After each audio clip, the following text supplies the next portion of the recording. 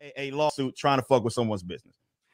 Did you accuse him of starting that lawsuit No, prior to him tweeting that? no, No? no, You didn't say that he and Vito were behind that? no, I think your timeline might be off on that one, brother. no. I think your timeline might be off on that one because if you thing. Very watch- well. Good Shepherd is alleging that we have had unauthorized use of their trademark. Outside of the given context, most of what I'm about to say isn't even aimed at the people that filed the lawsuit. The internet is an interesting place. We make fun of each other and we can do that. We can make our gripes known and we can dislike others. This is something that every individual is free to do.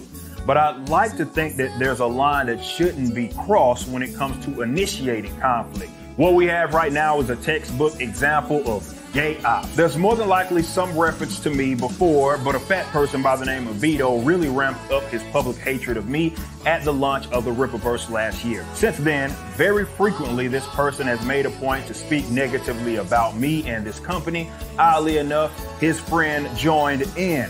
this is what I mean by gay ops, right? This person, the same dude, is trying to instigate a third party, you know, to do something and like suing us and, and, and, and all that and, and trying to kind of instigate and encourage.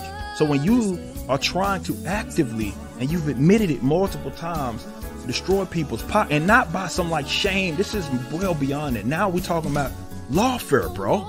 I wouldn't be I wouldn't be so so foolish as to do that. So Dick and Vito didn't do this thing. I don't know.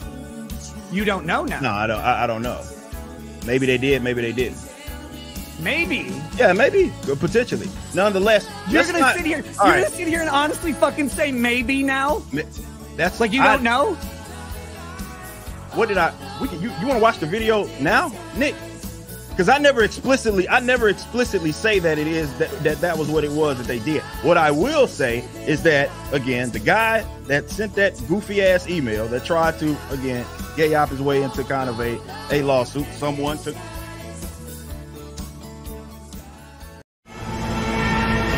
Go behind and do the fucking grind, and it's only a matter of time because they call me the big bad booty daddy.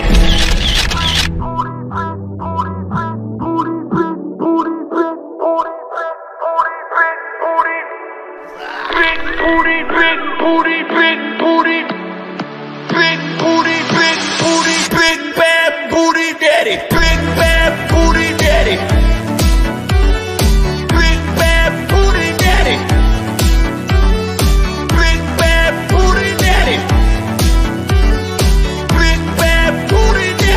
Booty daddy, booty daddy, booty daddy. Booty daddy, booty daddy. Daddy, daddy, booty daddy, booty daddy, booty daddy. Daddy. Man, I'm a cosmic being. Big bad booty daddy. Big bad booty daddy.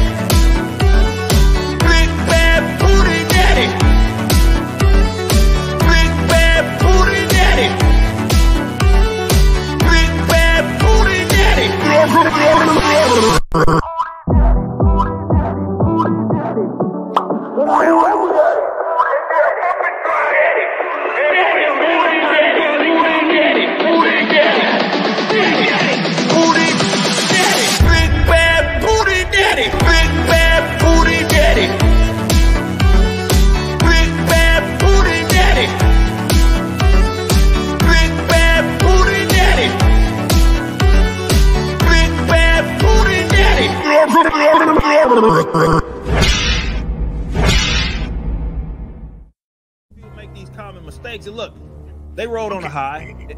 Go ahead. The thing is, what we need to take into context here is we've mentioned it before, we've mentioned the sugar daddy complex. When you have people who are playing with somebody else's money and they're an ideologue or they're just a narcissist, they don't care. Where'd that come from? yeah, I mean, hello?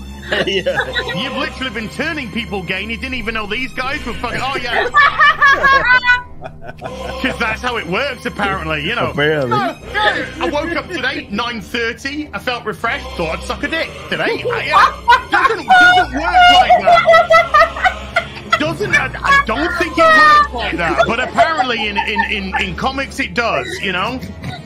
It's 15 minutes past six dick in the mouth time. Never done it before. Felt like it. It was either that or an after eight mints. One of the two. And I went for one of those instead. It, I think there is a, a, perverse pleasure which is taken. Hi, I'm Jen Soska. And I'm Sylvia Soska. And, and we're, we're, the, the Twisted, Twisted Twins. Because you have allowed the parasites in. You have allowed the, the, the, wolf, the wolves in the door. And you've allowed them to destroy your company. But none of them have spoken out. None of the people who at the time who were selling the comics could have spoken out and told people to shut the fuck up. And verbally, rightfully so.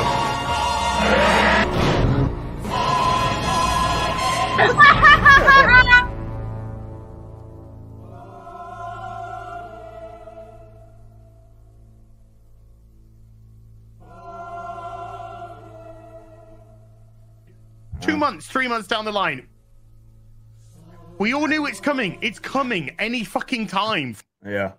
Good point.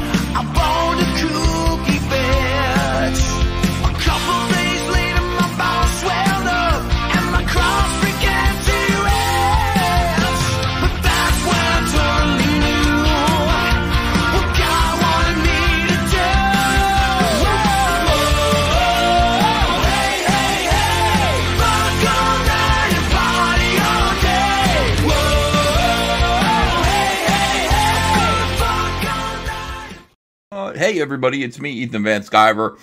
Uh, 31 year veteran of the comic book industry, world's most charming, disarming, elegant, eloquent, and yet humble man, great big sopranos fan, trusted member of the media, and this, of course, is Comic Artist Pro Secrets and the Trash Cast Show. And you, uh, you know, you're in the right place. It doesn't matter if you had other plans for your Tuesday night. I'm taking over from here, uh, and we are, uh, we're off, dude. We got a lot of stuff. My God, man. Oh my God, why? Oh, I take a little time off from Trash Cast. And I'll tell you, we got a lot of things to cover, a lot of things to tell you, uh, and all that stuff. Chickens in the chat, please. I mean, must I ask? Uh, chickens in the chat. And also, uh, please do uh, smang that like button. Smang it like this. How does smanging go? Like that, I think. That's what it is. Uh, can you prove uh, that you're really EVS? Mm-mm, I can't. You're going to have to take my word for it. That's what we're going to have to do. Uh, just right. Just Kevin Ryan says Comic Artist Pro Secrets and Trash Guy Show. That's this show right here. Man, it's great to be with you guys today. Uh, today was beautiful out. Today was absolutely beautiful. Uh, opened up the pool, but uh, it's not ready to get into it yet. It's going to be a couple of days before it's. Uh, but I mean, we we opened it a month early, so I got some sunshine. Uh, and uh, man, it's nice. Is this a Dutch angle? No, this is a Dutch angle. This is uh, yeah, just so you know, there was some confusion about what a Dutch angle was. Uh, Christopher Arcello says Ethan's going to destroy Cecil's Tuesday. Oh, Cecil's got a show. All right, guys, listen. Um, I'll be back tomorrow. We can do all this stuff uh, that I got lined up. We can cover it tomorrow. Uh, if you guys wouldn't mind, uh, just um, you know, hit that thumbs up on the way out, and I'll I'll see you guys later. I guess. Okay, is that all right? Thanks. All right. Uh, bye, everybody. Kidding. Um, you know, I'll stick around. Cecil's gonna have to. Look, uh, go see Cecil's show uh later. We got a lot to talk about uh tonight. Tons of. Uh, see, I need a little break in between trash casts. You must understand. Uh, Eric July's videos uh really uh they do my head in. That's what the English say. Uh, the English say, uh, oh, it was doing my head in. And I didn't know what that really meant until uh, I started doing Trashcast and watching some Eric July videos and commenting on them. And now I know what that means. Like, it really just feels like a dull, throbbing ache, it, like right in the center of your skull or right here, right between your eyes. Uh, his videos are designed to do that. Yeah, I know. It is absolutely painful. Uh, Eric is abysmal. We got a we got a bunch of stuff to talk about with him today, including Eric's amazing award. Uh, Eric, wait do you see this? I'm sure all the other detractor channels have covered this already. I don't know if they if they've covered it the way that I'm going to, but uh, uh, wait until you see this, guys. This is extraordinary. Uh, you are gonna. yes, he got an award. You guys are gonna love this. This is so so funny. Uh, it is amazing. Yes, he is a businessman. Uh, officially a businessman. He is an award winner. He won a major award. Uh, and uh, it is very good. Let's take a look real quick and see uh, what the award was about. Uh, of course, uh, Rippa, uh, Rippaverse did a beautiful video about it. These guys are on the ball. with these guys are on the ball with their video presentations. This is so inspiring. This is amazing.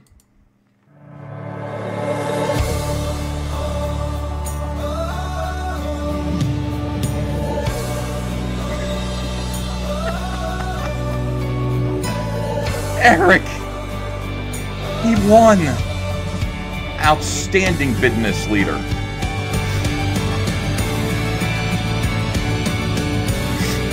It's so inspiring.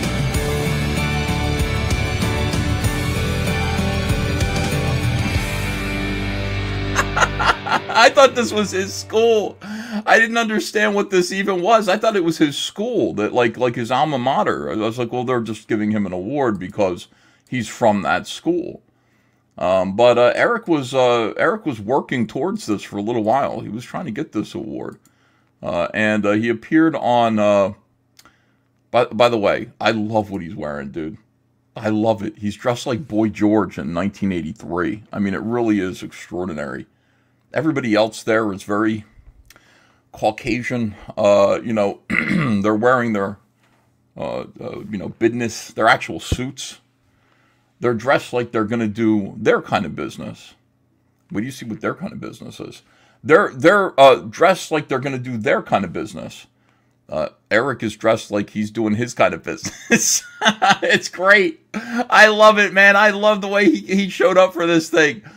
Oh my god, it's wonderful. Hold on a second. This is uh I posted a couple of things about this in tribute to Eric and his uh victory. Uh of course, um uh, here he is. Said, "Holy shit. Uh this is Eric receiving his award." Somebody actually uh and whoever did this, God bless you. Let me see if I can find it. Like maybe it's attached to uh this. I'm not sure. Is it attached? Did somebody do this on my thread? Um maybe not. Uh, oh my god, people are seeing a bunch of weird things. Like, oh, here it is. Yeah, they fixed it. So, so it said outstanding. Oh my god, this is wonderful. Thank you. Outstanding business leader. Uh, not business, business.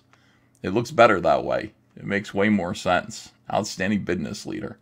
Uh, so uh, thank you. Enhance this. Hold on. i am going to open this in a new tab. Let's go. Let's look a little closer uh, at this uh, wonderful. You guys with the Photoshop uh, are really extraordinary. You guys are amazing. I, I thank you for this.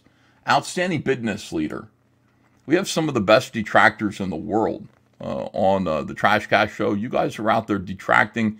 Even when I'm asleep, I'm outside enjoying um, looking at the swimming pool, not getting into it. I open a nice bottle of wine with the missus. She was like, I think uh, Andrea doesn't drink very much. She was like, I think I would like a bottle of Frank's Family uh, Cab. And I said, Are you serious? She said, Yeah, I think so. It's, it's that kind of day. I said, Wow, let's go. Uh, so we're out there uh, enjoying a little bit of uh, red wine, uh, looking at the, enjoying the beautiful weather outside.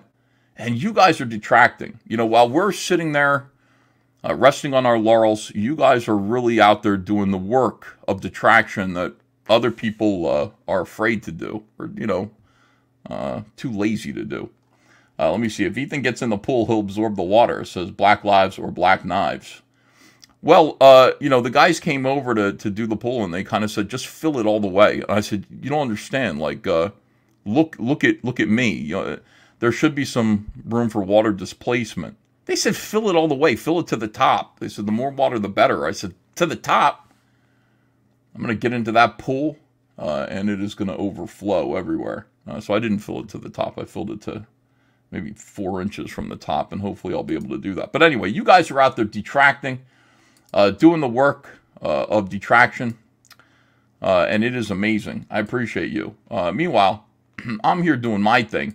I, I, noticed this right away. This is the first thing that I noticed, and it was so weird and creepy. Like, um, this looks just like this, does it not? Is that not the first thing that you thought of? Like, I mean, it's really strange, like how this kind of worked out. Like it's exactly the same thing. And if you look at it, like if you take a close look at, uh, you know, uh, what's going on here, uh, you know, you got, uh, let's see, two uh, white guys. You got two white guys here, and then two diverses, two diversities. You've got a black male, and then you've got a female right here, a woman, uh, a woman. So those are two diversities. You have your diversity quotient here. and it's it's virtually it's virtually the same thing. I mean, if you actually look at it, and again, they're standing to the side. They've got a little pulpit here. Uh, they've only got one microphone. They don't have a mess of like fucking uh, podcasting microphones like they did in the uh, Yaira trailer, but it looks the same. Like uh, Eric was almost predicting this. Here you've got two white males, and then you've got two diversities. You've got a black female, which I could represent Eric July uh, in a way, uh, and then you've got, of course, a woman. Uh, so I was like, wow, that's just so crazy, man. It's like it looks exactly the same. Um, yeah, diversities.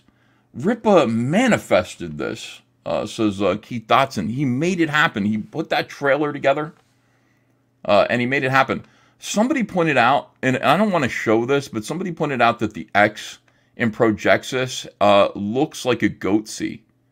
Like you know the uh, the circle in the middle looks like a like a you know an anus.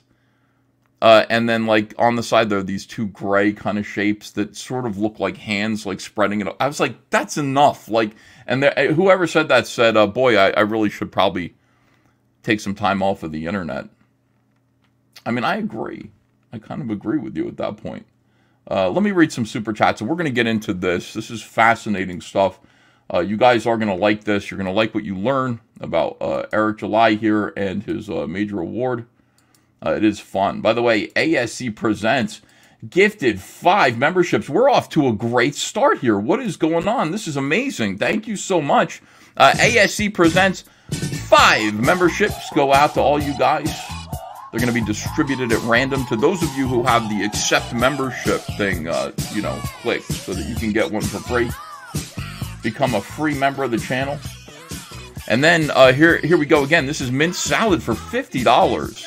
I can't believe Matt Barr wanted me to kick you out of Comicsgate when you guys, uh, you and Clippa, uh, you know, donate so much money to campaigns and to super chats. There's no way. What does Matt Barr donate? Nothing. Uh, thanks for doing Trashcast basically daily. So we only have to do for Canon's sake Monday, Wednesday, and Friday. Uh, I have time to draw stream again. Uh, does Matt Barr get 10k viewers on his? Hee hee. Uh, chicken mint. Uh, I don't think Matt Barr does. Uh, we had a Matt Barr puppet show. It, it might have hurt his feelings. I didn't mean to hurt his feelings over it.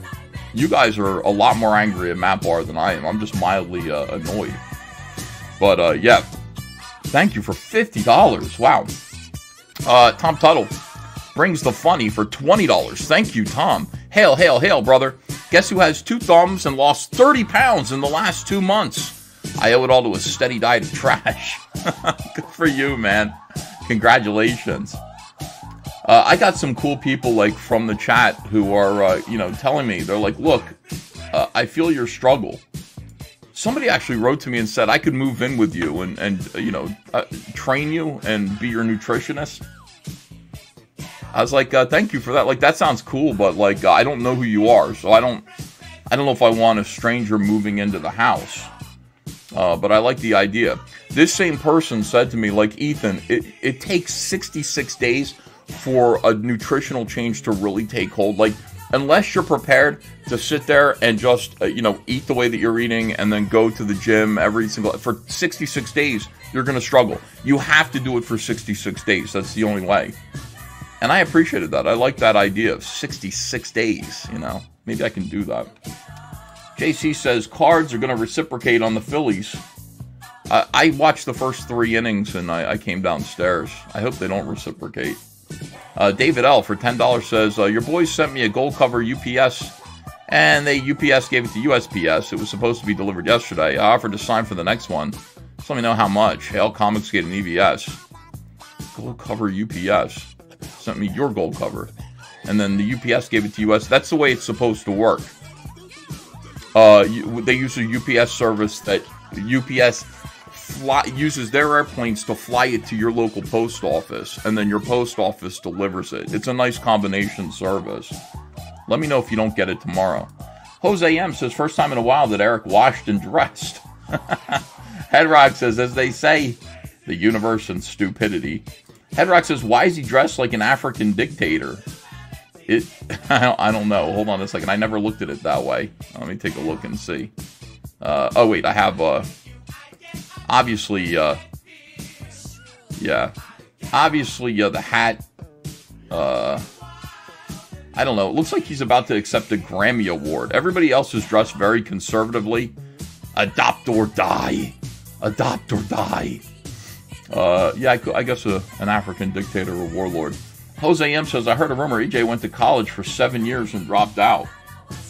That can't be true.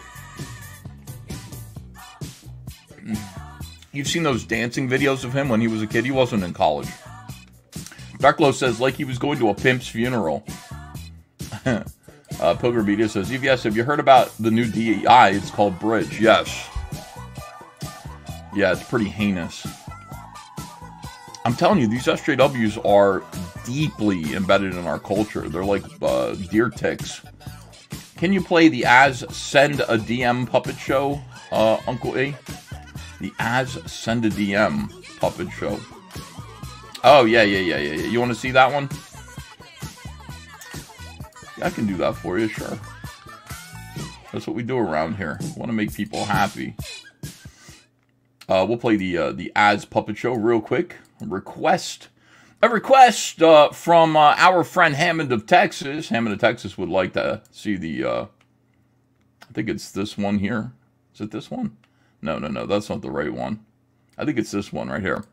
No, I know I do. We're still get great games. And the future companies that are not We don't need Absolutely. you. Same way with Hollywood. We don't need you anymore. I agree. I agree with anything. I need friends. Yeah. And obviously, we're all excited for Gyra, thanks to the lovely, beautiful, lovely cheeky sisters down there. Ladies, are you excited? We're super excited. We worked hard on this, like really hard. Really? Was it hard? How hard was it? Was it really hard? oh, Spaz, you are a cheeky little boy. You're so cheeky. That's me, just a lovely, cheeky little chappy. cheeky little single chappy. Uh huh. Well, you're all going to love what we have in store for you all. What you've both got in store for me, eh? Both of you at the same time? Haha. well, we can be double trouble when we want to be. Bloody hell! Do you mean it? Uh huh. Well, what we mean is like. Ugh. Yeah, we don't mean like. Oh, oh my god, my balls. Oh, okay, that's too much. I don't ah. ever talk to real women. This is like a dream. No. Okay. Oh my god, well, real women. Real women. I think that. I'm gonna send you a DM. No, no, Here it's you okay. Go, look. We don't need to. How do you lovely No, ladies okay. like that, eh? Oh my god, no, what is that? My tiny, cheesy little piece. Okay. Rip off verse. Everybody go subscribe to his uh, Twitter, uh, his YouTube, his uh, uh, follow him on Twitter, and then of course uh, Patreon. Go over there and join his Patreon. Great rip off verse. Uh, let me see. Memology's in the chat. Hello, Memology.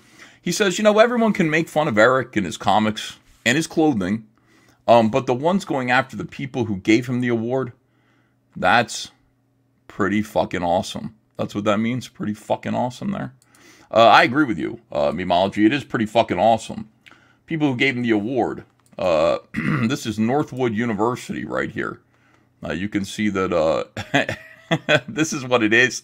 You got people sitting around uh, and they're talking about business. This is a business meeting where kids are working with, you know, their elders to learn something about business. And right here, having a drink of water, hearing lectures about business. Uh, this is the funniest shit ever. I don't know why I like this so much. Like Eric is here. He's at this event. look at wait. Look at Eric sitting back there. Yes, I love it, dude. I love Eric. He is great. Hold on, hold on, hold on. I got a better. Uh, uh, let me blow this up. Oh, I love Eric sitting there at this meeting with his beard just sticking out to the side. It just makes me so happy. Uh, so there is uh, Eric. He's at this. Uh, he's sitting at the table. He's talking about business. Uh, he's like, "Do any of you want to know about Rippasend? I can teach you a little something about uh, the Rippasend." Uh, he's a little guy. The image of him at the stand was kind of startling to me. He really looks much shorter than I imagined that he would be. But there's Eric talking to talking to a bunch of intersectional feminists. Oh, I love it. I love Eric sitting there bored out of his fucking mind. This is like Eric on Friday Night Tights, but in real life, like IRL Friday Night Tights appearance, where Eric is just sitting there like, tell me when it's time for me to talk about business. Could you please? When is it my chance to talk about business? Uh, Eric was here uh, on this uh, podcast talking about business to these uh, people who have actually, uh, these guys actually look like real businessmen to me. I don't know. These guys look like uh, real businessmen. So let me see. That's, that's a common theme among entrepreneurs. And here's your question As a successful leader, have you had to take a risk in your career? And would you mind sharing an example, including what you did learn about yourself in that risk taking? Yes. Um, so the start of my comic book company, um, I've, I've said this publicly before. It was the greatest risk that I have ever taken, and it could have went an entirely different way. Now, you know, these things are all risks. Starting a business is a risk. Uh, it's on you, of course, uh, to uh, uh to start out properly. Uh, you know, you got to put your own money into it. Uh, many times, that's what this is all about. risk. Business is risk, right? And this is what they'll tell you. Eric was the. by the way, before we go any further, just so you know, Eric received the Richard DeVos Young Entrepreneur Award. Uh, these are all the outstanding business leaders, the 2024 class of outstanding business leaders. Uh, Richard DeVos. Who's Richard DeVos? Young Entrepreneur Award. You guys know who this guy is that he won the award over? uh, Richard DeVos uh, is the co founder of Amway. Uh, you know what Amway? it's the Amway Award. Yay! Hooray! It's the Amway Award. Uh, Multi level marketing, the guy who invented the pyramid scheme. Yay! And Eric is the honorary award winner for the uh, Richard DeVos, co founder of Amway, pyramid scheme. Uh, young, uh, this is absolutely incredible. I personally would like to congratulate Eric July Eric July, fantastic you are. Uh, Richard DeVos uh, for our generation. Totally awesome. I can't believe it. he won the Amway Award. Oh, it's amazing. Yes, for real, guys. Richard DeVos, these people, uh, it seems like, uh, you know, business, business is about business. Uh, things like Amway here. Fantastic, dude. Fantastic. Congratulations, Eric July.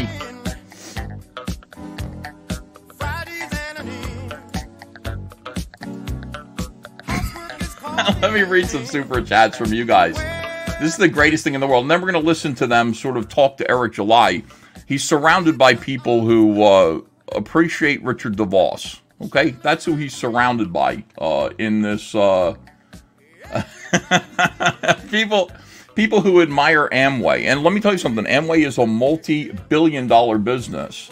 Uh, and it is. I mean, there's no doubt about it. Uh, what is Amway? Uh, it is multi-level marketing. Okay? You should stay away from it. People are saying this is a Reddit post about uh about Amway. Just so you understand. Uh, right here. I'll read this before we do super chats. Just so you, those of you who don't know, let's thread this needle.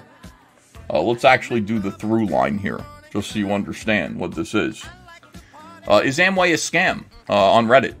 Uh, there's this couple that randomly approached me and asked me if I wanted to retire early or earn so much money. I find it weird, so I walk away. How they randomly approached me there. I gotta get Jon Malin in here. We both, uh, when we were kids, we both started working for like some uh, mar- multi-level marketing scheme. We both worked for the same one. I was 19. I think he was like uh, 20. And uh, we both share the same stories about it. It's pretty funny. Uh, then my friend's boyfriend started doing it. My friend's boyfriend said he met with this couple. They had meetings, uh, made him read Robert uh, Kiyos- Kiyosaki's book, Rich Dad, Poor Dad.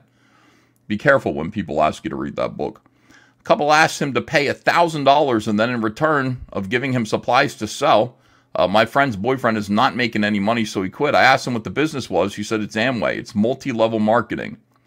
Uh, edit, I genuinely don't know about Amway, uh, but I do feel they are scammy. I had a manager in the past who kept telling me to keep an open mind about Amway, but hell no. Uh, and I'm not the type uh, who fall into things easily. I research first, ask around first, and how majority thinks mostly rely on factual knowledge. Uh, all right, so this is what people, uh, yeah, it's a multi level marketing scam. Stay away. Uh, yeah, it's multi level marketing. It's quite possibly the multi level marketingest multi level marketing, actually. In case you genuinely didn't know about Amway, I want to provide more info so you understand why it's a scam and why you should stay away.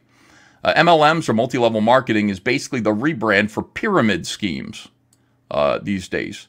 Uh, they skirt the law as close as possible to avoid legal trouble, but multi level marketings uh, basically uh, make their business work by tricking people into becoming reps or salespeople or whatever else, and then usually require them to pay the company a large upfront cost to get their starter kit or whatever else. Uh, they may ask their new recruits to drop a bunch of money buying inventory uh, so they have stock to sell to customers. The trick is, eventually, most reps quickly realize that the items themselves don't sell, or, or if they do, uh, they make hardly any money. They're typically overpriced as hell uh, compared uh, to competing brands, uh, or they're not that desirable to customers. What does make money, however, is recruiting new people, guys. Just remember this recruiting new people uh, is what makes most money for uh, uh, for these uh, multi-level marketing pyramid schemes. Uh, so uh, just apropos of nothing. I'm Eric July, the founder and owner of the Rippaverse. When we launched our comic book company in 2022, I took the risk of my life. But it wasn't an uneducated risk. We've had three campaigns over a million dollars, and that's due to us doing tons of research. a lot of that research had to do with analyzing the industry standards from content to distribution. And quite frankly, we couldn't make sense of a lot of it. So we did things differently. We handled everything ourselves as a new company from the website functionality to the fulfillment. All of it was in house, and we've learned a lot along the way. We know what works and we know what doesn't, and we are not afraid of change and improvement. If you've kept up with my videos, you know that many people ask me if we'll ever publish non Rippaverse things. if you've variety with a file to ask this question several months, I was wondering if the answer changed. Are you interested in bringing uh, on outside series to the Rippaverse? I've always said that I believe our contribution would be more so in helping fulfill because it's the most pressing issue. And now that we have everything down, I'm proud to announce our next venture called Rippasend, a full-scale hosting and fulfillment service under the Rippaverse publishing brand. A glaring hole in the independent comics market is with fulfillment and delivery of product. New forms of funding, such as crowdfunding, have lowered the barrier for entry, and that's great. The downside is that you have a lot of people that don't necessarily understand the business, overpromising and realizing very quickly that they're in over their heads, and that's where Rippasend comes in. There are publishers and distributors, but what we're trying to do is far different. We understand the comic book industry and can handle any volume. Our goal is to assist the independent scene and those creatives that want to remain largely independent and sell directly to their customers. Rippasend is not a crowdfunding platform that's open to the public. Look at it more like a network that certain clients will have access to. You'd fill out our application online. We'd make sure that this is something that makes sense for you. and then we'd give you a unique quote with pricing that's uh-huh. tailored to you and your needs. Each client will be different which is why we'll work with select people or companies.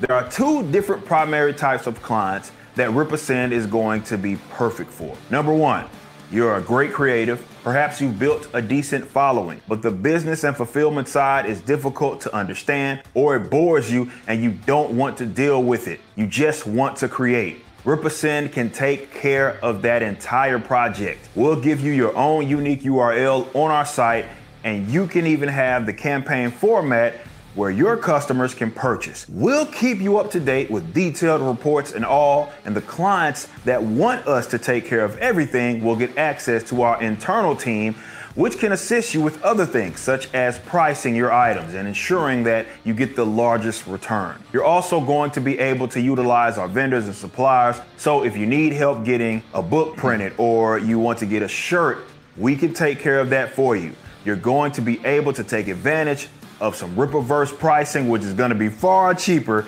than if you did it yourself. especially with shipping. And of course, once your items are ready, we'll receive them at one of our warehouse locations, store, prepackaged, and then ship to our customers. And that means we'll be handling the customer service aspect of it for you too. The other main type of client would be someone that just wants to use Rippasend to host their store and fulfill their items.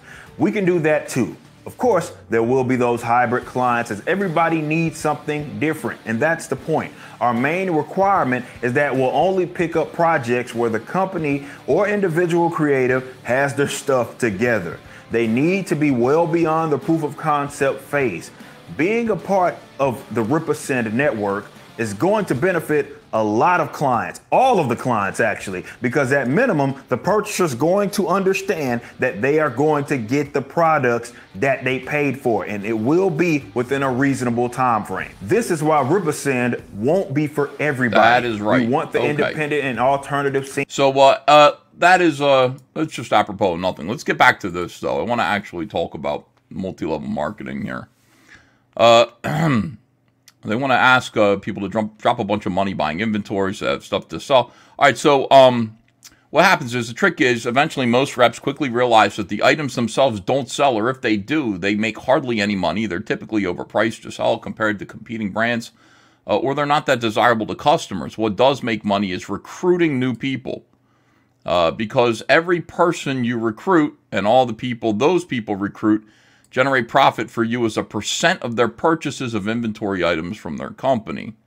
Um, they also uh, usually push very hard for their recruits to recruit more people or to use their friendships and family relationships uh, to try to sell more product. Um, or maybe like, you know, their, their uh, followers, subscribers. Uh, this has the effect of annoying and commodifying your relationships with those close to you, often damaging those relationships, often making you rely on the multi level market for social interactions. But it's a very exploitative relationship. Your upline, aka supervisors, are usually taught to try and push for as much in sales and recruits as possible. They can and will resort to uh, manipulation, and they often will push you to be manipulative as well. It's a seriously such a bad deal.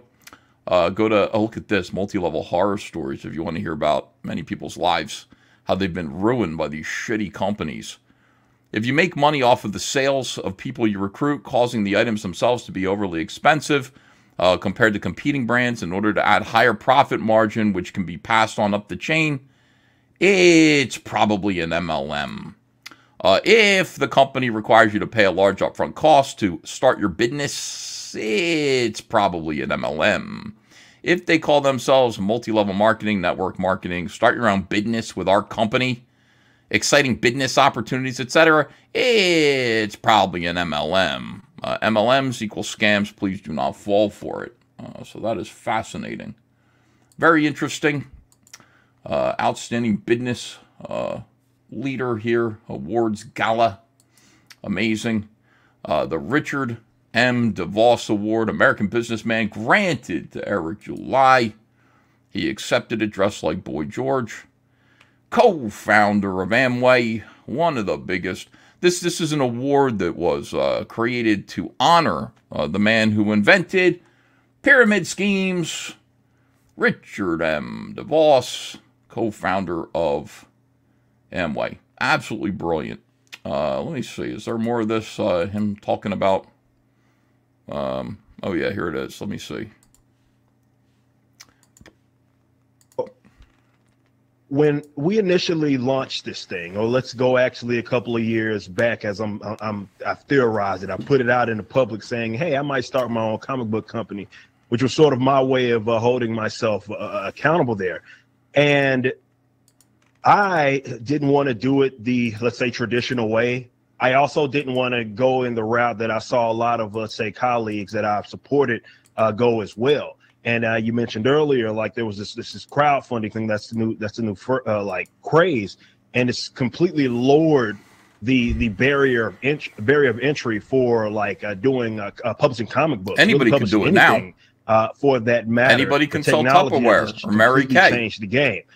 Um, and I didn't again want to go the more traditional route that we see with book publication and everything.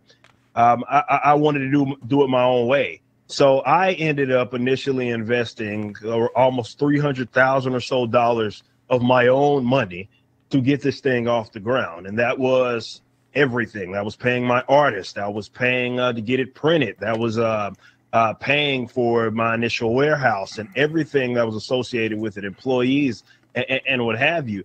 And, and that was a major, major risk. You know, I'm having to justify this stuff, obviously, with my wife saying I've I've, uh, I've saved all this money, but I do believe that it is going to be a payoff. This is something that I'm very passionate about.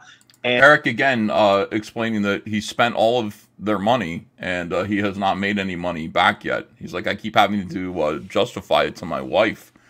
Took three hundred thousand dollars of our own money and sunk it into Rippaverse, and uh, still uh, not in the black. By the way, in the black uh, means making a profit. It doesn't mean anything else. I mean, it's on a. Uh, so uh, you can see he's a little bit troubled. He's like, I think it's going to happen for me. I do. And uh, considering the the overall state of comics, um, this was going to be something that I thought had had a great great payoff because demand was there, and it did. I, obviously, I did. I expect it to get almost four million dollars. Absolutely not. Um, but it did, and it, it was a great risk. And I don't think that we're in this position if we don't take the risks that we that we took. Um, people were able to kind of uh, understand that they were going to get their product in a relatively quick uh, um, amount of time. They under, they knew what they were getting themselves into. I surrounded myself with a bunch of veterans um, as well, and, and the colorists and the artists, people that have been around the the game for for decades. So um, it, that took r- a lot of risk because you don't necessarily know the return, especially with your with your first product.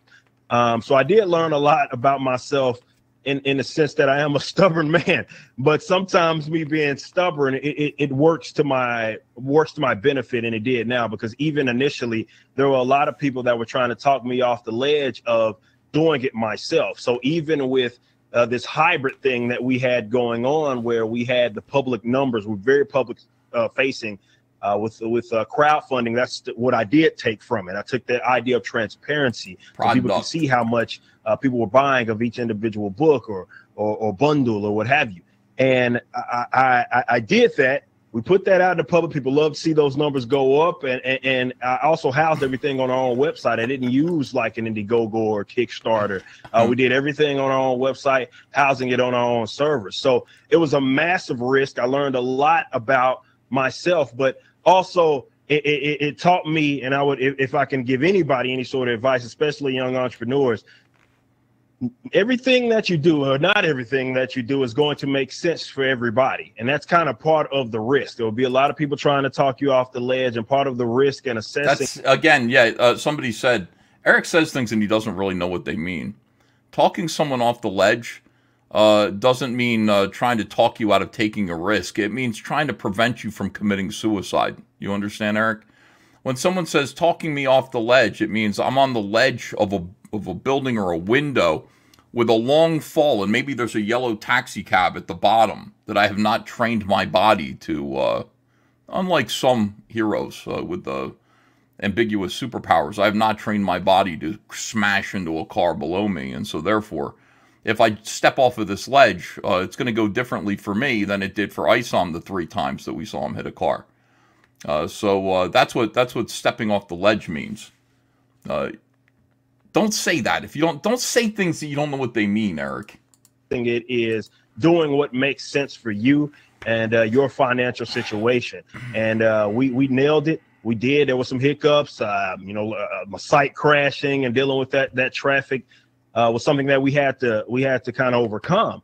But it was one of those things that obviously paid off in in the long run, and I couldn't be any happier. But it, it came with risk. You don't get in this position without taking the risk that we took. Thank you, Eric. Uh, we refer to that money you put in as skin in the game. And uh, as, as our students here at Northwood know, you, you, you got to put skin in the game. You can't expect other people to fund it. Um, so you got to put skin in the game. Uh, that is what uh, Amway asked of people. You got to put some money into it. Uh, you got to give us a little bit of, the, of, that money. Skin in the game, folks. Uh, sound business advice, says Bakafer. skin in the game. I like these white, these old white guys. Look at them. Look, their arms are crossed. Look at the arms crossed on these guys. that's a defensive posture. That's a, uh, you know, uh, stay away from me. I don't trust you uh, kind of posture. This woman's looking down like, what the hell? This guy fell asleep.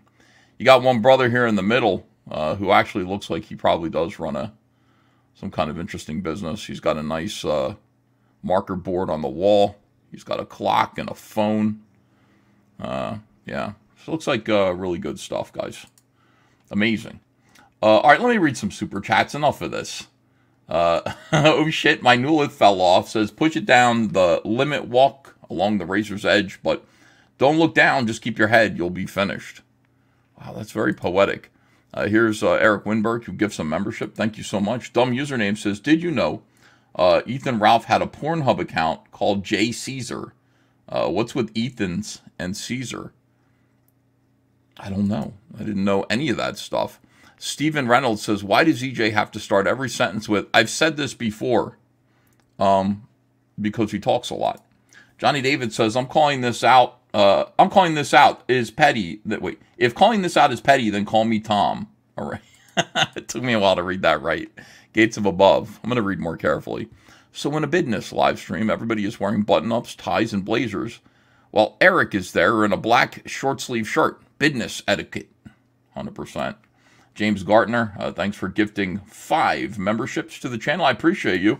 Rooster uh, Rokitansky says EJ looks like he kisses both his dads on the mouth in that outfit. Wooder Van Putin says Betsy DeVos was Secretary of Education uh, under Trump. Uh, Mario Valenzuela II says, Eric, I hear you are an entertainer. Do you know any Al Jolson songs? Uh, NU presenter. Oh, shit. Uh, Johnny B. Good says, Rippasend shipping Avon and Monavie. What's Monavie? Uh, soon. Ryan uh, Toe says, long ago I got fired up about Amway. I went home and realized the prices were all 250% of the prices at the store I worked for at the time. Uh, wow, 200 Watt Studio says, Rip Amway coming soon. Uh, Bob Jester, 28, says he's going to start selling Amway product to remove shoulder hair from my ISOM comic. Well, that would be helpful. ID Crisis Design says new service available on how to ruin your indie comics. That's Rip Edit. JC98136 says it has always been uh, a multi level marketing. His books are just to sucker people in. Uh, Lombardi says Eric's new vid about customers is infuriating. I got that up there. I'm I'm still cool right now. I'm still cool, guys. Thanks for the super chats. ID Crisis Design says that Thomas Sowell poster in the background is an insult. Dumb username for $5 says, When working at DC, how long did it take to make one issue of Green Lantern from conception to comic shop? Uh, I don't know. I just know how long it took me. It took me about six weeks to draw uh, an issue of Green Lantern uh, back then. Maybe longer. Sometimes it would take two months. It really depends. Headrock says, uh, Remember, Eric is an anarcho capitalist. He believes the customers are solely responsible for not allowing themselves to be scammed. So it's your fault. Uh, Sarangus Fungus says, The less fortunate are passionate over square pegs and round holes. I can watch that all day. However, uh, that doesn't make it right, Eric. Thank you, Sarangus Fungus. Vengeance says, Bidness, what it is. I am a spiritual being, it is. Angrist. Uh, they bought a comic and got clip art 3D assets. Here's James Gardner for $20. Oh my God, $20. Amazing. Thank you so much. Appreciate it. Good times. Trash cast. Trash is cast. Always fun. This is what we do. Keeping your head above water. Good times. Easy credit ripoffs.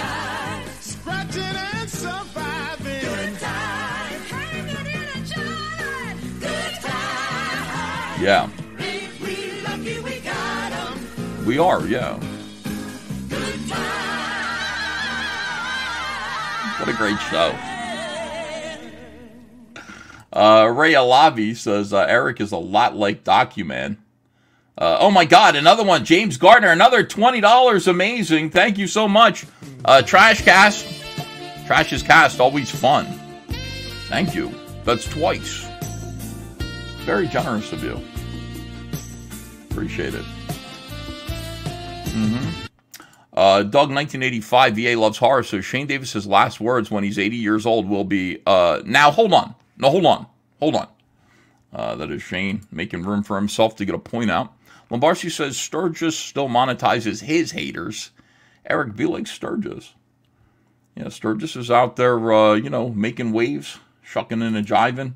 Uh, Eric Huffle says, I sent you a devastating review of Soska's new Night of Living Dead show uh, to your Twitter. Uh, credit Keith Dotson for pointing me to it. Uh, yeah, yeah. Actually, I think I have it. I think I have it up there. Thank you, Keith Dotson, and thank you, Eric, for that. I appreciate that. And Daxamite says, at least we still have a Documan. 100%. Thank you for Documan. It's good to know. It's good to know Documan uh, will always be there. Remember, uh, by the way, Comics Comicsgate Drama found the uh, the video uh, that Eric made. This made me. This made me laugh. Uh, Sunshine Mom 22 for $5. Ethan, my husband and I love you. So this comes from a loving place. Let the beard free. Let the gray shine. Nope, it's getting darker and darker. Sorry, Sunshine Mom and your husband. Uh, I will, uh, you know what it is? Like, I think he left the dye in too long this time. He's supposed to just put it in there for 15 minutes. It was like 30 minutes this time. I'm like, you know, uh, it's turning the color of chocolate. Uh, all right, now hold on a second. I, I hear you guys about the beard. I do, but I just ignore you. Uh, that's all it is. I hope you can tolerate that. Uh, what is this? Oh, yeah, yeah, yeah, yeah, yeah. Okay, hold on a second. So, Eric, when he first announced these legendary document cards, Comicsgate Drama found the uh, video. This is fantastic. I love this.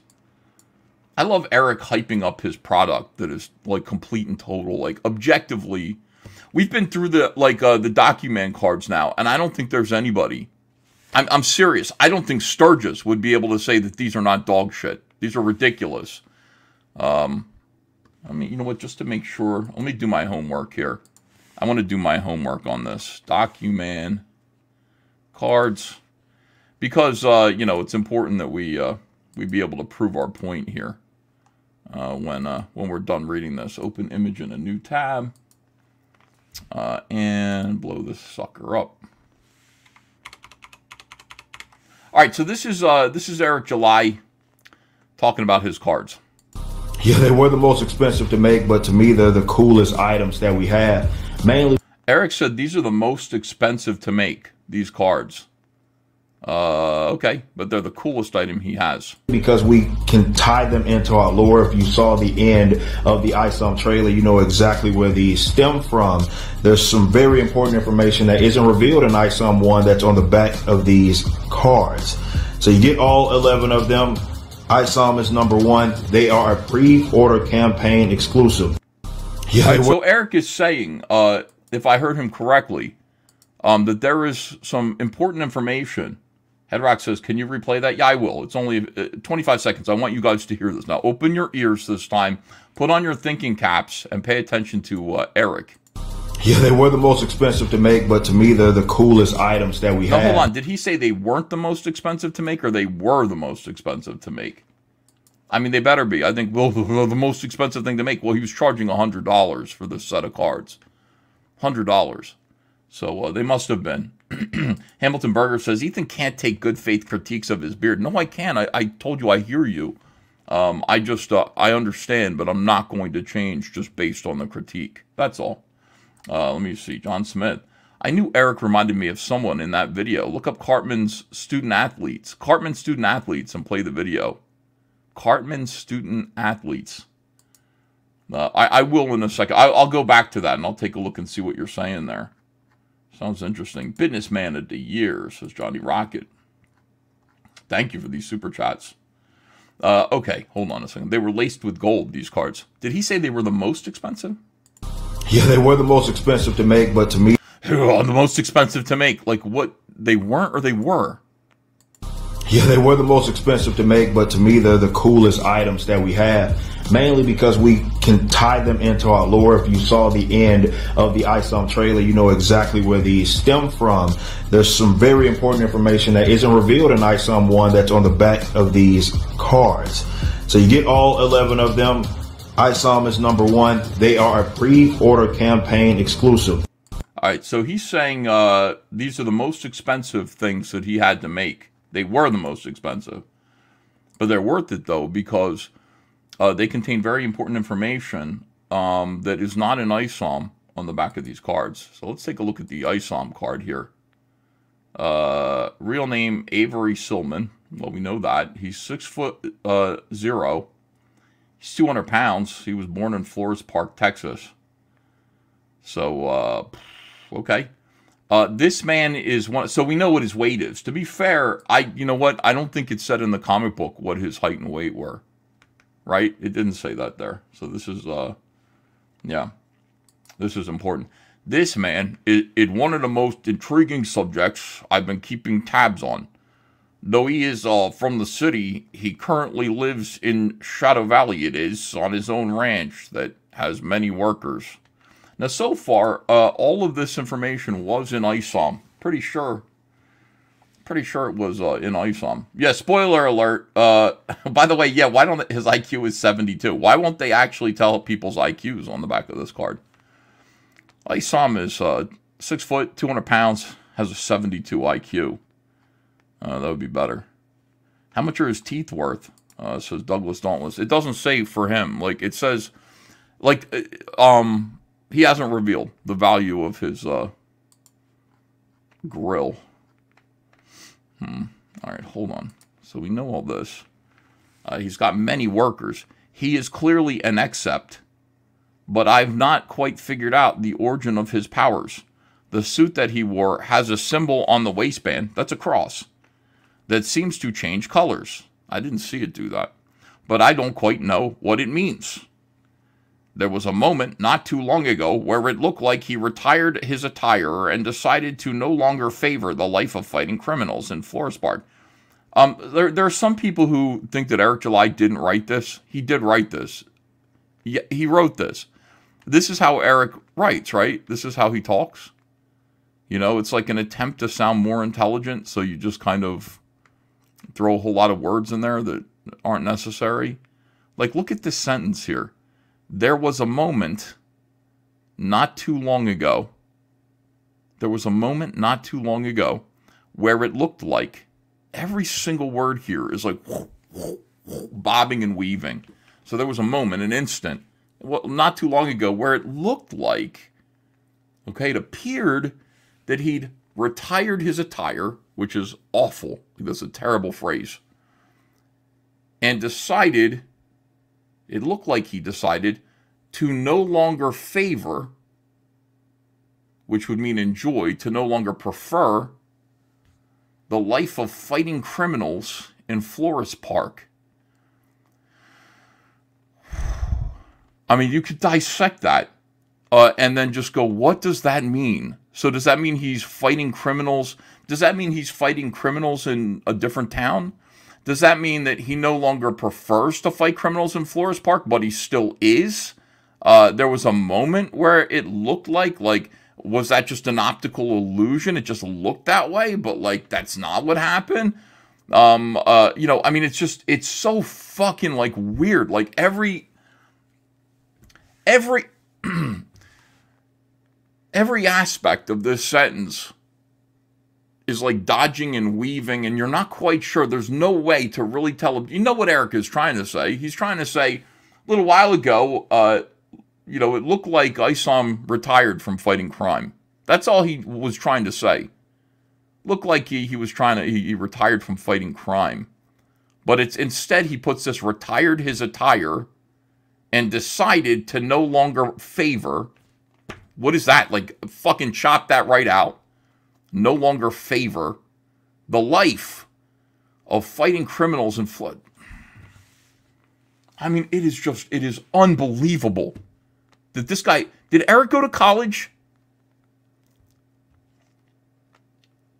I mean, it's just, it's so bad. The writing is so bad. And I know it was, some people said, well, maybe it was Patrick Thomas Parnell that wrote this because he designed the card. No, he did not write this. This is uniquely Eric July. This is vividly Eric July. Uh, is he back? Uh, it's hard to tell, but his abilities have grown, unlike anything I've seen before. We don't even know what his abilities are. If this keeps up, he will be one of the most powerful beings on this planet. This is retarded beyond belief. Power observation. I do not know what his powers actually are. What I do know is that he's very strong and he has only gotten stronger. Now, hold on a second, Eric. I mean, you got to be fucking kidding me with this. You got to be kidding me. Let's go back. Yeah, they were the most expensive to make, but to me, they're the coolest items that we have. Mainly because we can tie them into our lore. If you saw the end of the ISOM trailer, you know exactly where these stem from. There's some very important information that isn't revealed in ISOM 1 that's on the back. His height and weight. That's it. It's just his height and weight, Eric. That's the only thing that got revealed on the back of that fucking card. Height and weight.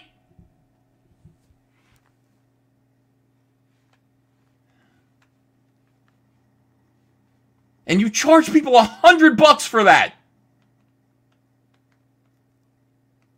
Hundred bucks.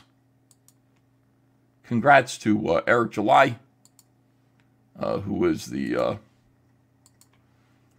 DeVos, Richard DeVos Business Award winner. I mean, you got to be kidding me. You you got to be kidding me. EVS seems kind of triggered today. It, it, we've only just begun Vitamin R Studios. Do you understand?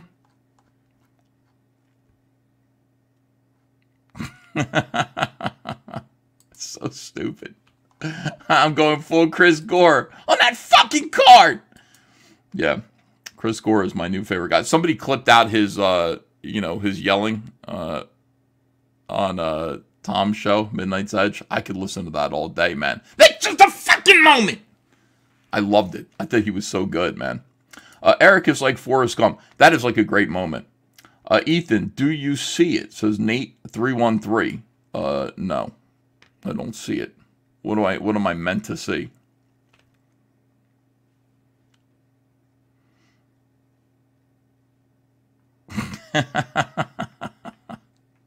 I remember your high blood pressure. All right, hold on a second. What's going on now? How are the Phillies doing? Oh, the Cardinals are beating the Phillies? Let me check on that. I don't believe you for a minute. Phillies score.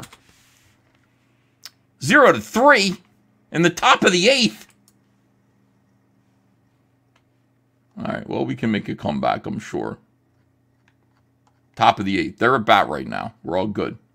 Uh, let me read some super chats here. Psycho Crusher 69. Thanks for $10. Unfortunately, Eric didn't train his brain to think normally. We've seen enough. Hamilton Berger says uh, EVS can't. Oh, I read this. Uh, all right. Cartman student athletes. Cartman student athletes. I meant to look up. All right. Let me see what these guys are. Is this porn? It better not be porn.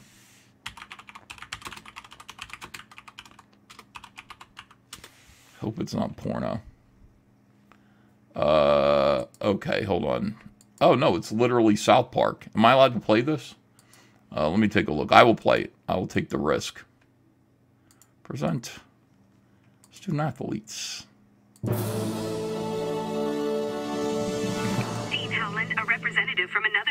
Prestigious institution, is here to see you. A what? Send him in. Hello there. The name is Eric P. Cartman. I'm a well-respected owner in the slave trade. In the what? My peaches, what a wonderful office you got yourself, yeah? Certainly got yourself a lucrative business, don't you? Well, let me get right down to it then. Like yourself, I'm also in the slave trade. Uh, but at the moment, I find myself in a little quandary with legal issues. Was wondering if you could share some secrets. I have no idea what you're talking about. You have some mighty strong-looking workers here, sir. I'd be willing to offer you $40 for two of the white ones and 50 for the blacks. Are you referring to our student athletes? Student athletes. Oh, that is brilliant, sir. Now, when we sell their likeness for video games, how do we get around paying for our slave uh, student athletes then? Look, there are good reasons why our student athletes cannot be paid, young man. I ain't arguing. okay, I get it. I don't want to get struck. That's great. Uh, Johnny Rocket says, businessman of the year. Uh, William Harris says, the world is a hellish place and bad writing is destroying the quality of our suffering. That's Tom Waits. Good quote there. Jagar. Avery Silman in the multi-level marketing of madness should be uh, Doctor Strange in the Multiverse of Madness. It's a better title. Uh, what it is is what it was. Sometimes is uh, what it will be. Apple Pit says, "Growing your beard long like mine, uh, you'd rock a, a long one." Uh, here's uh, John Gauthier. Hail, Ethan. I ordered a Wreck Planet from eBay on the 4th. Got a tracking number the next day, but no info since. UPS isn't showing it received it yet. Uh, John Gauthier, uh, write to cyberfroghelp at gmail.com and just double check what's up with that. On the 4th, uh, Vengeance says, Did you show the Eric July card yet? Hilarious. No, I have, I have not seen it. Uh, Nightmare says, Did a friggin' third grader write this? Mac Rendell says, Documan doesn't have his uh, utility belt yet. Cut him some slack. Uh, that's true. Uh, Lombarcy says, How much is enough money to give Eric? Uh, $100 is the best deal. $100 a month. Mike Wilson Art says, Go cards. James Gardner says, Hunter S. Thompson said, Watching baseball was like watching Jewish women argue. Uh, go Phillies and go Cubs. I love baseball. Having a good time this year. Having a good time watching some baseball. Uh, nah, Ethan has such a nice beard as it is. He doesn't need to rock a ZZ top. Thank you. I appreciate that. Uh, Andrew uh, Campbell says, total eclipse of the beard. Yeah, it is true. All right, we got a bunch of uh, stupid videos to watch. Uh, Oh, by the way, Az is like back to posting gym selfies. Did you guys see this? This is uh, good. Az is uh he's posting these gym selfies. He took a little break from it. Uh, he takes the same picture of himself every day, sweaty and determined with his stinky headphones on. Took a little break to take a picture of himself looking to the side in a tuxedo. Still sitting in his chair. I don't I don't know why he's wearing a tuxedo, sitting in a gamer chair. Was it formal wear? Uh, like what the hell is he? Why are you sitting in your gamer chair wearing a tuxedo? I don't know. I'm not sure. Black tie only. Co- uh, what's it? Uh, give me a video game name. Can't think of any video games. Cypherson Suctus says money. Thank you for five dollars. Appreciate that. Uh, poor Lunga says a deadly R. Wait, a deadly three row toxin deadly, hold on, a deadly neurotoxin. Got it. Looks like he wants to use his clown on us. Yeah, he went back to posting more of his determined looking uh, stinky gym selfies. I don't know why he keeps posting. He doesn't look any different. He looks the same to me. He looks pretty much the same. Uh, Phantom Power says, hate to ask this, but if I ordered a Wreck Planet with a head sketch, should I expect it soon? Yeah, they're on the way. Uh, Vengeance says it's Discover's new vid, the Eric document card. Oh, uh, okay.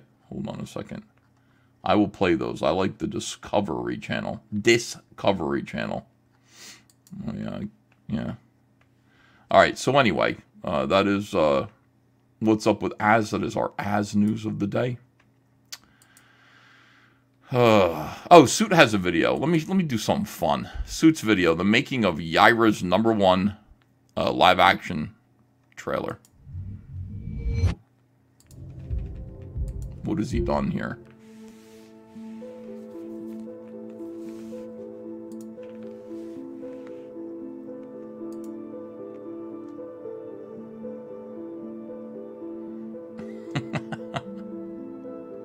Trash guys are starting to feel like going to the Special Olympics and yelling that they run. Um, Eric July that they run like they're retarded. Owner of Rippaverse, creator of Awesome, Horseman, and some of the other stupid characters in this entire gay universe. Wow, that's good. But mostly, I am in shipping.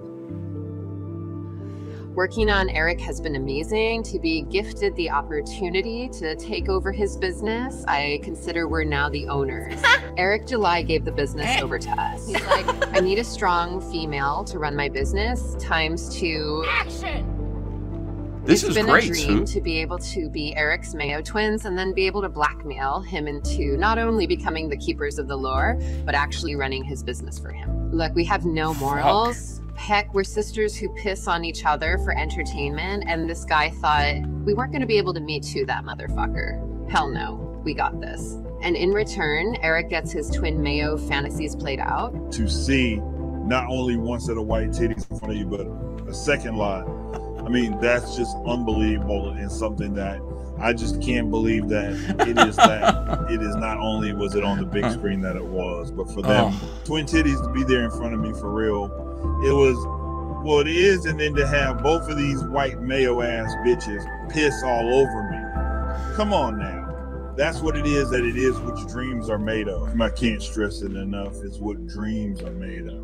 walking on set and seeing my sister naked playing with Eric's ball beard, well, I know that feeling. It's the greatest feeling in the world. I love my job, which is to say I'm, I'm Eric's fluffer. My job is to make sure that the shaft is kept hard. Often I am there in the background between scenes. Disavow. I'm not the only Disavow. fluffer. I think that's just Eric likes multiple fluffers. I mean, what multi-million dollar businessman wouldn't? If you could have more than one fluffer, I didn't do this wouldn't at all, know? you I know scared that Jody. This film is supposed to focus on this Oh. tall blonde, but really the stars are the Soska sisters. And why wouldn't they want to be stars, along with Eric, of course? when you have two sets of white titties in front of you, it is often fairly difficult to focus on your own task, which is to say, my task is to comb Eric July's ball beard. Oh. So I'll be there on set, laying down, usually between Eric's legs, combing and grooming his underbeard, as he calls it. Sometimes the sweat from his balls will drip onto my head. No. Some call this uh, a hazard of the job. Myself, I call it a perk. So I play Eric July's wife, Mrs. July. In this film, I discover that my husband became a millionaire, then was me tooed by a couple of white satanic bitches. So we heard about Eric July becoming a millionaire by grifting his fans out of their money using the culture war grift. And we were like, That's wow, we could use this opportunity since we both were recently canceled too. So flipping to the other side to wedge our way into this guy's life, then take over his business before it collapses may win us some points back on the other team. But even if it doesn't, simply destroying a right wing business or infecting it with our politics is a win for both of us. The introduction of sex was always on the plate since both of us, well, we have no problems inserting a spider into our own vaginas. So there ain't nothing neither of us won't do or use to get in bed with this guy. Plus, he's black. And our side really don't care about those people. When I arrived on set, they showed me a few pictures of what my character would look like. I didn't know this was going to be an orgy sex film. Unfortunately, I used all my money getting here, so I bit the bullet. And let me tell you, it wasn't much bigger than that. And so I dived right in. I hope the paycheck is real because I had to jam my little fingers up his ass. Oh, and then twist them oh! around his uh, side. Uh, uh, look, I really love Eric, and I love this job. I wish I could fluff more, but there are only so many. Okay, I, I, I uh, Suit, listen, uh, Suit, I know that, you know, uh, I know that you were a little annoyed with me because last video that you made, I, I couldn't get through it. I stopped playing it, uh, and I appreciate that you, uh, went hard, uh, at another video. Uh,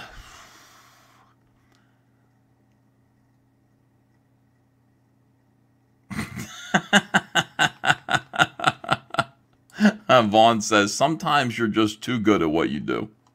Yeah, I mean, you know, that was, uh, I mean, listen, uh, you showed a lot of uh, energy. Uh, you showed a lot of uh, enthusiasm in that. I just, uh, finish it, finish it. Now, you guys can go and you guys can find that video. Feel free. I don't know if I can take any more of that. Uh, that was explicit. Suit says, I think I I just love breaking Ethan. Thanks for ten dollars. I was like, and it was a nine minute video. We weren't even halfway through it. See, that's when I pulled the plug. I was like, okay, wait a second. We're almost done, right? We're almost through this? No. No, no, no. We're not even halfway through uh, the video. Lombarski says, wait, she said she jammed what up Eric's I don't want to talk about it. No. oh, you guys are nuts. I uh, I got to take a break.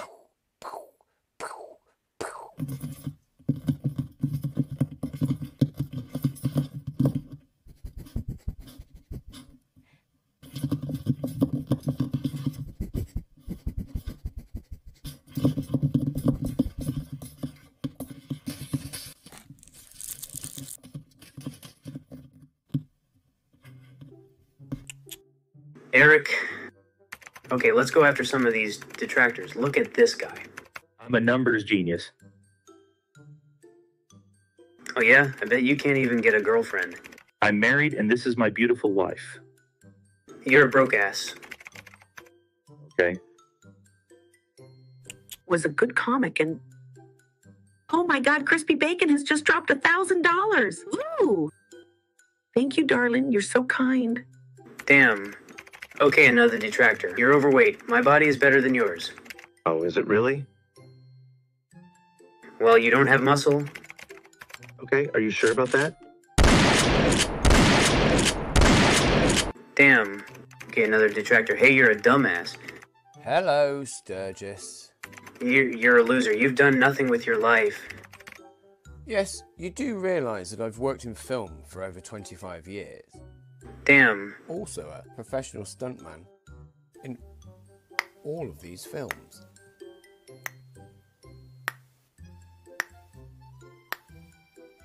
Damn. But I bet you, well, but you're a. I can keep going.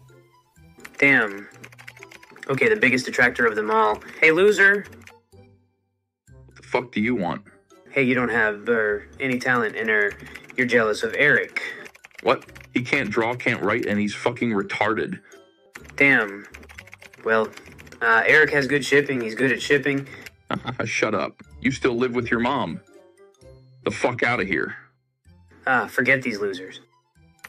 Uh, let's see what lovely Eric is saying. And want to thank all my pay pigs. Shout out to Complete Zero. I see you in the comments. Blah blah yap yap blah blah blah Oh my God, he said my name. He said my name. blah blah yap yap. Eric, blah, blah, Eric, blah, Eric, blah, I love. blah blah. Move differently. Blah blah bullshit. Blah blah yap yap blah blah blah blah. Blah blah blah blah blah. I move differently. Blah blah bullshit. storm, and I'm just getting warm. Just like Muhammad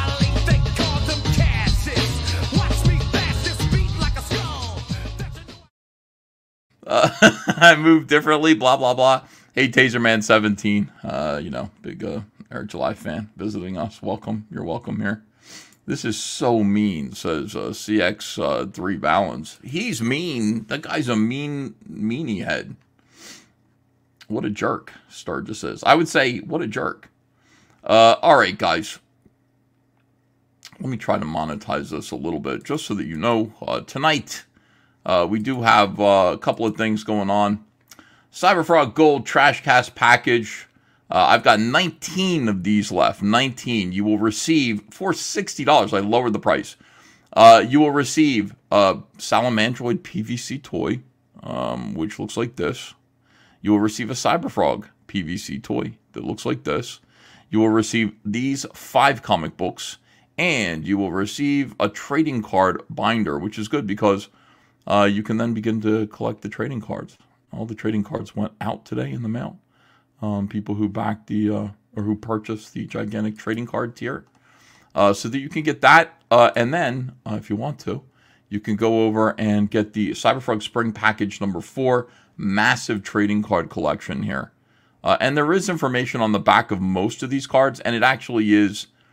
I don't know if it's relevant. Oh no, it is. Uh, the the P cards are uh, they all have stats of the characters on them.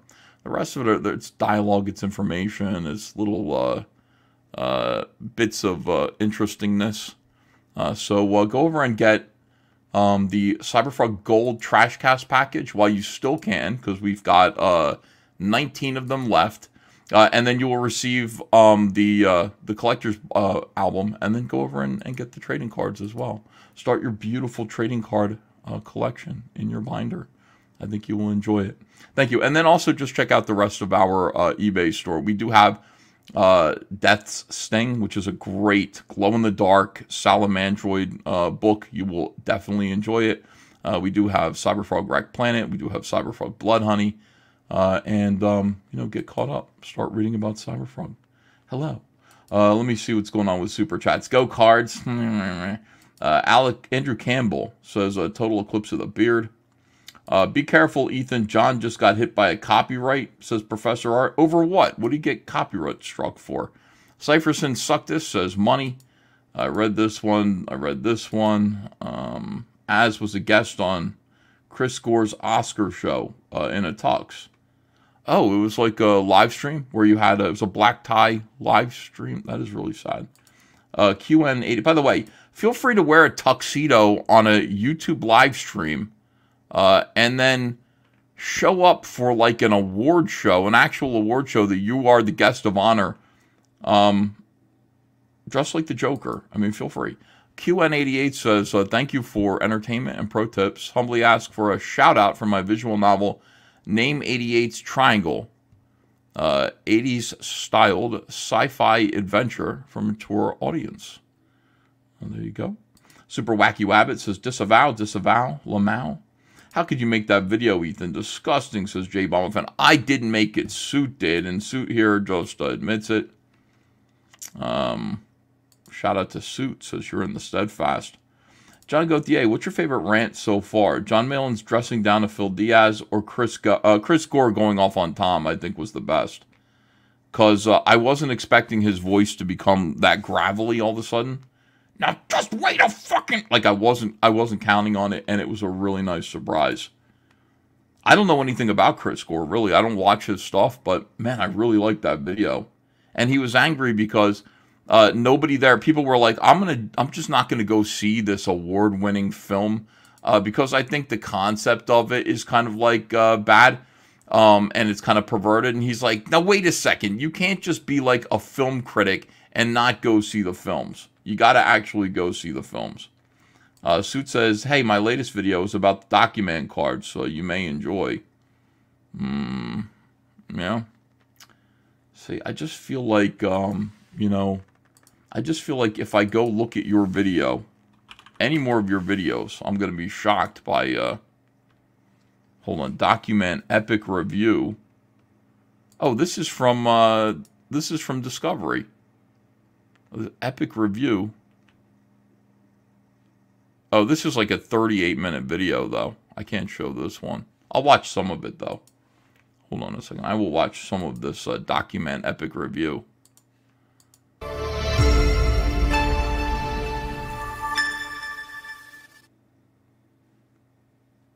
Ripaflix. I decided to use my friend's David All right, Shilly we go. comments This on the cards to okay, I sell them properly. This is so fucking third grade art. This says ISOM, Avery Silman, height six foot. Okay. We just looked at this. All right, hold on a second. We just looked at this one. Document card number 12, the Rippa. Let's see this one, this video. I bought the Yara toy megaphone and came to the river to convince people to buy the ISOM trading cards. 観光客の皆さん、アイサムのトレーディングカードいかがでしょうか買ってください I don't think this shit is working.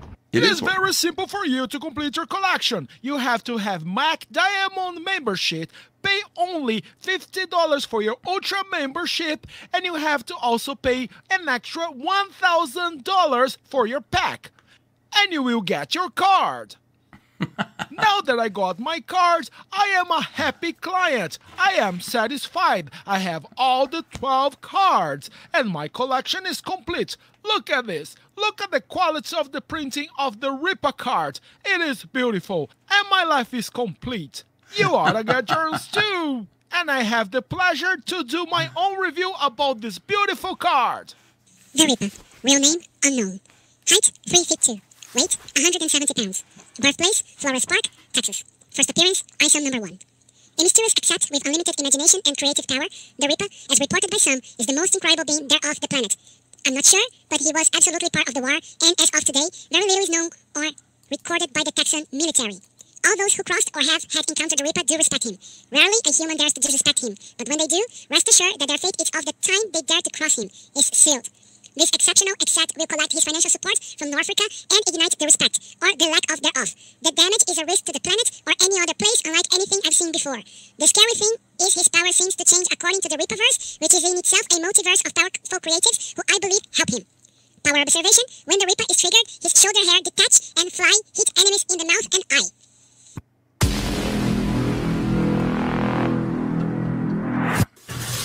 What's up, everybody? I'm Eric July, founder and owner of Rippaverse Comics, as well as the writer for ISOM number one, talking about the Document cards. This is one of the cards that you are going to have available for you. Yeah, they were the most expensive to make, but to me, they're the coolest items that we have. There's some very important information that isn't revealed in ISOM 1 that's on the back of these cards. This is a campaign exclusive. You're going to want to get in on it. I'm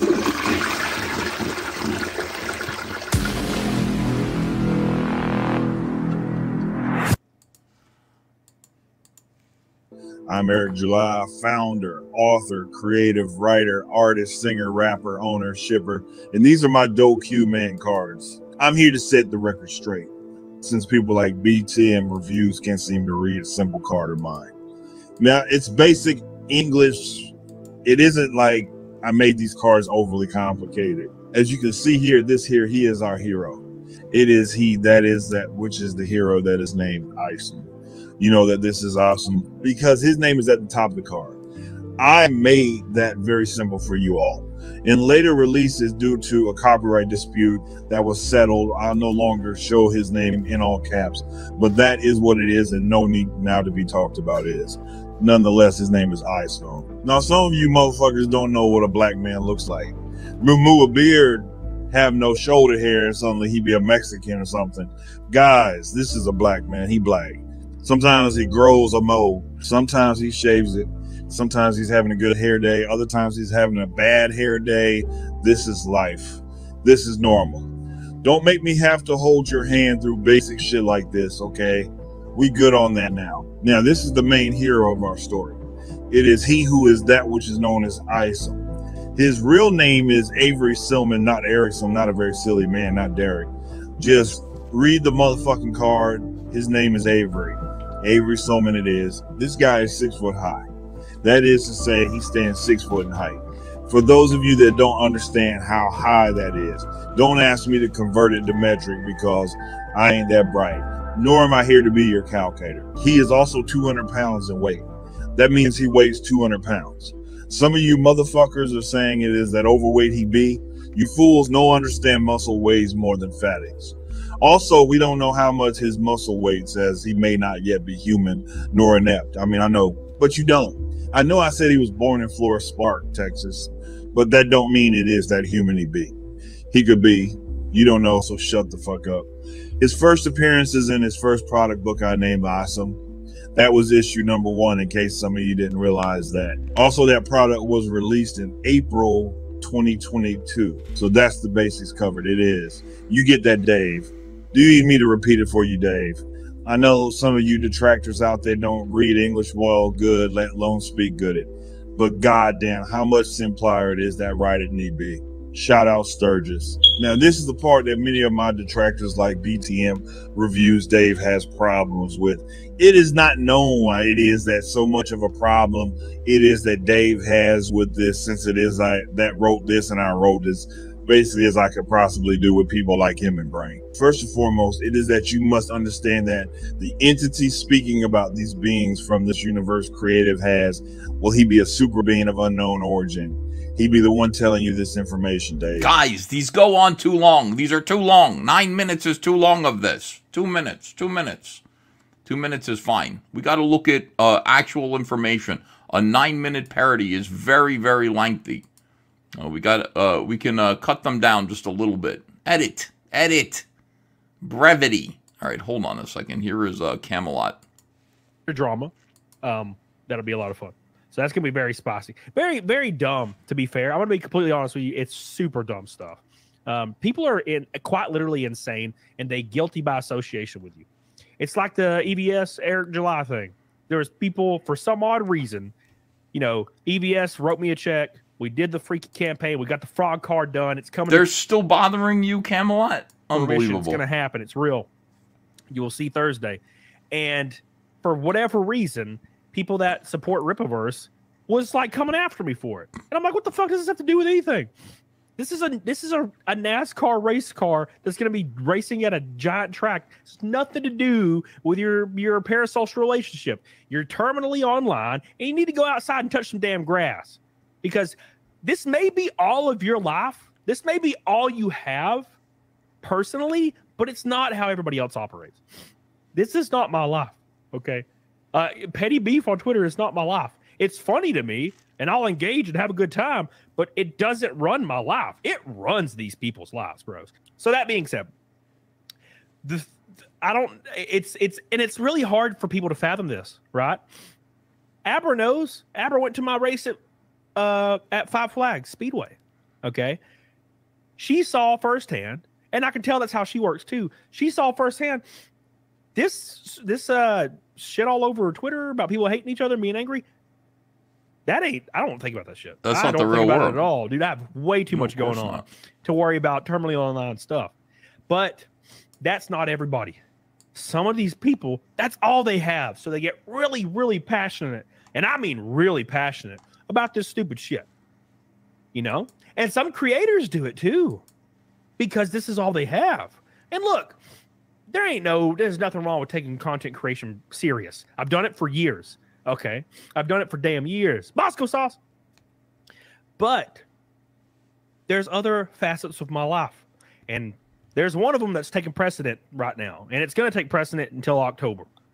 It is, it's going to be the only thing that really Hell yeah, brother. And that's racing, my, my professional racing career. Dude, uh, he showed me a picture of the car so far. The car has uh, the wrap.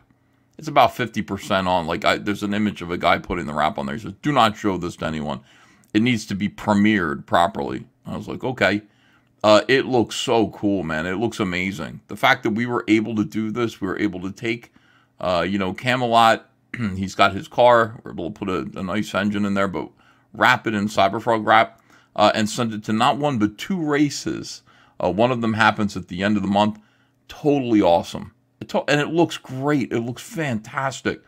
Um, right now, the uh, wrap is being modified and shrunk down so that it can be put on a little uh, race car. A couple of things that needed to uh, change because they like the logo on the back, the uh, all caps comics logo needed to be made bigger. It's too small, like it can't can't be reproduced, so it's going to be increased in size a little bit. But other than that, like the um, diecast race car uh, is going to be fantastic. It's going to be a really good replica uh, of the wrap uh, that we made of the design for the Cyberfrog car. And Camelot's excited about it. But again, you know, it's like he's taken a, a beating for it, of course. Um, I never thought it would happen. You know, I had two dreams in life. Two. I wanted to do YouTube, and I got lucky enough for that to happen somehow. And then two, I wanted to race in in NASCAR. And that was the very stretched dream that was never supposed to happen. And it's happening this year full time. So um, I can give two shits about this stuff. That's why when I saw people that were mad at EVS coming after me, I'm like, bro, I'm not a part of your shit. Like, you could leave me out of this. This is stupid. Like, uh, I'd post a picture of the frog car. I'd post a picture of the frog car on Twitter, and somebody would comment and be like, um, I look at his face. yeah, uh, maybe uh, EVS will finally deliver on one of his comics since he doesn't do anything and he just takes money. And I'm like, what the fuck is what does this have to do with me? this is a picture of the car I'm racing at Talladega. What does this have to do with me? Nothing. This has nothing to do with me. Oh, right? it's such ridiculous shit, Camelot. so Sorry, pal. For EVS and Comicsgate for getting this Talladega car possible, We making get it possible. everything done. I'm happy about it. Right? What is uh what is a what does other stuff have to do with that? People just think that, I, dude, I'm, I'm getting in this car and going vroom. That's it. That's the end of it for me, right? And I'm so thankful it happened to the people that made it possible. EVS, he's a man, he's badass, right? But what do you think about this thing? I don't give a fuck. I'm still driving the car. I'm still racing it. Doesn't change anything, right? But when people hear that, when people hear Rip those words from you, So I don't care. I'm not. What are you talking about? They're blown away because this is their whole life. Their whole life is about being obsessed with me and my business. It's crazy. That's all they care about. It's uh bizarre. Like who who can comprehend that kind of uh single-minded focus? You're right, Camelot.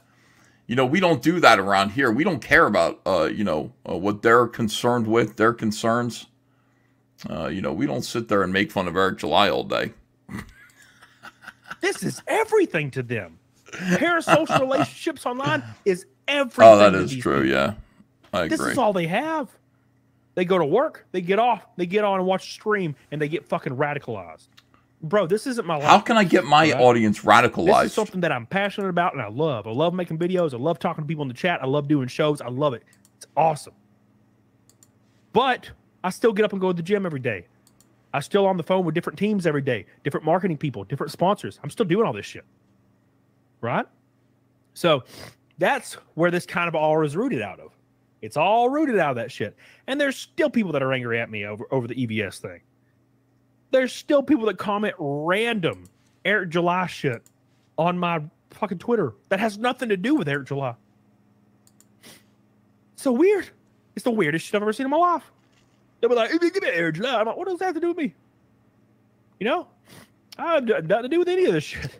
like, I'm racing, just racing. The whole thing with Camelot is that you know he decided that he was going to just kind of um stay uh in the middle, like uh you know Camelot uh live streamed with Nick Rekieta while Nick Rekieta dared to question Eric July, and when you do that without expressly coming out and saying I am on Eric's side, like Nina Infinity like uh, streamed with him too, but Nina Infinity did come out and was supportive, like overtly supportive of Eric July. Camelot was just like, eh, I don't care. I don't. I don't read comics. Uh, and so people perceive him as being kind of like against uh, Eric July and on our side. Uh, and um, I think when the the fact that he's taking that kind of abuse from these people, if anything, like that's making him lean in our direction a little bit. But you know, he just has to kind of reiterate over and over again. It's like retards. I don't care about this. I'm a race car driver. Uh, I don't care about Eric July. I'm grateful to Ethan because he uh, he made me uh, able to race twice. He's gonna feel the same way about Tim Pool. Tim Pool like did a, a wrap for one of his cars. Ours are better, by the way. The wrap for the Cyberfrog wrap is just beautiful. I don't. Uh, I got a shout out to uh, Josh Lamb for a wonderful design. He's the guy who designs all of our magnetic uh, frog boxes that we do honeycomb box, the uh, blood honey box, the upcoming um, red X box. That's his work, and it's it's just amazing. So he also designed uh, he designs DVD covers for uh, Hollywood as well, or he used to. He sent me over a few things that he did, uh, and uh, yeah, he's uh, he's great. He did the car design. It's beautiful. So much better than Tim Casts. Why are we so much better than everyone? It's interesting. We just are. We have the best creators here, the best artists. Peace, man. But there's so much more. There's so much more. And I'm going to give you some exa- examples today on the radicalization of parasocial relationships that we have to navigate as content creators, and you have to as well. You guys see that shit every day. You see it more than me, probably. You're defending me sometimes, which I appreciate. Uh, You don't have to do that, but I appreciate it.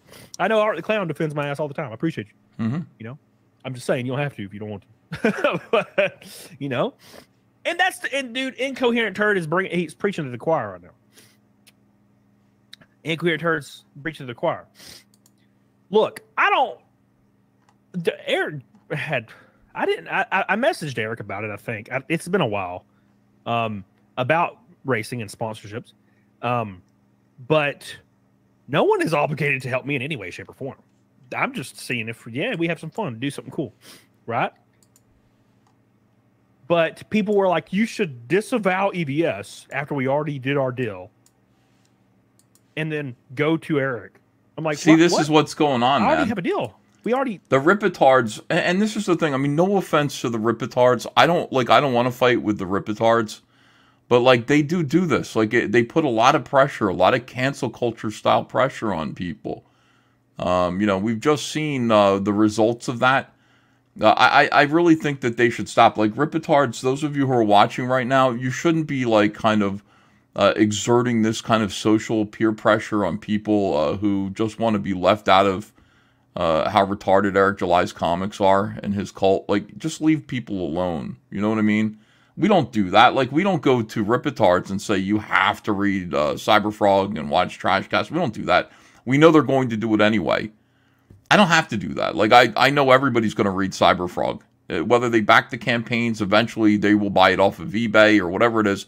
They're going to read Cyberfrog because it's a great book and it's, uh, um, you know, one of the most meaningful, substantial offerings from uh, the anti woke, uh, you know, culture war uh, comic book kind of sphere. Of course it is. Cyberfrog is the only book, by the way, that like Marvel and DC, uh, those people reference. When uh, retards working for Marvel and DC, they talk about Comicsgate, they talk about the indie comic sphere, they talk about MAGA, they talk about people who oppose them. Do they talk about ISOM? No, they don't talk about ISOM. They don't really care. It's not real to them. Cyberfrog, Cyberfrog. Oh, you like that robot frog book? Ah, you like Robo Toad? You like that fucking frog book? Uh, they they curse, they hiss, uh, they get angry at one comic book, and it's Cyberfrog. And the reason why is because they know it's the only book, the main, but not the only book. You know, there are guys who are doing great stuff here in Comics but Cyberfrog is the book that scares them the most, uh, and uh, that means something. You'll notice that. So I'm not I'm not concerned. We, we don't have to go. I don't want you guys out there harassing ripitards. You know, Uh, just treat ripitards like uh, normal people. Uh, I don't want you doing that to them. They're going to do that to you because um, that's required. Like, I mean, multi, uh, you know, multi-level marketing cults, and I'm not saying that's what uh, Rippaverse is at all. I'm just saying that the guy who invented it just gave Eric July a Businessman of the Year award. That's all I'm saying. Uh, but I'm not saying that about Rippaverse or Rippasend. I wouldn't say that. Um, but uh, you know, that's a requirement. Like you have to do that. That kind of pressure is vital uh, in order to uh, keep that business going. You have to peer pressure. You have to exert like extreme pressure on your family, your friends, the people around you, in order to keep that kind of a grift and scam going. So uh, just expect that. But we don't want to do that around here. We just kind of say, uh, hey, Cyberfrog is great. Obviously, it's great. Obviously, like, uh, you know, the comic book industry is afraid of uh, Comicsgate. And when they're afraid of Comicsgate, they mention Robot Frog. Oh, it's just Battletoads. It's a Battletoad book. They, they curse, they spit, they get really upset. Uh, and uh, there's a reason for that. I want you to understand that there's a reason for that. They don't care about ISOM at all. It's not a real comic book. They see it for what it is. Um, it is what it is. So, uh, you know, look at what they're doing to uh, poor Camelot here. He's like, I just want to race my car, man. I, I just, uh, I don't get it. Like, leave me alone. Leave me out of this. But they can't, man. It's like, it's like if your sister joined Mary Kay, like you're going to have to look at her product catalog every time she comes over. Like if uh, you know, a family member, people around you, your entire community uh, joined Amway, they're going to bother you. Uh, that's how this all works. You know, if everybody around you became a Scientologist except for you, what do you think Invasion of the Body Snatchers is about, Camelot 331? Cody. What do you think it's about? It's about this. They look at you, they point, and they shriek. Camelot, you're not, you haven't fully embraced Eric July. Ah!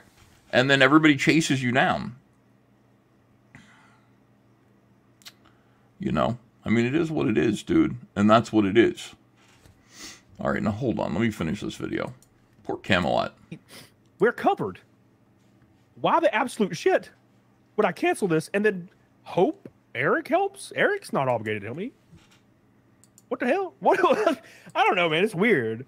It's like, well, I like Rippaverse, therefore Rippaverse will help you. That's not how that works, man. That's not how that works at all. They're not obligated to do so. I was blown away that EVS wanted to. Right. Um, Happy Bob to says help. Eric Strong's criti- criticism awfully poorly. Yeah, I mean, I've kind of thought about that. Um, you don't need to justify yourself to people with no followers and that are saying the same shit over and over. Um, I think that's a mistake. Um, I'm not going to tell you what to do. I'm not going to tell you how to run your shit. But if somebody says, if somebody says, for example, they they come on Twitter and they're like, Shout out to "Oh, Chris Camelot," Archella eating, zero uh, Taco. Bell. They, they just created their Twitter like that day. They're like, Camelot, you scammed somebody out of NASCAR money in 2020. And I'm like, A, that was four years ago. And B, yes. I mean, it's whatever you people call people call you making money online scamming, no matter what the context is. I did a GoFundMe because I wrecked my car, and then the GoFundMe was funded. That was the end of the story, by the way. And the people were like, "You scammed! You you scammed!" And I'm like, "Yeah, I did. I did that. I, I totally did that." And we fixed my car, and I got to race for two years in that same car. That's what happened. I don't know what to tell you.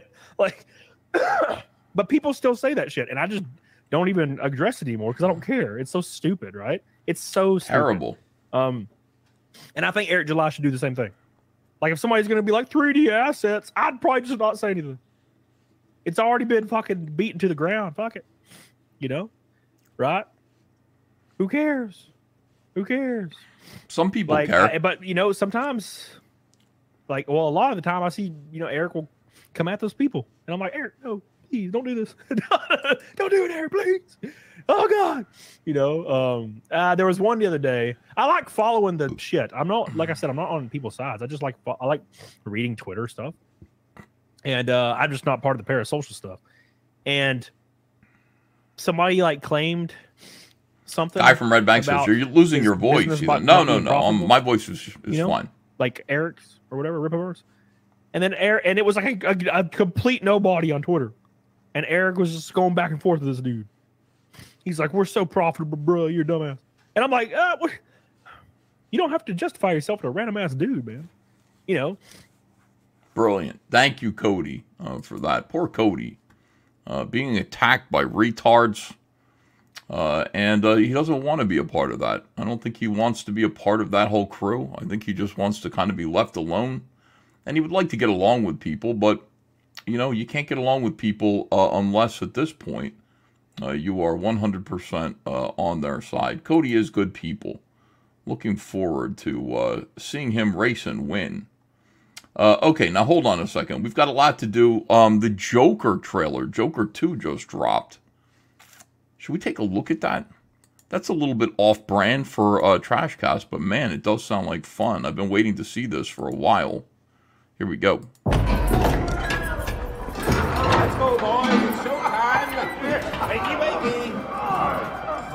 Hey, Fleck, you got a joke for us today?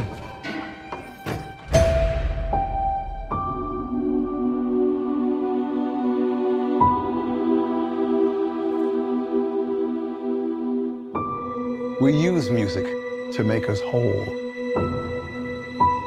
to balance the fractures within ourselves. I'm nobody. This is already just fantastic. It's it's so much better than any other fucking uh, you know superhero movie. I haven't done anything with my life like you have.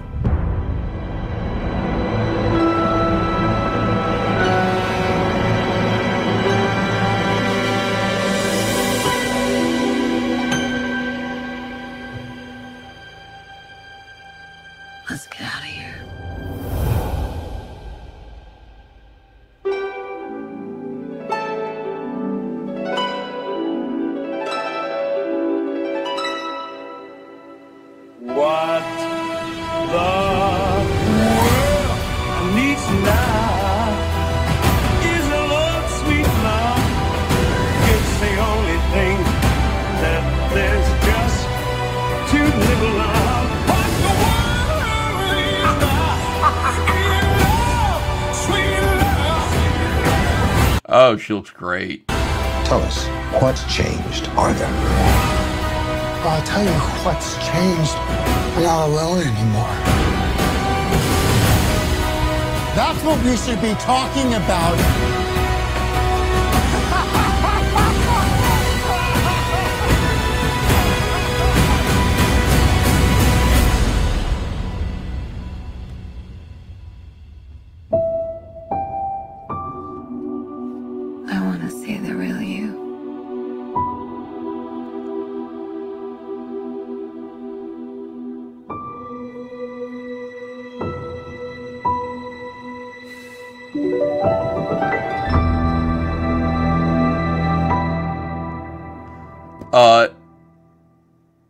Dude, that is legit. That looks great.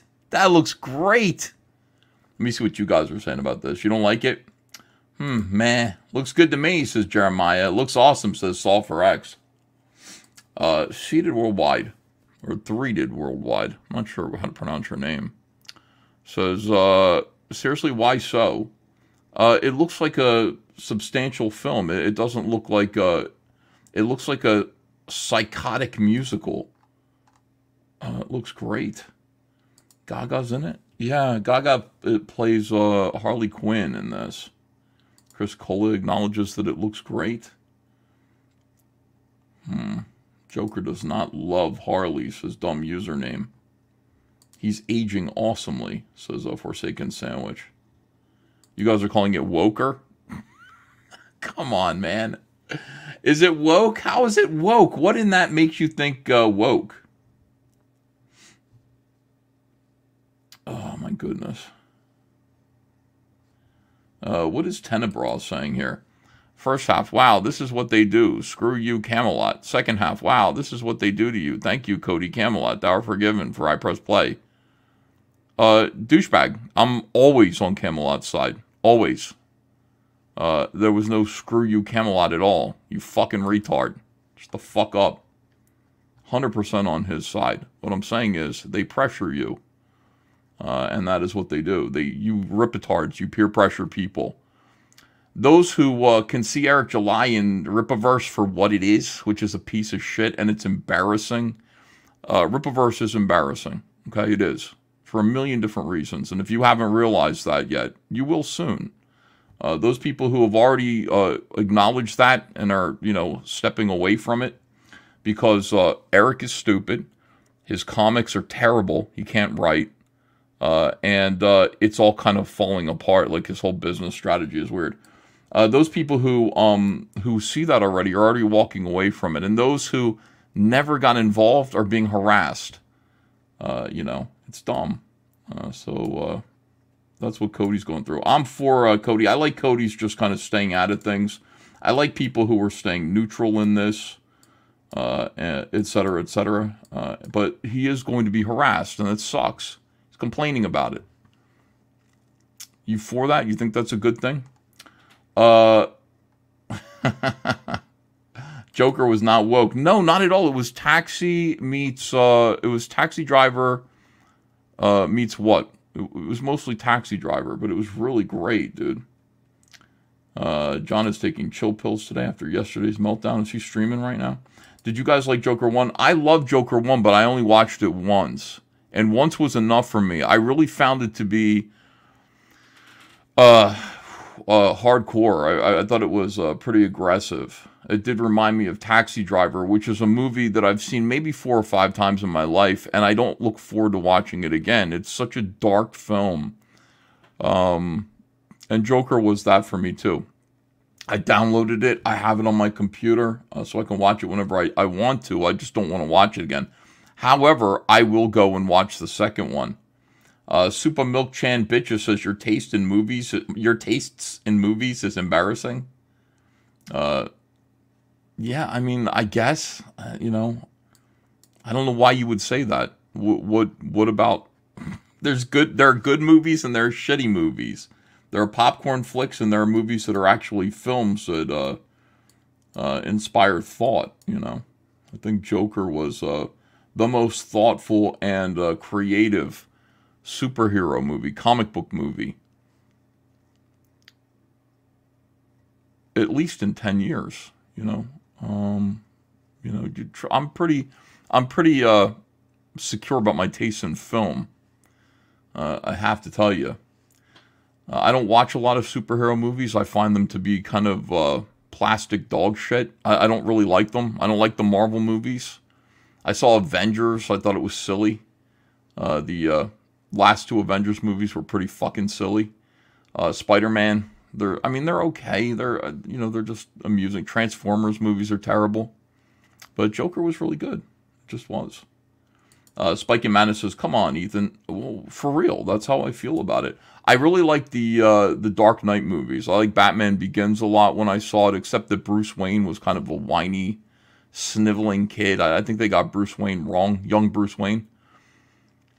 The Bruce Wayne, the kid that played Bruce Wayne in Gotham, the TV show, was perfect. Uh, you know, you don't you don't grow up from being like a fucking weenie." uh, like that Bruce Wayne that's in Batman Begins into being becoming Batman. You don't do that. Like the Bruce Wayne, uh, young Bruce Wayne in Gotham was like a super uh, intelligent, cold, uh, very privileged, and incredibly intelligent, like very, very intelligent and just you know sharp uh, young man who would grow up to be become Bruce Wayne. Like somebody going like no, I mean it, it's like I think like when his parents got killed in front of him, like uh, you know, tears happened, but they were rage. Like they were more. Uh, I don't think he was a, a, pussy about it. I don't think anyone had to teach him to be Batman. Uh, he was already he had all that already inside of him. So uh, that's the only the only thing I didn't like about the uh, Christopher Nolan Batman movies was that everything else about it was really cool. It was really fun. They seem like uh, actual films that are worth returning to. But when it comes to the MCU films, once is enough for every single one of them. I, I don't want to see any of them ever again, except for maybe the first Iron Man movie, which is pretty close to being a good film. Yakusei says, uh, Hail Ethan, hail chat, just got off of work. What I miss? Uh, Jean, Jean C. Jean C. Alicia says, wrong, wrong, wrong. No, I'm right. Sorry, uh, I am right. Uh, let me see. Uh, need Gunther to erase stick stuff up stuff video, says uh, Chris Mills. 200 Watt Studio says, and I pulled the plug, EVS on suit video. Uh, Jeremiah says, you're reading any comics these days? Old ones. Uh, I bought a stack of Daredevils from the 1980s that uh, were um, post Frank Miller. I'm reading those. I find myself reading back issues from the 80s. Um, mostly for enjoyment. I'm not reading any new ones right now. Uh, says, Oh, good. Ethan's about to plug his product. Time for bathroom breaks and food breaks, everyone. Nicholas Rummel says, uh, Hail CG, just sent you my comic. Should hit your P.O. box on Thursday. Take care. Plush says, uh, What are some important Cyberfrog side comics I should get? I know Diary of Heather Swain is one of them. Salamandroid, Heartsick Horror. Get Salamandroid Death Sting and get Heartsick Horror. You need those two. They're necessary. And if you like them, you can get the uh, uh, Wreck Planet Deleted Scenes book as well. David L says if you have uh, if you have to wait if you have to dye that beard, how about putting on some Liberace gear? Maybe break out the peacock feathers. That shit was hilarious. Sue says uh, link to it is in your DMs. It's safe, I promise. Dumb username says there's a really funny teaser for Butch Killigan comic on the Butch Killigan channel for anyone interested. That looks great. Butch Killigan looks like a great comic. Sunshine Mom 2 says watching you watch that video was literally my favorite EVS moment ever. I need a video of clips of your reactions over and over again. Uh, sketch of sketch art of Sanchez says Ethan, for all the wives out there, Colky, Colky, uh, Vermithrax pejorative. What a cool name. Uh, any word on if, when Director X will be on? He did reach out to me and he said, Hey, I understand you want me on the show. Great. And I wrote back to him. I said, Yes, I do. When's good for you? And then, dumb username. I, I guess I could push him, you know.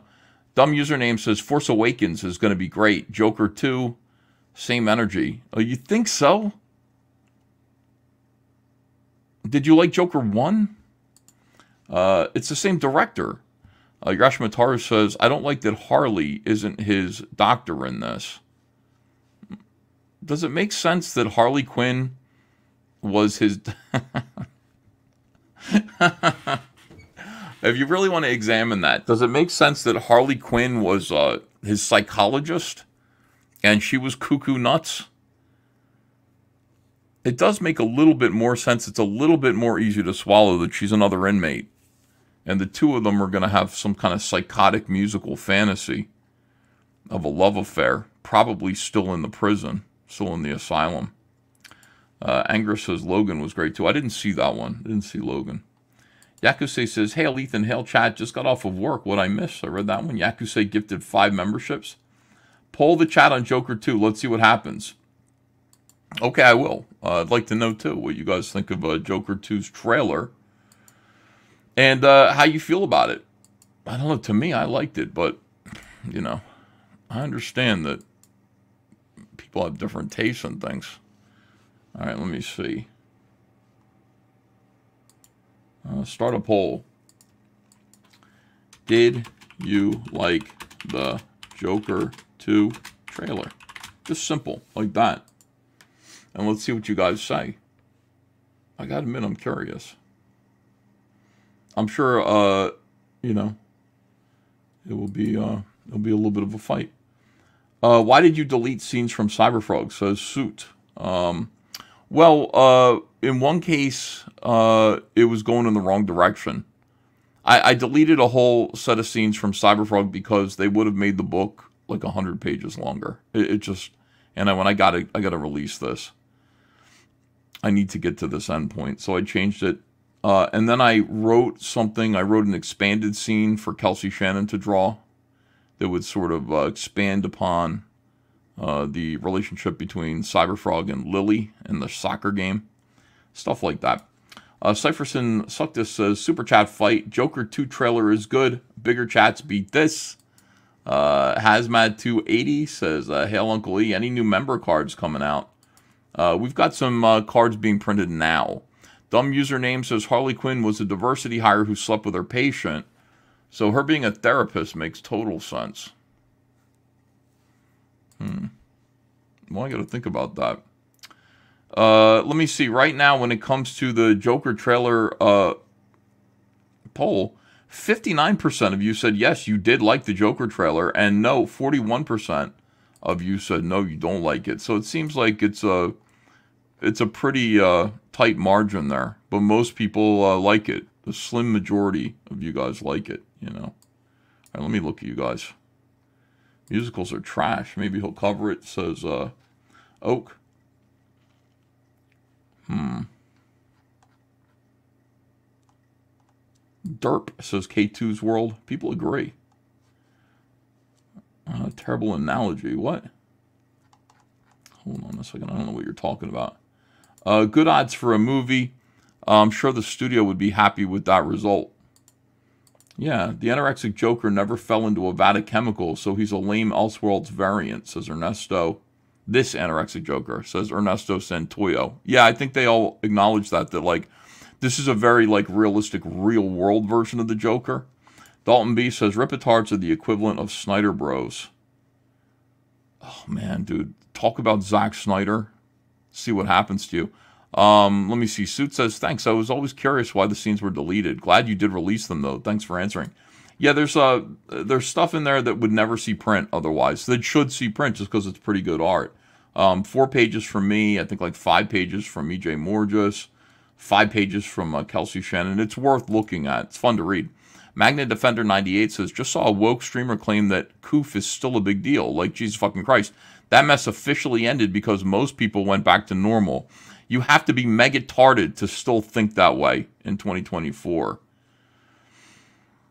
Yeah, when I still see people wearing masks, I think it's because they want to hold up a liquor store. Like, I, you know, the masks were the perfect way to like kind of cover your identity um, in uh, public.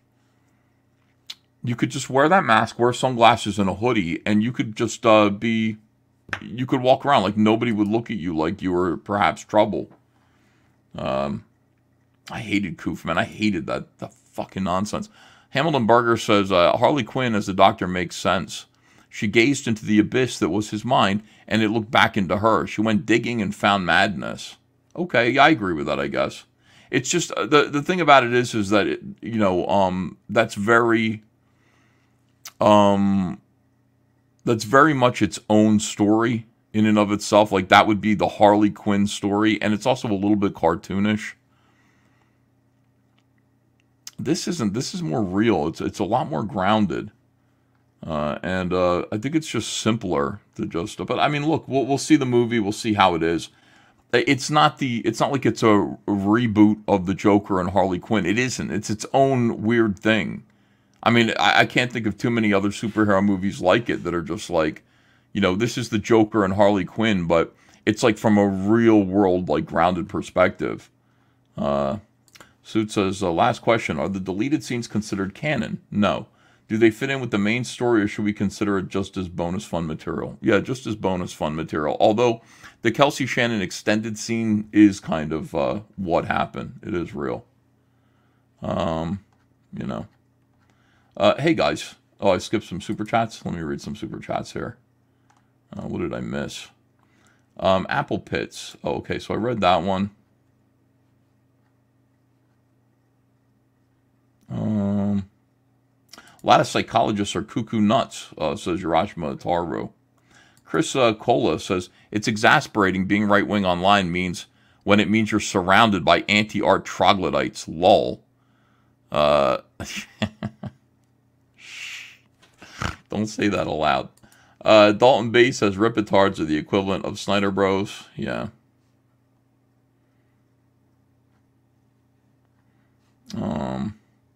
All right, hold on a second. Speaking of uh, of art, you know, and it's important that right wingers do make art. Uh, let me just take a look real quick at the poll. Now it's still like fifty six percent to forty four percent. Um, you know, it's pretty much going to be that way. It's about sixty. You know, sixty percent of people think the trailer looked pretty good. I think that's good. I think those are good. Yeah, I agree. Those are good odds for the movie. People probably will probably like it. Um, Matt Cisco, I worked in a prison for 20 years. Makes perfect sense for Harley and Joker to happen. Like if they're, um, what do you mean? If they're uh, fellow inmates? Hmm. Was the Joker film accurate to the comics? No, not at all. It was. It was uh, not anything like the comics. It did touch on the fact that like Bruce Wayne is real, um, and Batman eventually will become real. But Bruce Wayne in the Joker movie is a little kid still, and Joker is already like 40. You know what I mean? So uh, that would mean Joker is like 60 years old by the time Bruce becomes Batman. Maybe like in his, maybe that's right. If Joker was say eight year, or if Batman was like eight years old, Bruce Wayne, I'd like to think the Batman would be like 22 or 23 when he becomes Batman. Like, uh, so Joker would be in his mid 50s. That could work, I guess. Hmm. Uh, Durnan, uh, Durnan Iron Knuckles. Low IQ Joker with non Dr. Harley Quinn. The reality is, uh, and he would not stand a chance to escape without Harley's help in this universe. Okay. Plush says, I like how sharp young Bruce is in Gotham, but I can buy a fragile Bruce. He was only eight. Feels very corporate. Make Harley an inmate and not embrace the toony vibe of her as a shrink. I mean, we'll see, man. I just, uh, I like the idea of, uh, I like the idea of them meeting in prison and just having a psychotic kind of, uh, uh, romance. Like, um, what is that serial killer couple movie that Oliver Stone made? What was that? And then you mix that with like uh I don't know, it could be good. It could be good, guys. All right, so speaking of art and music, Tim Pool uh, has released a new song, music video. Tim Pool uh, is a. Did you guys know that Tim Pool of Timcast fame uh, writes music and songs with his friends? Natural Born Killers, thank you. So Natural Born Killers meets A Star is Born. That's the pitch, right? yeah, he does. Like he makes music, guys. Uh, no, no, no, he does. Let's. Uh, I want to hear his new song. Uh, he released a couple of new songs, like one three months ago, and then this one fairly recently. It's called Eyes of Advice. This is his uh, official music video. I would like to watch it with you.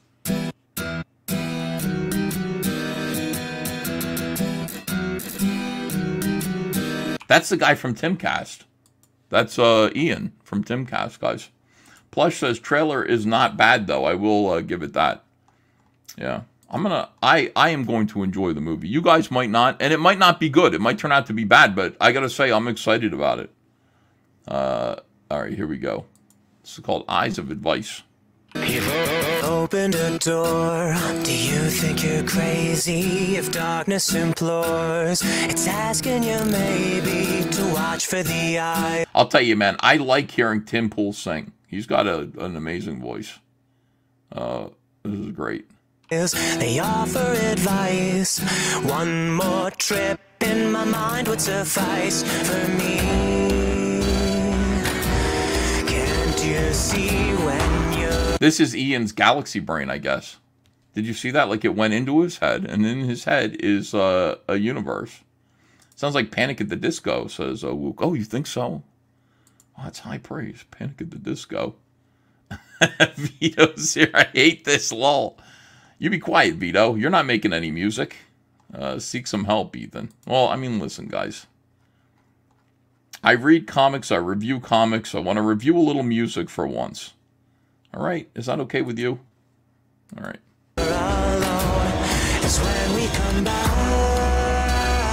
Oh, he's in heaven.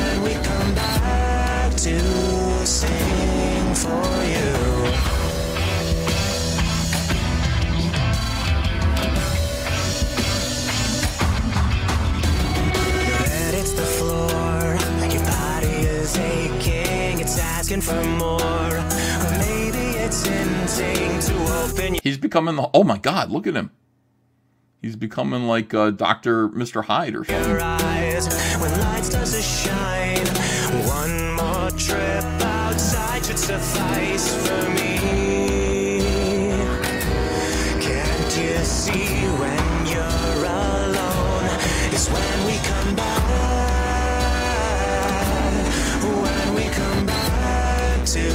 Is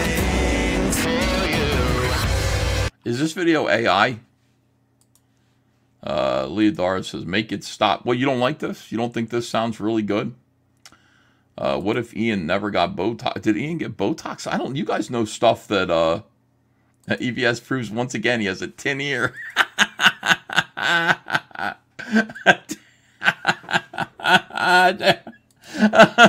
this is the.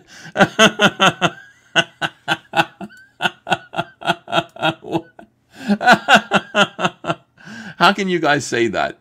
Uh, Dungeon Master Blaster says this song has no structure. Uh, what do you mean? Like a chorus is coming up pretty soon. Like here's the thing: uh, a good song has a hook, uh, and uh, I'm sure a hook is on its way. You know, it's the eyes of advice. Na na na na na. Like he's gonna go into a chorus.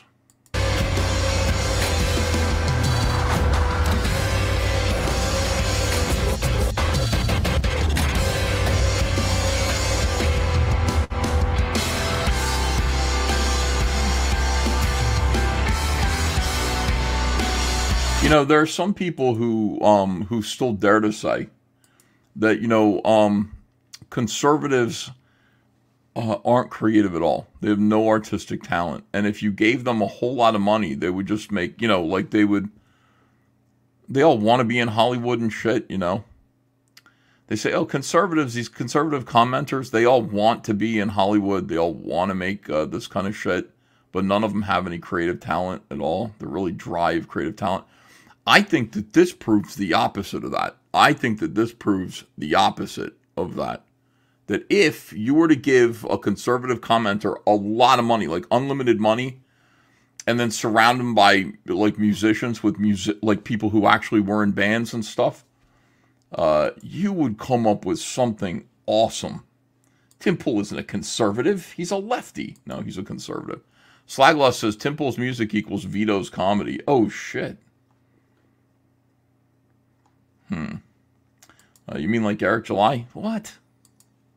You wrong, EVS, says the blue flame. Hmm. I don't know, man. I'm just saying. I couldn't do this. You guys have heard my songs. You know, my songs are way worse than this. Way worse. Can you imagine if like I took one of my stupid songs like The Last of George and then like super overproduced it and made it into like this uh epic Queen style song? You guys would vomit. Uh, Geartooth Cartoon says, I'm Tim Pool and I'm here to say the song I made is really gay. That's rap. That'd be like rap. Okay. It's not gay though.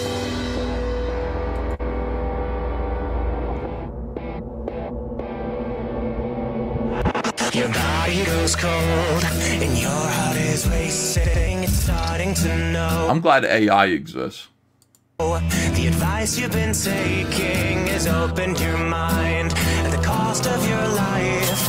One more slip of the wrist should suffice for me.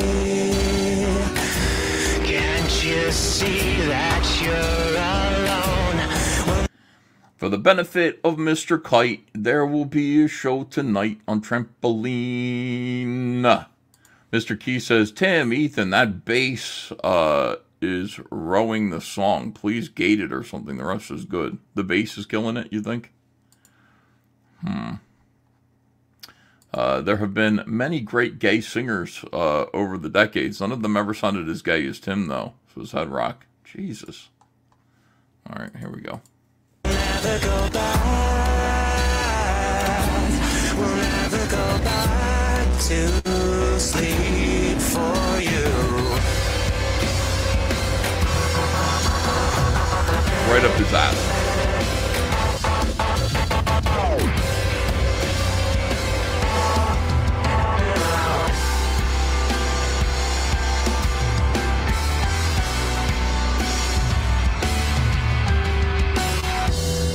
If this music video came out in 1986, it would win every single MTV music video award. You know, that's the thing. Like, it's getting easier to make um, stuff like this. Like, this would be like Peter Gabriel would shit his pants if he saw this in 1986. He'd be like, I'm just going to give up. I'm going to throw in the towel. But now, like, any, like, Tim Pool can make this. Like, anybody can make this.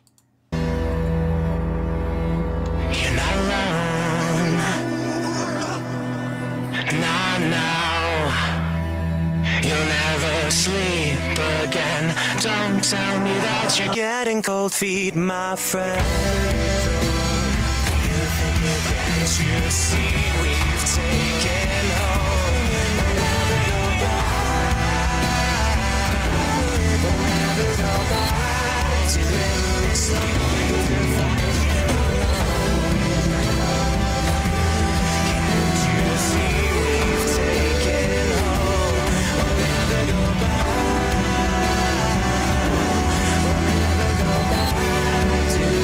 White pill.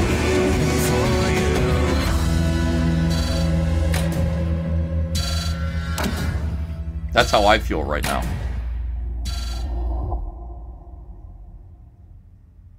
Fentanyl. Trash House Records, everybody. Uh, what did you guys think of that? Did you like that? Hold on a second. Let me put a poll up that uh, to see how you guys felt about that song. I liked it. I thought it was good. Uh, I don't know how you guys felt though. You guys uh, like the Joker though. It's pretty clear you like the Joker. So let me end this poll. Uh, you were happy about that. Let's find out. Um, how you feel about Tim Pool's new song? Uh, do you jam to Tim Cast's new song? Yes or no? Is it your jam? I would say.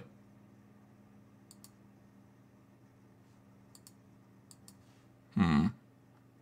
Uh, Vito is in the chat. Invite him on. Now, hold on a second here. We got some huge super chats coming in. Uh, let me just uh, read some of these. Torvaldson says, if you want to hear a bass YouTuber with good music that gets the blood flowing, listen to Alex Terrible Doomslayer. Skip to 1 minute 35 seconds of his vid. Uh, House of Osborne says, yes, I made a song when I was 17 called The Will of the People that, with its flaws, certainly tops whatever Tim Pool does. It's on Bandcamp. Song makes me want to spend all my money on Amway. Says Taylor Watt Studio. Uh, Duran Iron Knuckle says Tim is a skateboarder. His best friend is pulling his hair. Best friend. That's what that's. It doesn't stand for. BF stands for best friend. It does not stand for butt fucker or boyfriend either. Uh, Bad Apple 12 says, uh, unlike what Doug TenNapel said, problem with songs like this is that no one will ever cover this. Think about it. You're walking downtown and a band is playing. Are they playing songs like this? The answer is a resounding no. Well, I mean, I, I, hmm, Mr. Key says the bass is fucking booming. Uh, Apple Pit says this reminds me, uh, like when Ben Shapiro rapped. Fact. Uh, Swinging Cod says I've been listening to Robert Goulet, Ray Conniff, and Johnny Mathis all week, so all of this sounds like crap. More horns. Monster Mania says how much do I need to pay to make it stop? Ryan Blue Thunder, meow meow. Now I lost my inner child. just a tortured soul. Making money is an empty hole. Uh, yeah. what about song structure? The Beatles. I want to hold your hand. It starts with the. Was it no? She loves you. Starts with the chorus. Cypherson sucked this. Vito is pretty funny. Song is pretty gay. Gay songs sound nice usually. Uh, Vito is also gay. Uh, there have been many gay singers. Uh, hold on a second. Tim Pool's music equals Vito's comedy. A lot of people talking about Vito. Uh, Jim Satala for $20 says, I know that you have said that the first issue of Fearsome is done and you were going to do the campaign for the first two issues together, but I was wondering when the Fearsome preview is going to ship. I have a large Indiegogo uh, order outstanding. Pretty soon, I got to finish writing it. Uh, the art is finished. The writing is not finished. Uh, the writing is a chore, but I will get it done. Uh, G Dash says Vito is in the chat. Invite him on. Fifty dollars. Should I invite Vito in here? You want to see Vito? Uh, okay, I will. I will invite Vito. See if he wants to come in. Vito's a busy guy, man. He's a YouTuber uh, of his own. He's got his own show. But maybe Vito wants to uh, come in and comment on Tim Pool. Uh, maybe he likes it. Uh, let's see here. Vito.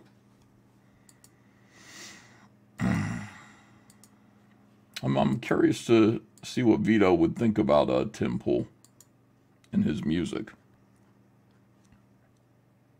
There you go. He's invited. Okay. Uh, my ears are bleeding, says Race to the Bottom, too.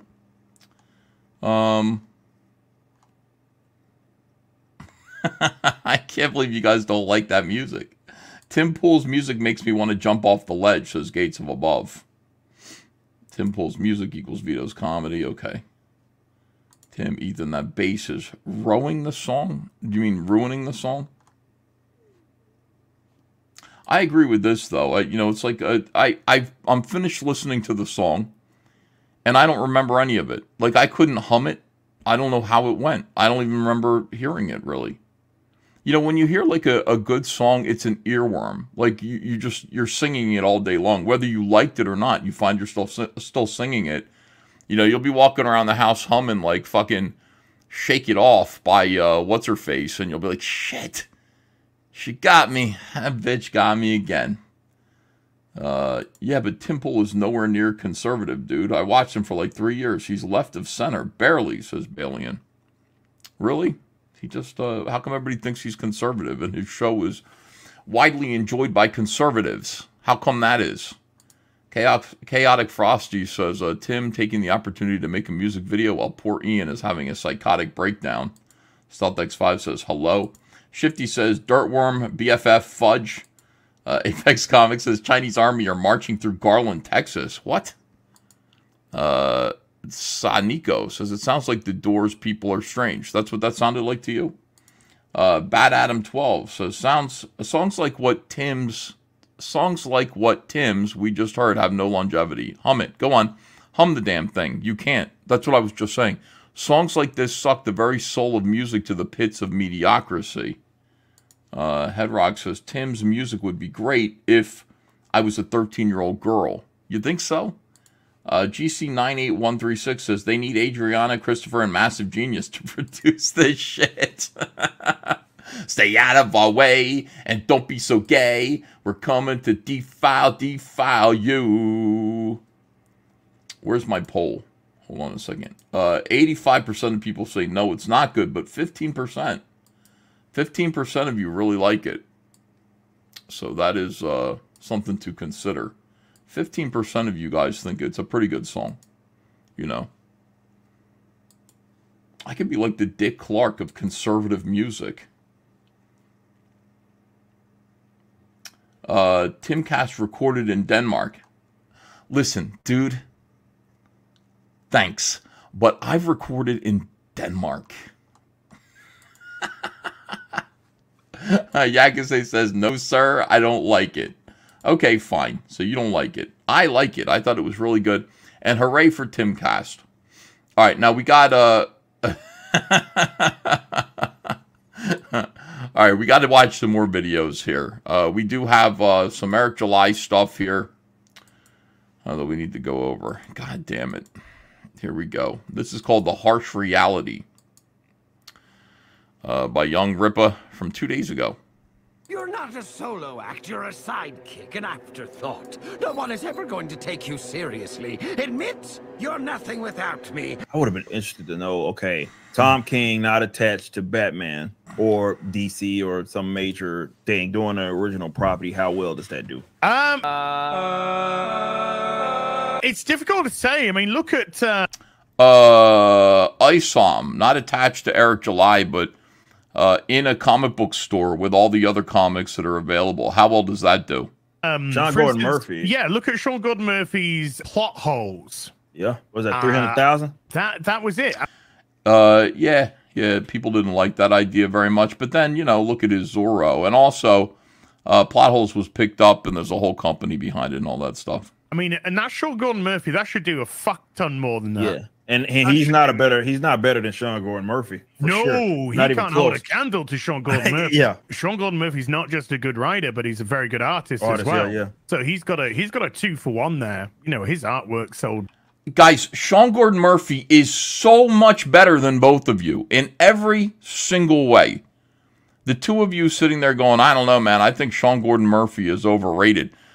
Uh, he only raised three hundred thousand dollars on his Plot Holes comic uh, campaign on Indiegogo. It's a whole different world. Here's here's what you should actually conclude from that situation is that in order for you to succeed in crowdfunding, you really either uh, need to be a huge celebrity like Keanu Reeves, where it's just undeniable that your fandom is going to turn out for whatever you do, or you need to have a large social media following. That's all this is, is it's social media. It's social media. If you have a social media following, you're going to do fine. And he doesn't have, he doesn't really have one. That's not really where he's been focused.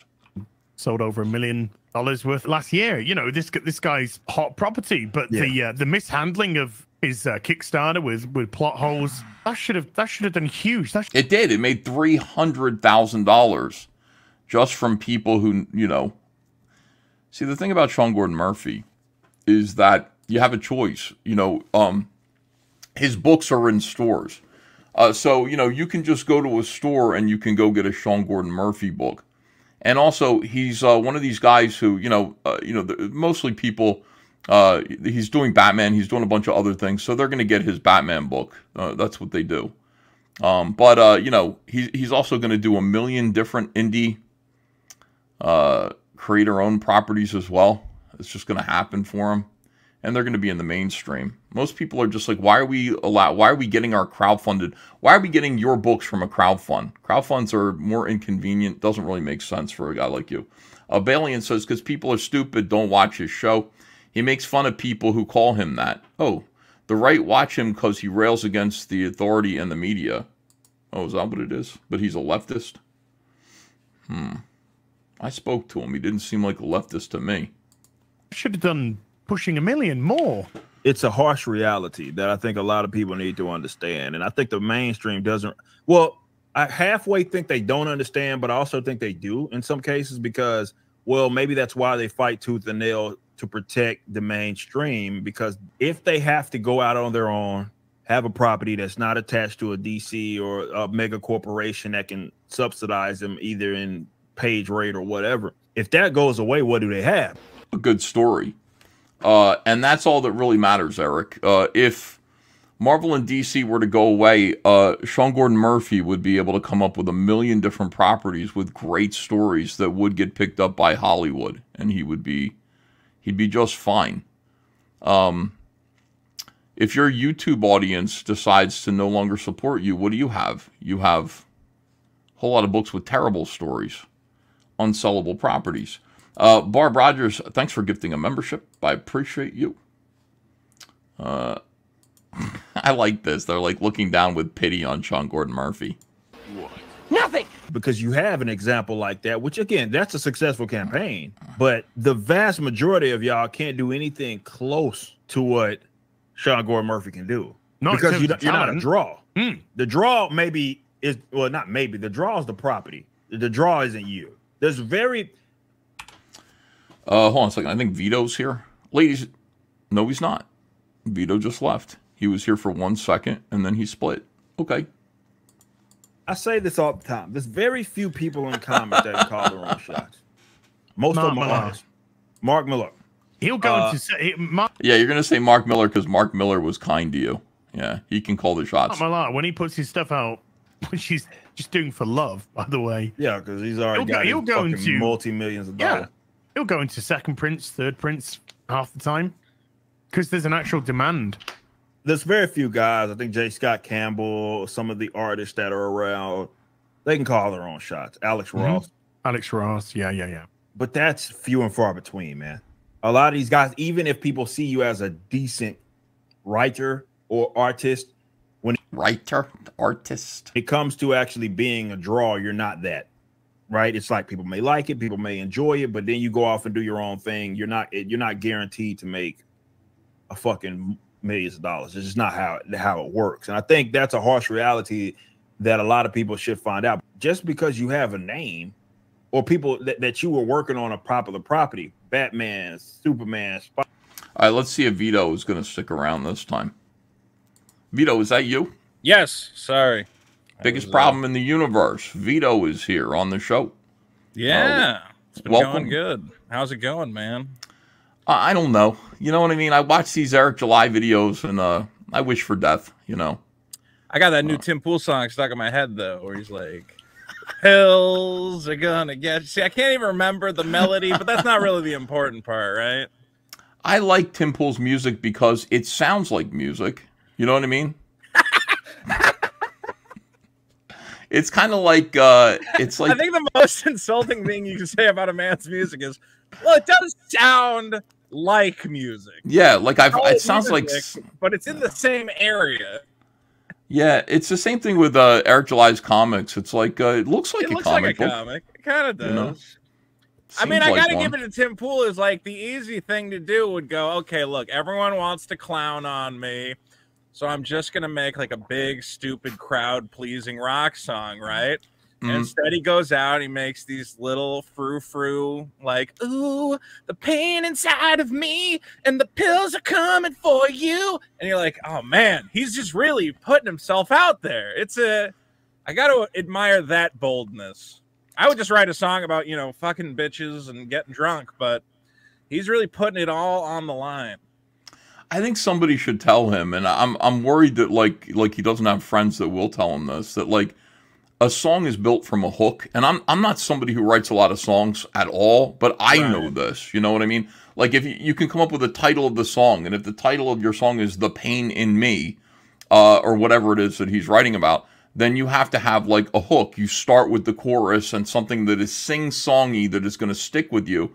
And then you can build a chorus around. I mean, you could build the you know the rest of it around it, the verse and everything like that. And he just creates this wall of sound with him, just an endless verse that Yeah, never just really goes a, anywhere. like a simple chord progression that gets you know stuck in your head. You were talking about the Beatles. Like, yeah, the reason the Beatles work is you can every Beatles song has a little memorable, little catchy hook to it. right? I mean, of literally cannot remember the melody of that song we just listened to from Tim Pool. I'm like trying. I'm like something. Yeah. It's a big epic, hard.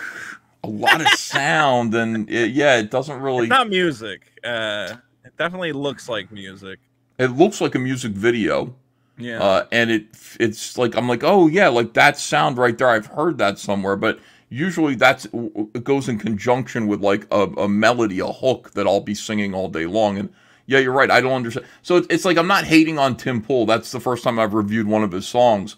Uh, he's clearly got a lot of money. He's having fun, but he really needs somebody to tell him about songwriting just a little bit, you know, because uh, His I- previous songs were a little like still kind of rough, but you were like, Mhm. all right, well, this makes sense. You know, obviously he's like an emo kid, you know, trying to trying to relive uh what is it, the early two thousands. But uh he's gotten he, usually you have to like nail being a good musician before you get into your experimental phase, you know? It's like you Mhm. do your, your your the Beatles didn't start with pet sounds, right? It was No. uh hey, be cool, Fun, fun, fun help me Rhonda, let's Yeah. go surfing. And then what's his name took a bunch of acid, Brian uh, Wilson, and went crazy and made uh, good vibrations, and everything went off the rails. Tim's well, that was Mike Mike Love. steps. Tim needs a Mike Love He in his life, Love, who will just say, "Can you just bring this down to earth?" And it look at this, like good, good, good Boys. vibrations. I guess I'm I called them up- the Beatles. I'm sorry. Yeah. Oh my God, Disney Plus has a Beach Boys documentary coming out that looks great. I watched the trailer for it. Uh, they're really killing me. Uh, Disney, I you know, I of course have a, I'm uh, you know not watching any Disney product. I'm not consuming Disney product. Yeah. They're doing this Beach Boys documentary series. I think it's. What am I going to do? I'm just not. I, I don't get to watch it. I guess that's just how it is. I don't get to see. It. Has there ever been a good Beach Boys documentary before? There really isn't, huh? There, no, there are quite a few. Endless Summer is good. Uh, There, there are some good ones, but this one, this one seems like it's going to be the best one. Um, and uh, I feel Beach bad. Boys saga is endlessly fascinating. Yeah. Uh, it's the same thing with the Jacksons, where the father was like kind of nuts, you know, Mhm. or Brian Wilson's father like made him deaf in one ear. Yeah, Brian. Well, I think you know. Honestly, I think Brian Wilson has autism. Uh, I don't think it's He's so got much something. Deaf in one ear. He's he's definitely on the spectrum. Because I mean, you know, people go, he melted down on an airplane, you know, and, and all this stuff, and then he wouldn't get out of bed. Hey guys, in the 1960s, that's autism. You understand? Like him going ah on an airplane, that's autism. He had an autistic Right. meltdown, uh, and he he certainly acts like that. You know, he now I'm familiar with autism because my daughter has it. I just see it, and it's like, what is Brian Wilson's problem? That's what it is. And he's uh he's a genius. I mean, he's an absolute genius. I love Brian Wilson. Uh, Yeah. his it's amazing that he's the one Wilson brother that's still with us. Uh, Dennis, you mean Dennis isn't the one that survived? No, Dennis was the first to go. Yeah, it is surprising that Brian's still going.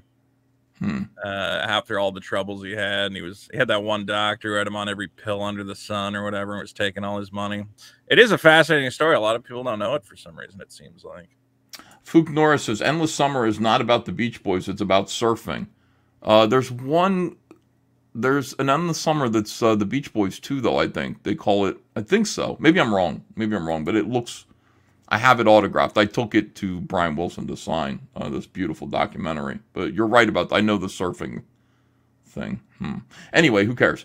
Uh, here is uh, Eric July and uh, Az Heel versus Babyface. Do you know uh, these gentlemen? Are you familiar with them?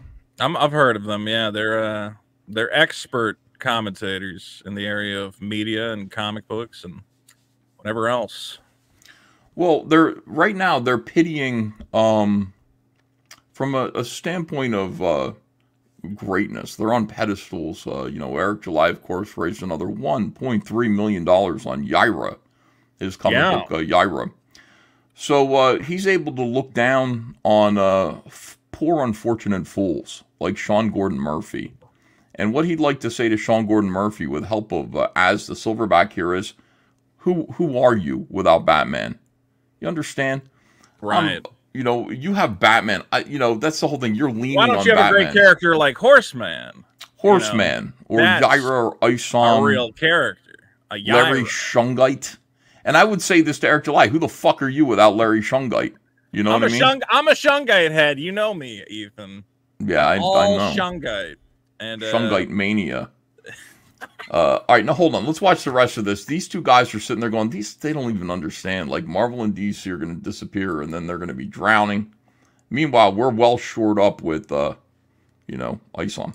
Spider Man does not mean that that audience is going to cross over and follow you like you're that good. to where or that much in demand that the audience is going to follow you wherever you go. There are very, very, very few people in comics that can do that. Very, very few. Very few people can do that in which the audience is going to follow them wherever the fuck they go. You can name your price. Doesn't matter. Whatever you're attached to, everybody's going to be falling over themselves to get it. But yeah, Eric is a little dyspeptic in this video as he talks about how, uh, you know, most comic book professionals who know how to write and draw, tell stories, uh, you know, that's, nobody's gonna, ain't nobody what- gonna what- follow you. The point he's making is uh, that writers are too full of themselves. What? Uh, I'm not really sure. I think the point he's making is is that uh, Marvel and DC are going to go bye bye, and what Sean Gordon Murphy's plot holes campaign, which raised three hundred thousand dollars, proves, uh, is that it's about Batman, dummy. It's not about you. Uh, you know, you need you rely on Batman uh, in order to uh, to Is he succeed. saying three hundred thousand dollars is bad? Uh, yeah, he's like they're both of them are like it should be racing 1.3 million. It should be an enormous success. Vito should be a fantastic, enormous success. I mean, and in my book, call me crazy, but any writer in the world, I think, maybe like J.K. Rowling would scoff at three hundred thousand dollars, but told the writer, "Hey, you're going to write a book and it's going to raise three hundred thousand dollars," they're going to go, "Wow, I must be a massive success." that's a big deal. That's a lot of yeah. money. Yeah. How do Uh. what he's looking down the nose because he's going, well, you're not going to sell as much as Batman, I guess, but like that's that's Batman. It's a there's way more Batman fans. This is a Zorro thing, right? The Zorro book. Vito, I think like we're not saying what is actually happening here. This is one enormous humble brag. You know, you Yeah. understand what this is? Is uh these guys, you know, listen. Let me just explain something to you. Uh, you know, you guys might be uh, working on Batman, Spider Man, all these characters that I've uh, been excluded from because Marvel and DC recognize that I'm a talentless buffoon who, who can't possibly, can't actually write comics uh, about other characters for real. Uh, but uh, you understand, um, I've uh, made $8 million uh, by, uh, with uh, Rippaverse. And I just, uh, I feel sorry for you.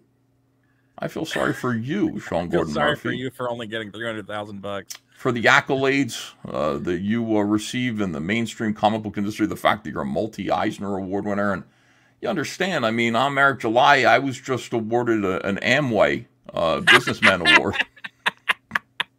Did you see that shit? I saw he's at the top of the world. Top of the world. Yeah, The Young- Amway Awards. Young Businessman of Businessman Amway Award. Uh, so that's what this all is. This is them. Uh, they get to be snooty about you know people who actually have talent. Yeah, like you get these guys, they do a Kickstarter or something like that, and it, and it does. Sometimes it doesn't do well at all, even though they were working. They they're mainstream. They've done all these things because they're not really the draw. Well, let's start at square one. Marvel and DC have been around for fucking eternity. Okay, they've not only been around for an eternity. I think the most important thing is they are attached to. They and they've. it's been this way for a while. Okay, Warner. They've been attached to Warner for decades, as far as DC is concerned. Um, Marvel. guys kill me. You got the toy biz and stuff, uh, the- all the bailouts, all that. They've been attached to companies that are worth or are spending billions of dollars. Okay, that has a way of tricking people into believing that something is thriving when it is not. If you compare it to itself, all unit sales are down, right? Like tremendously. Like obviously, comics don't sell anything fucking near what they had been selling over the past decades. People that may be on the outside looking in, the general Eric, all your your sales are down too, pal. Uh, Can I mention real significantly. quick? I'm so glad he cut away to what a uh, comic store looks like when he was talking about comics because I forgot what comics look like. Thank Uh, you so much for the helpful editing, Eric. Vito, uh, I've been looking at nothing but Rippaverse comics uh, since I started the show, and frankly, I fucking forgot too. So, uh, a customer needs to understand that if that shit goes away, if I had to put a number on it, and I'm just kind of just flip, like you know, making making something up. Sure. I would argue that 90% of the guys are there's not going to be work for. 'em.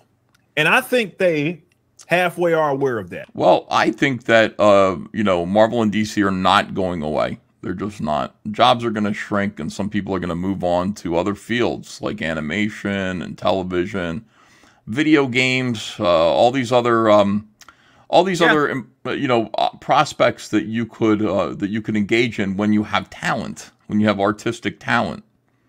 Uh, there will be some people who uh, have no talent. Who eventually, things will dry up for, uh, and they will be left, uh, you know, with nothing. Uh, well, they'll have It's to get so, like a regular it's like so we okay. So the thing about Eric, it's just like you don't have to be out here trash talking everybody all the time. How does this benefit you at all?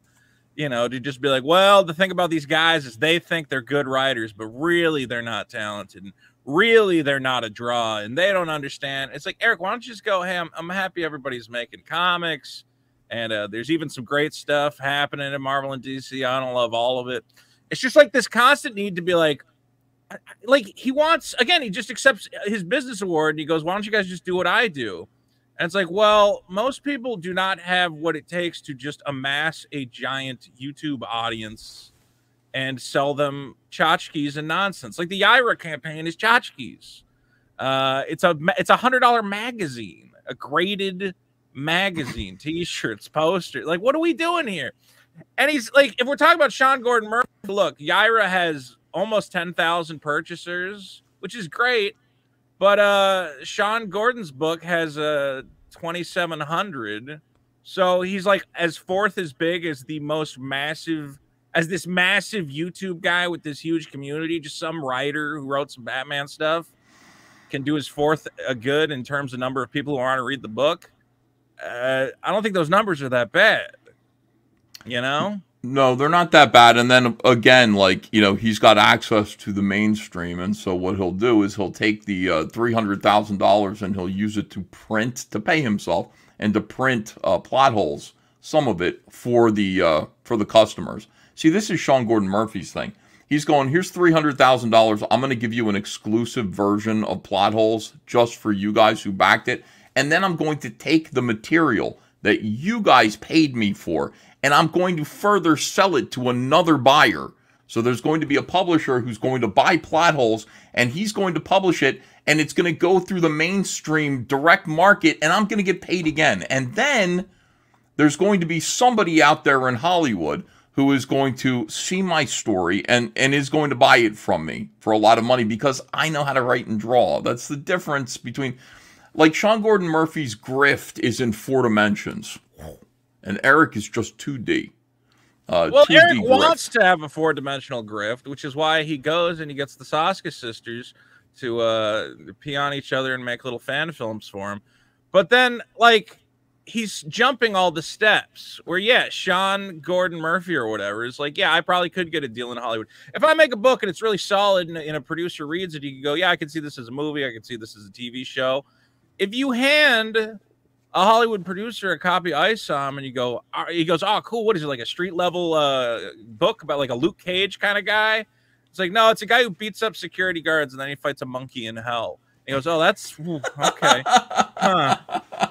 I like I like when I thought this was like a Luke Cage detective story. He's not a detective. He very clearly says that. Okay. Fuck, Yeah. I don't know what this is, you know? Well, that's why he wrote. I- You know, I, does Dick Masterson know that uh, salvage IP or PI? I mean, uh, is uh, exists because of Dick Masterson. Like Dick Masterson said, you know, uh, I think this is a detective story, and Eric said, no, it isn't. He said the character said it's not a detective. He said I'm not a good detective when it clearly is a detective story. So what does Eric do?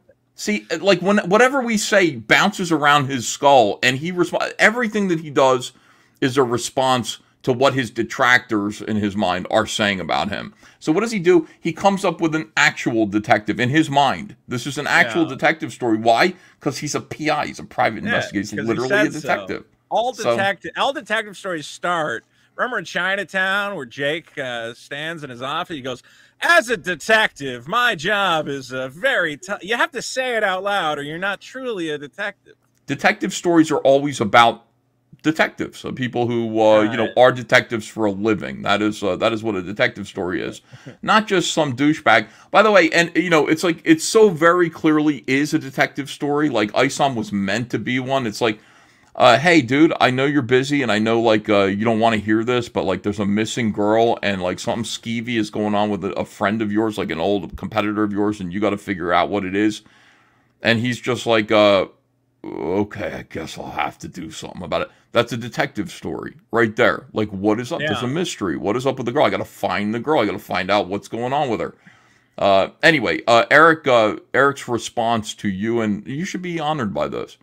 Uh, Eric's response to you and Dick Masterson was He to make a real detective story. So this will show you. He's going to teach you what a detective story he'll actually team up is. with Horseman. Maybe he can ride him around my God, town dude. searching for clues. Horseman. All right, here's the Horseman's not a terrible like, but then he gave him a horse mask. So you know the horseman who rides the horse. You know the guy who rides with the horse is not. Yeah, but he took all that off now. Uh, we, we sat there and made fun of it. It's like horseman, and then it's horseman with a with a mask with a mane on it and ears, and we laughed at it. And so the next time you see him, that that's gone. Like it's gone now. Now he's like, no, uh, that was that was like an old. That was a whole different thing. Right. It's a completely he's just got different a bit of AI. with a chess piece on it.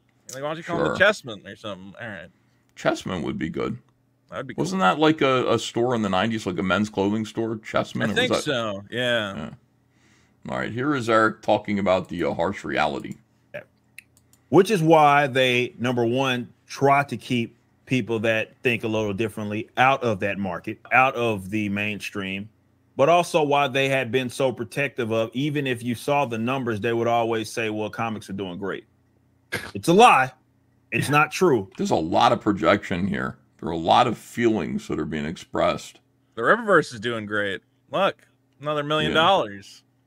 You're like, how many social media guys do you have, Eric? Don't worry about that. How much you spent on that Yaira movie?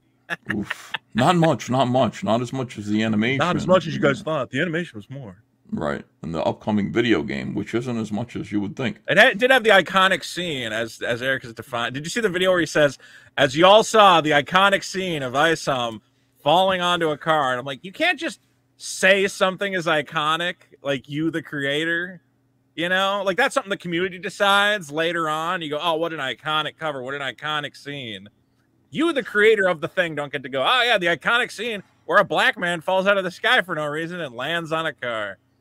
Well, I mean, the reason why that page was iconic, in my opinion, was because it was right next to a strange jewelry ad that his wife put in there. I mean, that's, you know what I mean? Like, it, you, you see him hit a car, and then right next to it is some like beatnik jewelry that like his How's wife that jewelry business uh, going? I forgot the. I wonder what the name of it is. I should get I can't of that. remember, but she also stuff. she made him put the ad. I don't know if you know this, but when he was at MegaCon, she made him put the ad on his table too. So he had it like you know in one of those lucite stands, the ad for the jewelry. He had a little plastic like stand that said, "By the way, as you're here to buy from my four million dollar comic company, if you want some of my wife's Et- Etsy jewelry, Yeah, you want some beads? You know, I mean, uh, why not Yes. set her up in Artist Alley? She could sell some handcrafted nonsense, that's what these comic book conventions are now. Anyway, it's mostly like Yeah. uh, craft fair. arts and crafts." All right. But they have to kind of trick themselves into believing it because could you imagine if DC tomorrow, which is, look, it's unlikely, same with a Marvel, if they said publication, we're shutting the shit down. We're, we're just shutting it down right now. We're, mm-hmm. we're, we're shutting it down. It's not, it's not worth the money that we're sinking into. We'll figure it out and reanalyze it later. There's mm-hmm. not a whole lot of guys that They can could go become a shipping one, company. either do their own or good enough to be hired by the independent guys that are doing well. There's just not a lot of money to go around. There's only a couple of entities that can afford. Well, didn't you say that like the pie was unlimited uh, a little while ago? I mean, the, the whole thing about how like, uh, hey man, uh, unlimited. There's plenty of money out there for any of these guys, Eric. I'm telling you. Uh, I can never get a through line from this guy. Like, what is his what is his core belief? Is it okay? The writers at DC and Marvel are bad, and they can go do their own thing, and then they're still not going to make as much money as me. Even though, again, a lot of them are doing okay independent. And we just saw what do you call it? Ghost Machine just spun off. That's kind of an independent thing, right? Yeah, totally. Ghost Machine is like Seems Ghost like that's Mach- selling pretty good. Yeah, Ghost Machine is like what you hope for. And I mean, Ghost Machine is like the closest thing. People always say, like, we're like just like Image. Ghost Machine is pretty close because it's Geoff Johns. Mm. And then it's all of the biggest artists at DC Comics. Uh, all left DC Comics to go with him and do uh, their own ideas. I don't know how many of them are, are like commercially viable ideas. I'll be honest with you. Uh, a couple of them look like they're really good. Some of them just look like um, they're not going to work. They're going to fail. Um, but a couple of them look really, really good. That actually, uh, that's a thing, right? I mean, uh, those guys are are you know kicking some ass in the mainstream, and their uh, their comics cost five dollars, six dollars. Look, they even Uh, have what Horseman is supposed to be. They have Rook from Ghost Rook. Machine. yes, that's right. Oh my God, this is infinitely cooler than Horseman. He should have just been called Rook. Yes. Ah, Eric, you screwed up. Yeah, Rook is fantastic, says Soren Resner. I haven't read everything yet. I just read, the, I got the preview book, uh, and the preview book was like four or five pages of everything. Um, they, there's a Captain America style character, but he's from the Revolutionary War uh, instead, and he he's met everybody through history. Like he, you know, it's uh, it's pretty neat. You know, it's a, a really kind of a cool concept that will no doubt make it to TV because Geoff has uh, all of these contacts with Hollywood, obviously. Uh, the ones that don't hate him, uh, but uh, he's got tons of contact. That that's actually going to work.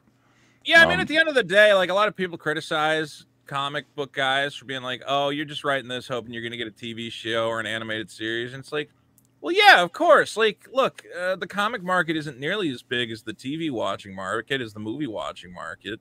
You know, it's sad. I wish more, uh, you know, adults were still read comic books and graphic novels. But if the way to reach people with your stories is to make something that can translate to, and I think comic book stories are excellently translated to screen and TV and whatever else. Well, Uh, I mean, if you want to, it works. yeah, if you want to change the culture, you know what I mean. If like, like ultimately, uh, what we're trying to do here, and this is something Eric doesn't. Eric, you know, I, I don't really know what business he's in. Really, I think he, he is in the shipping business. He's in the publish, yeah, the the Vanity Press shipping business. It seems like. Yeah, like his stuff. Like ultimately, if you want to change the culture, um, you've got to make something that's good. Um, his idea about getting stuff out faster, uh, I don't know what business that is. That is uh, something other than culture war, uh, you know, um, anti woke publisher. The idea is to create something that could be could work its way into the mainstream and then be counter to uh, the woke shit that you're complaining about. So, uh, you know, something like Red Coat from uh, Geoff Johns, uh, his company, could go out there, could be a TV show, and Geoff is anti. Well, is Geoff anti woke? Geoff just isn't woke. Um, Yeah. But uh, could go out there and uh, you know be something that isn't that isn't going to be allowed to be perverted by uh, Bridge or whatever this new thing is. Uh, you know, that's that's what you hope for. That's the hope in all this. If everybody can write good stories that don't rely on DEI, uh, that's the only way to fix this. Uh, You know, if we're brave enough to hold on to our IPs and be able to tell DEI, no, you can't. You know, I'm not going to be uh, super concerned about diversity, equity, and inclusion uh, over the you know a good story. Right. That's how we that's how we beat this if we can beat it at all. But the story has to be there. The the, the actual story that you're telling has to make sense. And Eric is worried about everything except for that, uh, which is why. Uh, yeah, uh, like it's so weird. Like it feels like you know, if there's a great story or a great project, that's what I always say. Is like you know, everyone's like, oh, why don't they make like raunchy, stupid comedies in Hollywood, and why is all the humor you know so PC or whatever else? It's like because somebody in the independent sphere just needs to step up and make like a crazy balls to the wall comedy movie that makes a bunch of money and makes everybody laugh their asses off. Like we saw with like Dave Chappelle, they tried to cancel him for like the jokes he was making. You can't joke about trans people, whatever else. But at the end of the day, he proved there's a market for it just by you know going out there and, and doing it. Uh, the market will respond, but you know the market can't respond to ISOM and stuff because it doesn't push the needle in any way. It's like you read it and you come away and you're like, "I- don't know, it doesn't do anything. You know, it's not exciting. It's not new. It's it's pretty bad. Well, he's got everything handed to him because people are talking about it. It's trending all the time. So he's got everything that he needs to get Hollywood's attention. But once he has their attention, that's when he fails because it's like there isn't anything there. So he really does need to focus on learning how to tell stories. He's got everything he needs. Like imagine imagine like being having a book, having a you know comic book story that everybody's talking about for various reasons. Everybody's wants to support it. Everybody wants it to work. Uh, and then once Hollywood, no, no doubt, producers have looked at ISOM and they've been like, you know, this is fucking garbage.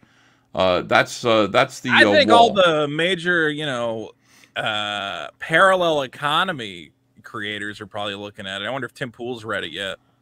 I remember when Tim Pool had that uh the guys who made Sound of Freedom on, and they're talking Mhm. about oh we should make we should make superhero movies for conservatives or whatever. And uh, Tim Pool's like ah yeah you guys should make ISOM. I haven't read it, and I'm like Tim, can you just before, why does everybody got to promote ISOM before they even read it? Like why don't you read it and then see if it's good and then decide whether or not to make a movie? Don't assume it's it's something that yeah you want to promote until you've actually read. it. Most people who actually read it kind of back away from it a little bit. But Mr. Keys says, "I'll write her your book, Ethan." Thank you, Mr. Keys. Uh, Balian says, "Because people are stupid and don't watch his show. He makes fun of people who call him Tim Pool, conservative. Uh, the right watches him because he rails against authority and the media." It just seems like uh, when you're a right winger or a conservative and you're you're watching Timcast, you're getting a back rub. So I mean, I don't know what Tim's uh, personal politics are, but I'm quite comfortable.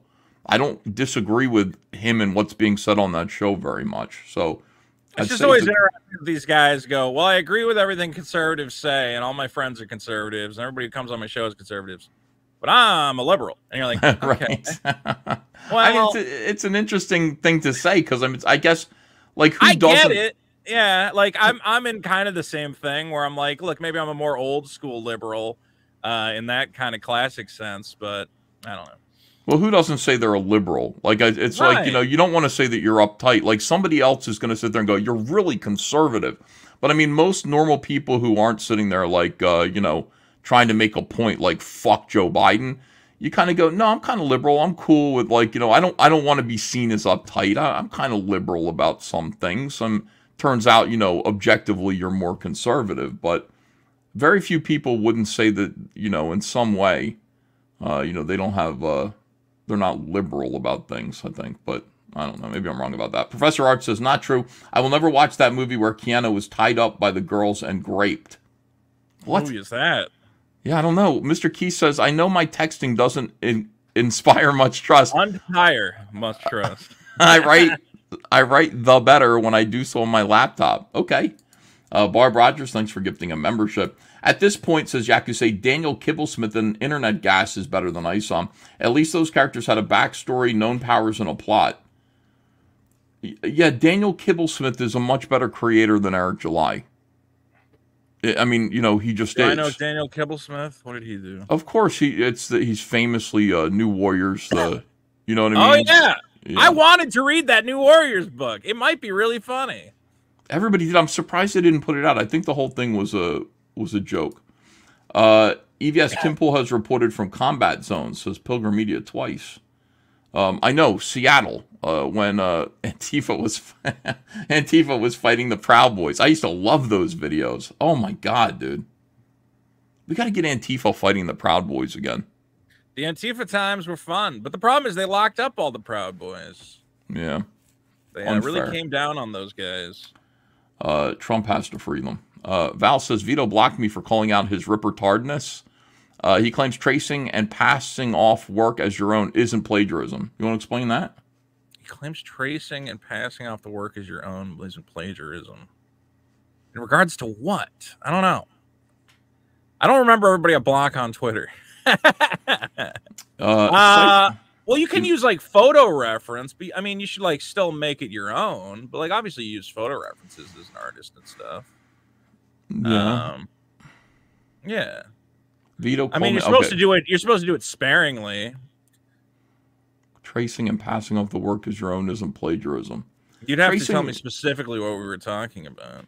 Tracing is okay in some circumstances. Uh, artists will use it uh, sparingly. That's why uh, They have light know, boxes light for a reason. Yeah. light boxes exist. So tracing is something that you can do. You don't want to trace somebody else's work. Uh, that's the thing. It's when you're sitting there going, "Oh, I like this J. Scott Campbell cover. I think I'm going to trace it, and I'm going to redraw my costume over the characters and call it my work." That's called uh, swiping. You don't want to do that. Um, but you know, um, there are times I think for uh, Green Lantern Rebirth number one, uh, I had to draw Yankee Stadium. Uh, I'm not fucking drawing Yankee Stadium. I'm not going Right. to sit there and do a perspective grid. Uh, it's just a waste of time. So you find a photograph of Yankee Stadium and you lightbox it and then draw your characters over it. Yeah. Um, it's just a background element, but it's an important scene. Well, you need to set the scene, so you might as well just trace it. Um, I think that's an okay thing to do, and, and it's industry standard. Um, but uh, I still drew it. You know what I mean? Like I, I still had to draw. Yeah, it. Well, just- it becomes your own. It's not a one to one when you're lightboxing something. You know, you're gonna put your own Put your own line on width and choice of tools and whatever else. Yeah. Cyphers and Suctus says Vito was pretty smart for blocking that Val guy. What about the cancer thing though? Did Vito give that girl cancer yet? What does EVS think of the cancer? What? what? Here's what what I learned. You'll do like a four hour podcast and you'll say like one stupid thing that you completely forget about, and it turn I have no idea. Who did I give cancer to? I have no idea what we're talking about. Q Revere says what really matters in music today is shipping. Uh, Bill Tackett says the music was more like a sound bed for Tim's video uh, than it was an actual song. I think that's Yeah. Yeah. sound bed is uh you go oh yeah this kind of sounds like the Weeknd or something and you know it's then he just uh, Bruce Wayne says a hit is a hit and this my friend is not a hit. Uh, Nicholas Papadopoulos says Rippaverse's Document trading cards are ripped off from Jim Lee's X Men trading cards in the 90s. Layout is similar, and Dirty Daku is a Cerebro clone. Oh, I think you're right. Luke Blanche says if it looks like a penguin, sounds like a song, it's a duck. Every Those day, I cards, man. Uh, Obi-Wan, Obi-Waner says uh, Eric should donate his shoulder fuzz to create hair plugs for Az. It would look nice. Uh, hot damn Pawpaw says, just realized Derek has his head held back in his ads because his script is above the camera. And he gay. Oh. You ever see how Eric starts a video like this? Yeah, look Hey, this, it's Eric July, you know, like this. It's like uh, because he's looking above the camera. I wonder if he's got a teleprompter back there. Probably does. Teleprompter, he has to. Uh, I can't read, Crusher. so I don't know. Maybe he has to do a couple takes.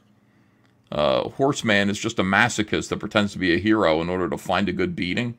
Uh, Thor Odinson says Miller's Daredevil in front of a burning building or Spider Man freeing himself from rubble. Iconic. Some retard getting thrown on a car. Not iconic. Uh, and then Satala- Yair, stop following me. yes. Oh, it just gives me goosebumps. Uh, Jim Satala says you need to tell Vito he needs to get Super Killer out before Deadpool 3 gets released since they stole his entire plot. Uh, also, you should tell him he needs to file a nuisance suit against them and get paid for his IP that they copied. We'll see. I got to see the movie first. I got to see How- uh, how close it is. How is uh, Super Killer doing? Uh, I know it's your favorite question. I- Doing great. Uh, The artist. For some reason, my my oh, how's it coming along? Yeah. Uh, he's he's doing it's doing good, man. He's been churning out pages. Okay. Uh, so yeah, I think we're we're on track to make. We're trying to we're trying to get out before the new Deadpool movie because uh, supposedly there are some plot elements in the new Deadpool movie which are very similar to my comic. And Yeah. uh, I'd rather not appear like a ripoff of Deadpool. Um, but I think we're on track to make it happen. He's he's kicking ass, honestly. I'm like, man, why don't we? Should have been. Well, I'm not gonna. Talking about artists is always a thing. Ethan, you're lucky. You're the artist. You get to just draw it. You don't have to fight with artists. To I know. What you want, yeah. You know. Yeah. You Well, go, my "Ah, can you just colorist, draw it like do. this, and he goes, "I think it looks better like this," and I go, "Well, I really think it would look better like this." And No, I've had to do that a couple of times because I have uh, I have a bunch of artists working for me on various things. Yeah, uh, you do have David Williams mostly gets it right. I just kind of let him do what what he wants. His interpretation is always uh, sometimes it's different than what I pictured, but it's usually good. Yeah. Uh, and uh, yeah, I'm working with some uh, some pretty good pros. Um, let me see. Oh, Get a Robo um, Shinwoon says, "Hey Vito, check out the Cyberfrog animation I'm working on. Show him, Big E. I am also a black businessman." Uh, okay. I've been looking Here's- at some uh, animation lately. I'm ex- like, I saw some guy. He was like, "Look, we made a whole like anime episode for like sixty thousand dollars." I'm like, "How the hell did you do a whole episode for sixty k?" So I'm, I don't know. I'm looking at the world of indie animation. It's exciting now. Well, this is uh Robo Shinwon, get a Robo Shinwon, who's a wing gun. Mm. His name is. Nice. This is this is something he's done so far.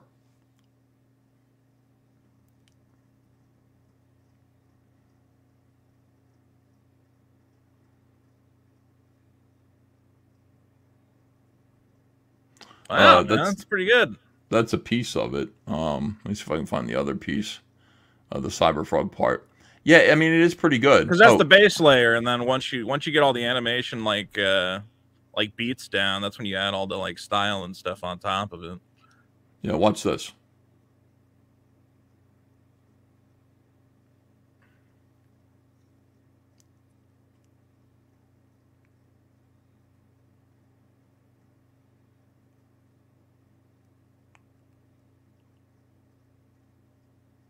Kind of fun, right?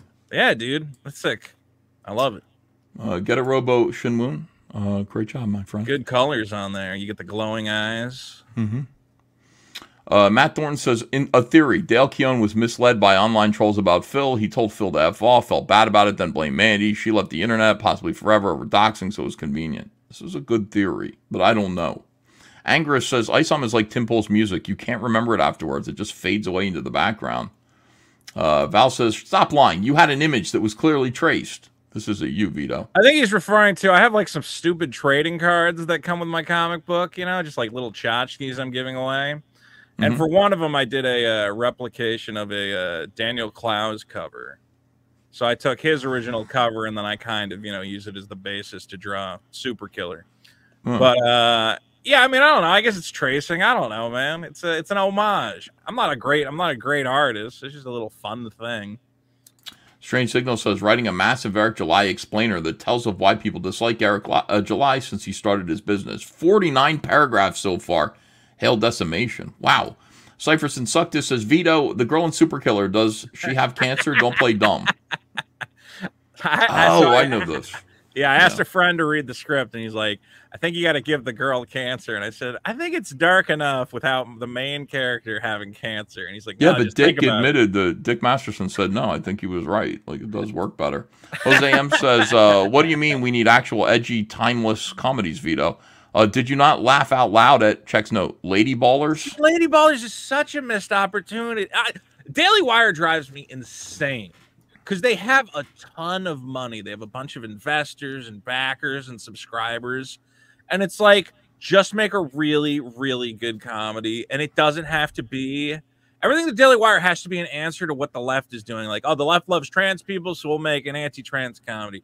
Uh, the left uh, is making a stupid brown skinned Snow White, so we're going to make a white skinned Snow White. It's always a reaction to Disney, whatever else is doing. Just prove that your sector can make great comedies, great movies, For everyone. Shows. For just Yes. for everyone. Yeah, for everybody. Of. It doesn't have to be. But again, like they make their money. They're like, oh look, it's Jeremy's razors because we're making fun of these razors because they were gay, or uh, our gay Hershey bar, or whatever. You know, Hershey's advertised to gay people, and now we have our pronouns Hershey bar. It's always it looks it makes them look small. That it's always a reaction to what bigger leftist companies are doing.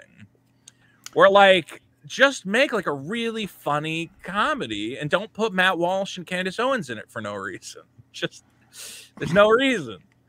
Black Angus Reviews is happy to see you. Vito is here. Cow and then a black heart there. I don't know what that means, but uh, Black Angus. Oh, that's Black him. He's Angus. Black Angus.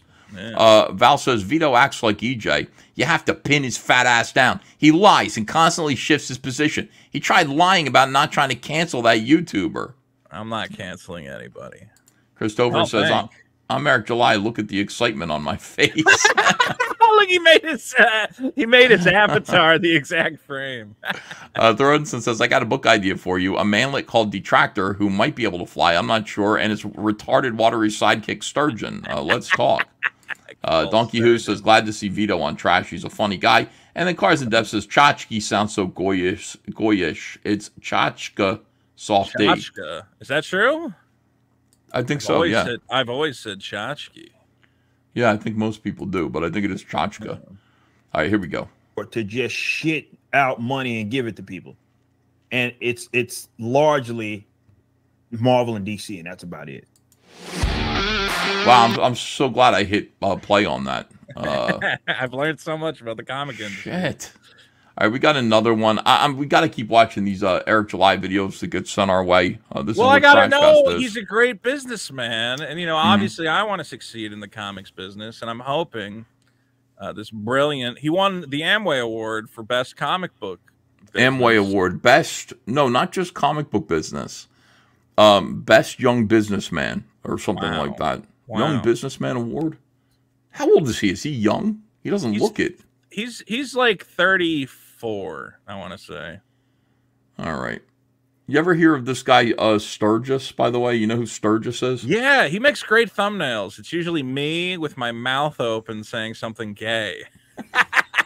and I go, "That's he got me again. Sturgis got me again."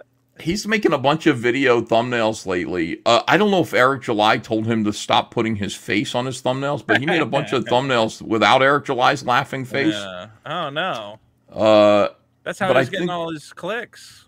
Yeah, you know, Eric July should know that like Sturgis is uh when I see those videos, I think is this an Eric July video? Is this Eric July's perspective? uh and maybe Sturgis shouldn't be doing that. He should put his own face there, which I would love to see. I'd much prefer It looks like he went back to Eric July's face though. It looks like he tried a new one. He tried copying uh that's the RK Outpost style of thumbnail or the Tim Pool. I think this guy should uh, learn how to use Photoshop. These are the worst thumbnails I've ever seen. He's got a million when he's after me, uh it's a picture of me with peanut butter on my dick. Uh, and I'm holding a leash, and then it's a dog, and then the dog has the head of somebody who's in the detractor community, which implies that they're licking peanut butter off my dick. And I don't really know how to feel about that. I just kind of look at it and go, this is really weird. And I understand where it came from, I understand the origin of it, but yeah. you know, uh, memes move quickly, uh, and they, you know, they the old memes don't really work that well. You got to be ready for new memes all the time. Now you're basically you just have a bunch of thumbnails with me with peanut butter on my dick, you know, uh, presumably getting licked off by other detractors. Oh uh, which God. um, I don't know. I don't know. Like I said, I don't know how I feel about that. Uh, Sturgis is paid for by Eric July, says Madness and Victory. My goodness. Uh, I don't know if that's true or not. But this is Sturgis. Uh, Sturgis said uh, EV or Eric July destroys all of EVS's campaigns. Detractors are butthurt. I was gonna Uh, say, like, here's how, like, if you're Eric July and you go, "Who are my biggest defenders?" You know, on the internet, who are my diehard fans? And it's a guy named Sturgis who's making this stuff. You go, "Oh, I fuck, I fucked up." You know, like the guys who like Spider-Man, Batman. It's like cool guys, and like, wow, the new Batman's really good. And then you got this guy is your top guy, one of your one of your biggest defenders. He's a Uh, man. Yeah, I mean, it is. I, I don't know how I feel about him. I guess I kind of feel sorry for him in a way, but We're gonna uh, here's over. here's the new Sturgis puppet show.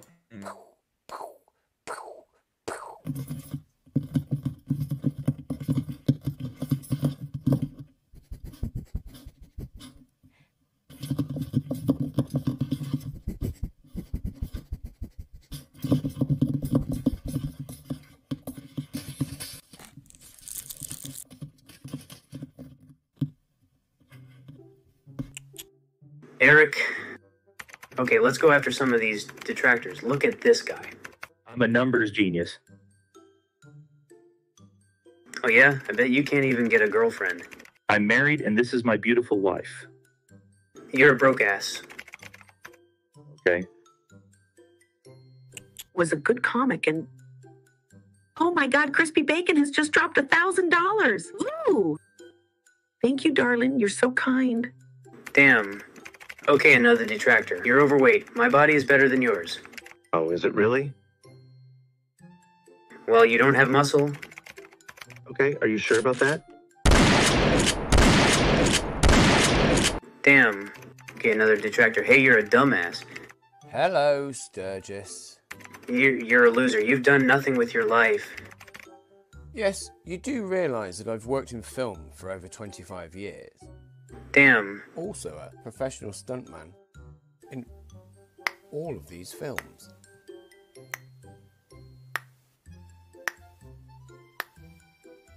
Damn. But I bet you. Well, but you're a. I can keep going. Damn. Okay, the biggest detractor of them all. Hey, loser. What the fuck do you want? Hey, you don't have er, any talent, and er, you're jealous of Eric. What? He can't draw, can't write, and he's fucking retarded. Damn. Well, uh, Eric has good shipping. He's good at shipping. Shut up. You still live with your mom. The fuck out of here. Ah, forget these losers. Uh, let's see what lovely Eric is saying. And want to thank all my pay pigs. Shout out to Complete Zero.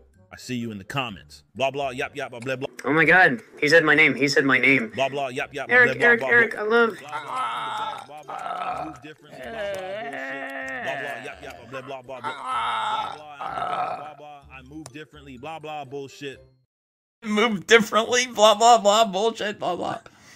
Uh yeah, this is Starjo's hair. Eric's really fucked up. When you have an entire puppet theater ridiculing your biggest idiot defender boy with his oh my god. He's just a I- let me let me watch some of this. Uh, Yeah. This is uh, Sturgis is going in on me again. Uh, he, course. he called me a bunch of mean names, man. Eric's and the really thing, good at shipping. he is good at shipping. he's so like he called me a bunch of really mean names and the Oh thing about it is is that sturgis like what's really disappointing about this is uh two months ago sturgis was a big fan of mine like he was just like i love cyberfrog Hmm. and i love you know i bought all the cyber i love cyberfrog and i love you i think you're great and then trashcast started and then he turned viciously against me like a cur dog Yeah. uh, and um, it sucks, man, because I want retard. I want a retard like Sturgis, like making videos about my enemies. I don't have any like that. I don't have any retards doing that for me. Yeah, you're right. Just Yet. out there every day, fighting your battles. I'm envious. Uh, you know, people could say you're jealous of uh, Eric July, and they do say that. And I'm not jealous of his money or uh, anything like that because, you know, obviously I have, uh, you know, plenty of money. I have my own multi million dollar business, and I move a lot differently since I got sciatica. But one thing I truly am jealous of is Sturgis. I would like a retard You who would make videos. Yeah. Yeah. Is that wrong? Like, is that. No, it's uh, fun. Every day you get to check your computer and you go, "Oh, my little rat boy made a made another fight on my behalf." It's it's like you want to be you want to be Shredder. You want to have your little minions. You want to be Skeletor, and Yeah. you know you go, Beastman, go fight for me. And uh, uh, people in the chat are like, uh, Ethan just wants a ball washer. Uh, you know, I'm, I wouldn't do. I'm, no, none of you guys are retarded. That's the problem. Uh, you guys are all really smart, and those of you who do make uh, detractor videos, they're very clever. But uh, I don't have somebody like this who's just going to go out there and just be hateful every day for me, and it makes me feel little henchman. unloved. Yeah, I'll be honest with you. you can boss around. All right, let me see uh, Sturgis destroy my whole world. Be now zero. We are back yet again talking about Rippaverse attractors, and we're going to be talking about something very, very interesting as far as the comparison between the amount of money that EVS has made it from 29 campaigns Force Ghost versus the says, Rip uh, I'm not fluffing you, four Ethan. campaigns. You would. and would, possibly though. five more to come during the rest of the year because he is in fact aiming to launch six pre-orders for books this year. Oh, We do know about quite a few of them, like now. Blood Roof, ISOM 3. I'm guessing Alpha Core 2 and Yaira 2. We also have Horseman and Gooding are also been Request a personal retard. It's going to be really interesting when we go through all this. We've got a bunch of people who are basically coping and seething because I pointed mm-hmm. out an actual fact. And we'll get into that in just a second. $1.334 million, 9,803 total purchases as of recording this video. I'm just doing a quick refresh. So if you want to still get in on the Yaira campaign, the it ends on May 25th, 2024, with estimated fulfillment start date being May 26, 2024, which Eric has said that it could possibly go into fulfillment a lot sooner. Mm-hmm. Blade Devil 2, Chains of Blood looks amazing. I cannot wait to read it. Can't wait to get it. I've backed all the covers. So get in on that if you want to get in on a cool story of manga and anime style. Got all the some of the artwork here for the book, all the different covers. If you want to get in on Blade Devil 1 without having to get an add-on with Blade Devil 2, you can always get in on this campaign. Sick Fox Studios Limited, just for $10, you get Blade Devil 1. So now this was pointed out to me by someone who follows me who I've backed their book. Shout out to Hero Darky Dark over on You Twitter. son of a bitch. Go get his comic book on Fund My Comic. I will put it in the description below. If you're interested in again and yet another book. Why do I have to get of totally owned every day? I'm type of book, tired I believe the book is finished. The digital packs already went out to people, and it's currently going to print. So he says this bottom guy, Lambarsi, which by the way, I said to him, it's amazing how you have a picture of Big Boss as your profile. Meanwhile, Big Boss was always about being against the hive mind and against the big government in, in the video game Metal Gear Solid. But he says the bottom guy unironically said, yeah, EVS with his 29 campaign made almost as much money as Rippaverse. Like, yeah, major victory. Your decades long plus Comic Pro with over two dozen campaigns made less money than the guy who only started his company two years ago with four campaigns, which is hilarious because ISOM 1 did launch in May of 2022. And these, these type of people have said that that Rippaverse will be done in two years, and it's coming up on two years, and it's surely to And keep it's about going. done. So we're gonna get into all of that. I think. just a little on a bit. We're gonna go do this because they, people decided to get really butthurt because I compared Malin's art to Mindy Wheeler's art, and as you can see here, because people like to say, ah, it's not my opinion, I'm just doing it out of spite, whatever. This is Jon Malin's art versus Mindy Wheeler's art.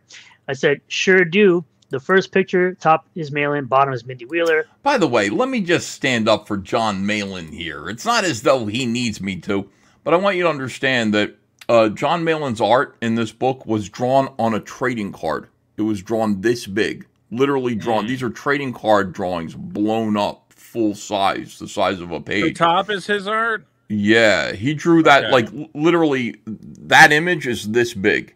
Like that head is this Right. big on the. You You, trying know, to say that like, that's bad?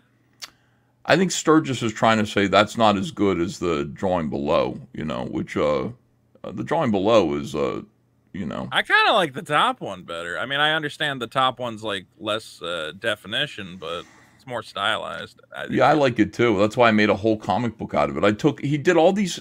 Jon Malin's such a good guy. I said, listen, I need to do these sketch cards, and I, I can only pay you ten dollars a drawing, so just whatever you want to bang out. And Yeah. he did these exquisite, like really super detailed trading cards. Like again, on original art on a trading ten card. bucks for that. Ten bucks. That's what I paid him for it. Bought him a steak dinner and down the line. I don't buy nothing. Uh, and he like think about it. Like You this is really it. great. So I just went. I can't just give these away. I got to actually publish them. So I did. I, I had them colored and then you know uh, published because they're just that good. Second picture is Malin on the left, Mindy on the right. My opinion is mine and mine alone.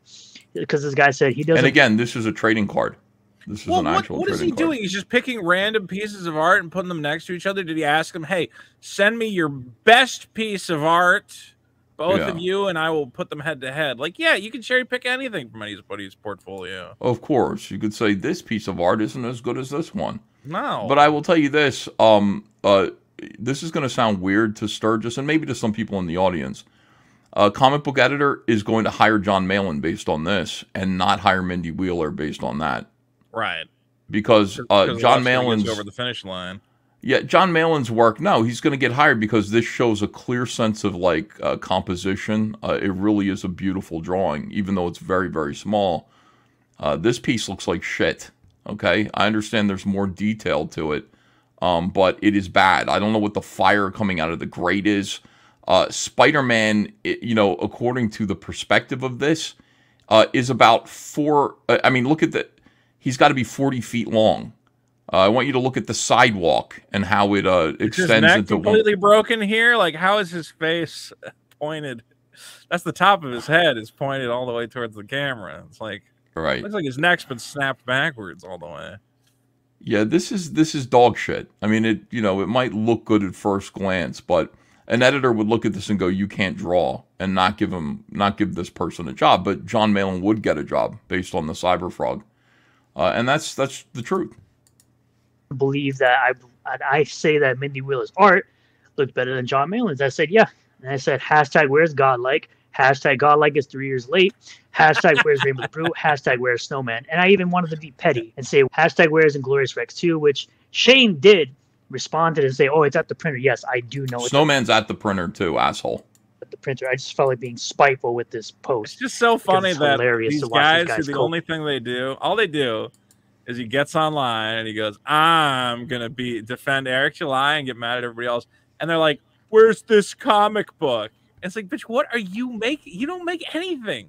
Yeah, Like, I know. like And yeah, you're right. It's at the printer. What are you talking about? It's coming out. At some point, like all the work is done, and uh, you know, uh, there's a whole other process in getting it, you know, actually turned from a stack of files on a computer into a Yeah, comic book, got- and it's out of your hands. You know, it's just Right. uh, it takes a little while, so you just got to go. Uh, it's on its way. I mean, I guess so. Uh, but anyway, yeah, this guy doesn't care. Uh, the thing about it is, is that again, like uh, I would say, like where is ISOM's story? Where is ISOM 2's story? Where is Right. Alpha Core's story? Where's uh, the they're story late. hook of ISOM? Uh, Yaira's sto- where is Yaira's story? Where are these books' stories? They're late. I have the book. Where's the story? It wasn't included. Is it coming later in an additional package? Nobody understands what any of these projects are. No, nobody can. They're incomprehensible, Sturgis. Well, because they Slow don't down. exist to be read; they exist to be sealed in a plastic tomb, and you pay 110 bucks for Eric July's signature on them. They, yeah, they exist. Uh, It's to be so crazy Haynes- whenever you see the tweets from people that are like, Eric July's the greatest uh, writer of all time. I don't know, everyone's mad at him. And then, like, a couple months later, they're like, all right, time to finally read my copy of ISOM. And you're like, you've been defending this guy for months. You haven't even read the fucking Read it. What you, Yeah. Tim Pool said, why don't you make it into a movie? He hasn't even read it. Just read it. It's not that long. It is really long, dude. ISOM It's- two it's- was It, it feels long. Yeah. ISOM 2 was a slog. I read ISOM 1 um pretty quickly because I was really curious about it. Um I I knew what to expect from ISOM 2 and it was I I, I still I feel like I'm not done reading it yet and I've read it twice because I had to review it. It's still happening like it it's an eternity. It's another it's a multiverse that I I'm still sitting there trying to get through ISOM 2. It's fucking impenetrable. It is really really bad. because it's a story that ISOM. Okay, so we, I think me and Dick have talked about this. We read ISOM one, and we're like, well, this is pretty bad, but it's like salvageable, right? It's like, okay, you've set up this character, his motivations are bad, he's kind of an asshole. But if in the second book, it's just like a much more focused Luke Cage story, and I don't know, he's fighting to protect his family, and he's got to take down this crime boss, Darren. Like, it's still not revolutionary, but at least you've got something there. ISOM 2 is where you're like, never mind. This guy has Yeah. no fucking plan for any of this. Where it's like, all right, now let's cut away to a wrestling match. Now let's cut away to what Alpha Core is doing. I'm like, just what? Why do I care about ISOM? Why do I care about Avery? Let's see. Why he quit being a superhero? Oh, he saw one blonde lady die once to a big rock monster, and he said, "Well, you know, I, if even one blonde lady's going to die, I got to stop." You're like, wait, why? You never saw anybody die in front of you? It makes no sense. None of it is that. That is like the worst idea. Like it's the dumbest idea. Like, oh, I failed once, so I got to quit. Absolutely terrible. Uh, And retarded. anytime I ask these guys, what do you like about the Rippaverse? It's always like, well, what if this character is this? Or what if this means this? And it's all like, it's like fan theories, the fan base. Like, all they care about is endlessly. It's like what happened with Star Wars was like, uh, you're like, hey, this sucks. Why does this girl have all these powers because she didn't train? And I don't know if you remember when The Force Awakens came out, a bunch of people would defend the movie and go, no, no, they're going to explain why Rey Skywalker can do all this. And you're going to learn, you know, oh, she actually has the secret lineage or she's related to Obi Wan Kenobi, blah, blah, blah, blah. And then that didn't actually happen, you know? that And was so bad. The the third saying something's good because later on it will be explained why it's good. Like, no, tell me why it's good now. Yeah, what do you like about it now? I think what the truth is that what people really like about Rippaverse uh, is the same thing that Scientologists like about Scientology. Uh, it makes them feel like they have some power and control in life, uh, and it, it represents a big pile of money that they donated into, uh, which is powerful in and of itself. It's Well, Scientology; yeah. it's a cult. It so I mean, you know, uh, there's nothing about the, uh, you don't really believe it, the alien and the volcano. Nobody believes any of that shit. You know, Dianetics uh, was a dog shit. And obviously, you know, L. Ron Hubbard was a scammer and, you know, a, a grifter and all of these things. Uh, and a criminal, in fact, you know, a tax thief.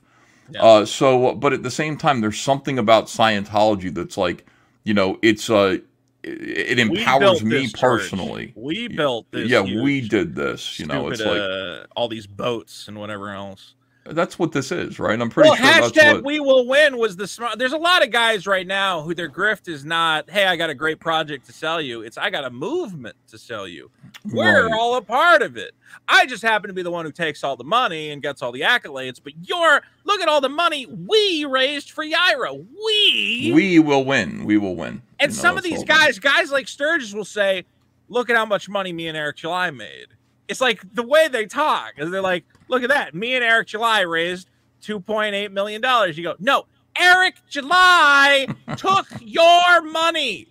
Okay. You putting money in that fund does not make it also your money. Yeah. It's like really weird. And it's kind of like uh, the ultimate beta male behavior is to be proud of how much money another man is making. I can't think you could suck a hundred cocks and it would not be as gay as being proud that another man is making a lot of money. That's fucking weird. Uh, yeah, it is. Uh, it is weird. Okay. Uh, let me see here. open seed. This guy says, I'm sad in looking at this pretentious thread. Then again, all, these people excuse ISOM. Is this Val? Is this the Val that was coming after you? American Val? I, he him? says I should unblock him. I'll unblock him at American Val. They're all unblock you, Val. How's that? That's him. hundred dollar Dokuman cards and a hundred dollar Tumblr concept art. These guys still believe that the concept art book was eight pages because apparently double sided pages just means one page. So I guess Cyberfrog 2 is 24 pages because it's double sided. That sounds fair. Cyberfrog 2 actually was uh, uh, 80 pages, I think, like total. So it'd be 40 pages. Yeah. It is printed double sided and said to be four. By the way, everything comes back to me, like all the time. It's me and Cyberfrog. What do I have to do with this? This has nothing to do with me. Why does Cyberfrog get brought up? I must be the most important person in the world. Hmm. 48 pages. But go ahead and eat that EFAP this video EVS because I'm sure you're gonna do that because you're How did he know I was going to do that? He's a he's a genius. Yeah. Sturgis the Rat King. All right, here we go. He's going to call me a name. He said, "Go ahead and do this, CVS." Dude, you you made a video about me. Of course I'm a, I might E EFAP. I'm not going to EFAP all your gay videos about me, but let me EFAP this one. No, go ahead, call me a name. You're a clown and you can't make money any other way besides trying to crap on other people that are just pointing out your nonsense daily.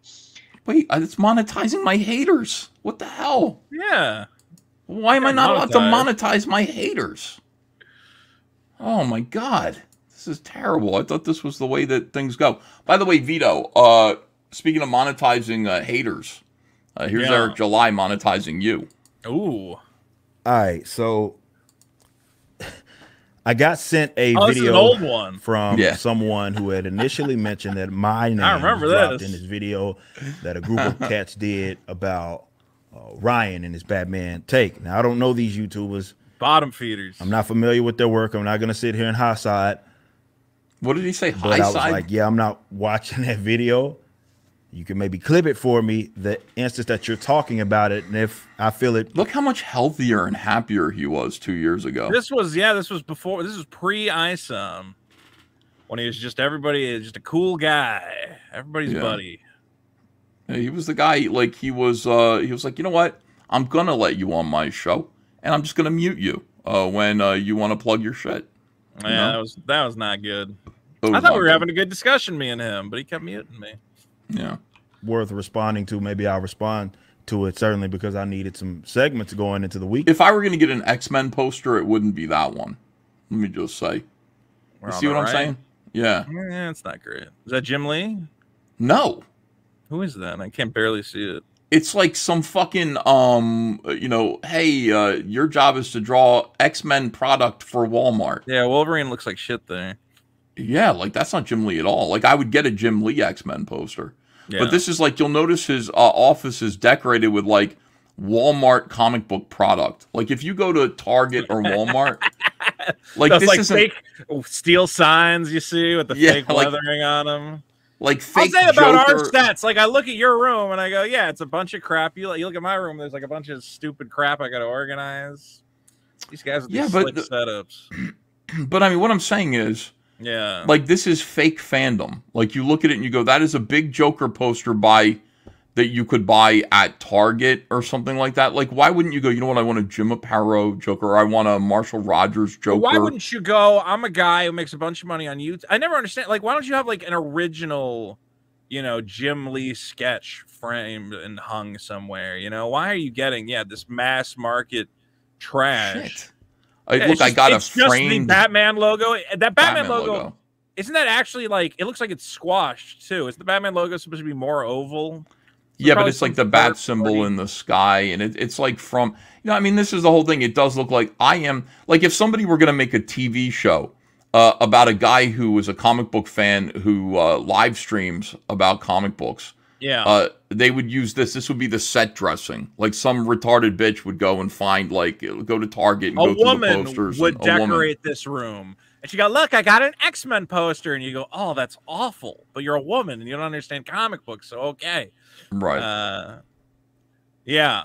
There's nothing like I want. Has Eric ever done like a video where he's like, "Here's some like prize stuff from my comic collection. Here's like some check." Because whenever I do a live stream, I'm always like, "Hey, here's like a stupid toy I bought, or a new comic I got, or a signed card, or whatever." Maybe that's not his kind of fandom, but I'm just like, what? What does this guy have? He's, he shows us his wife's jewelry. I know more about that than most. I like life. Joker. So this is Joker wall hanging product. I like the X Men. So this is X Men wall hanging product. Uh, you know, uh, you look at my studio. Um, let me see. It's all movies mostly, but there's a Green Lantern poster, Yeah, which cool is uniquely, yeah, uniquely. It's it because I drew it. You know, it's a, um, you know, uh, all stuff that's like uh, I got a pretty bunch unique of to me. garbage. I got a bunch of Nintendos. Yeah.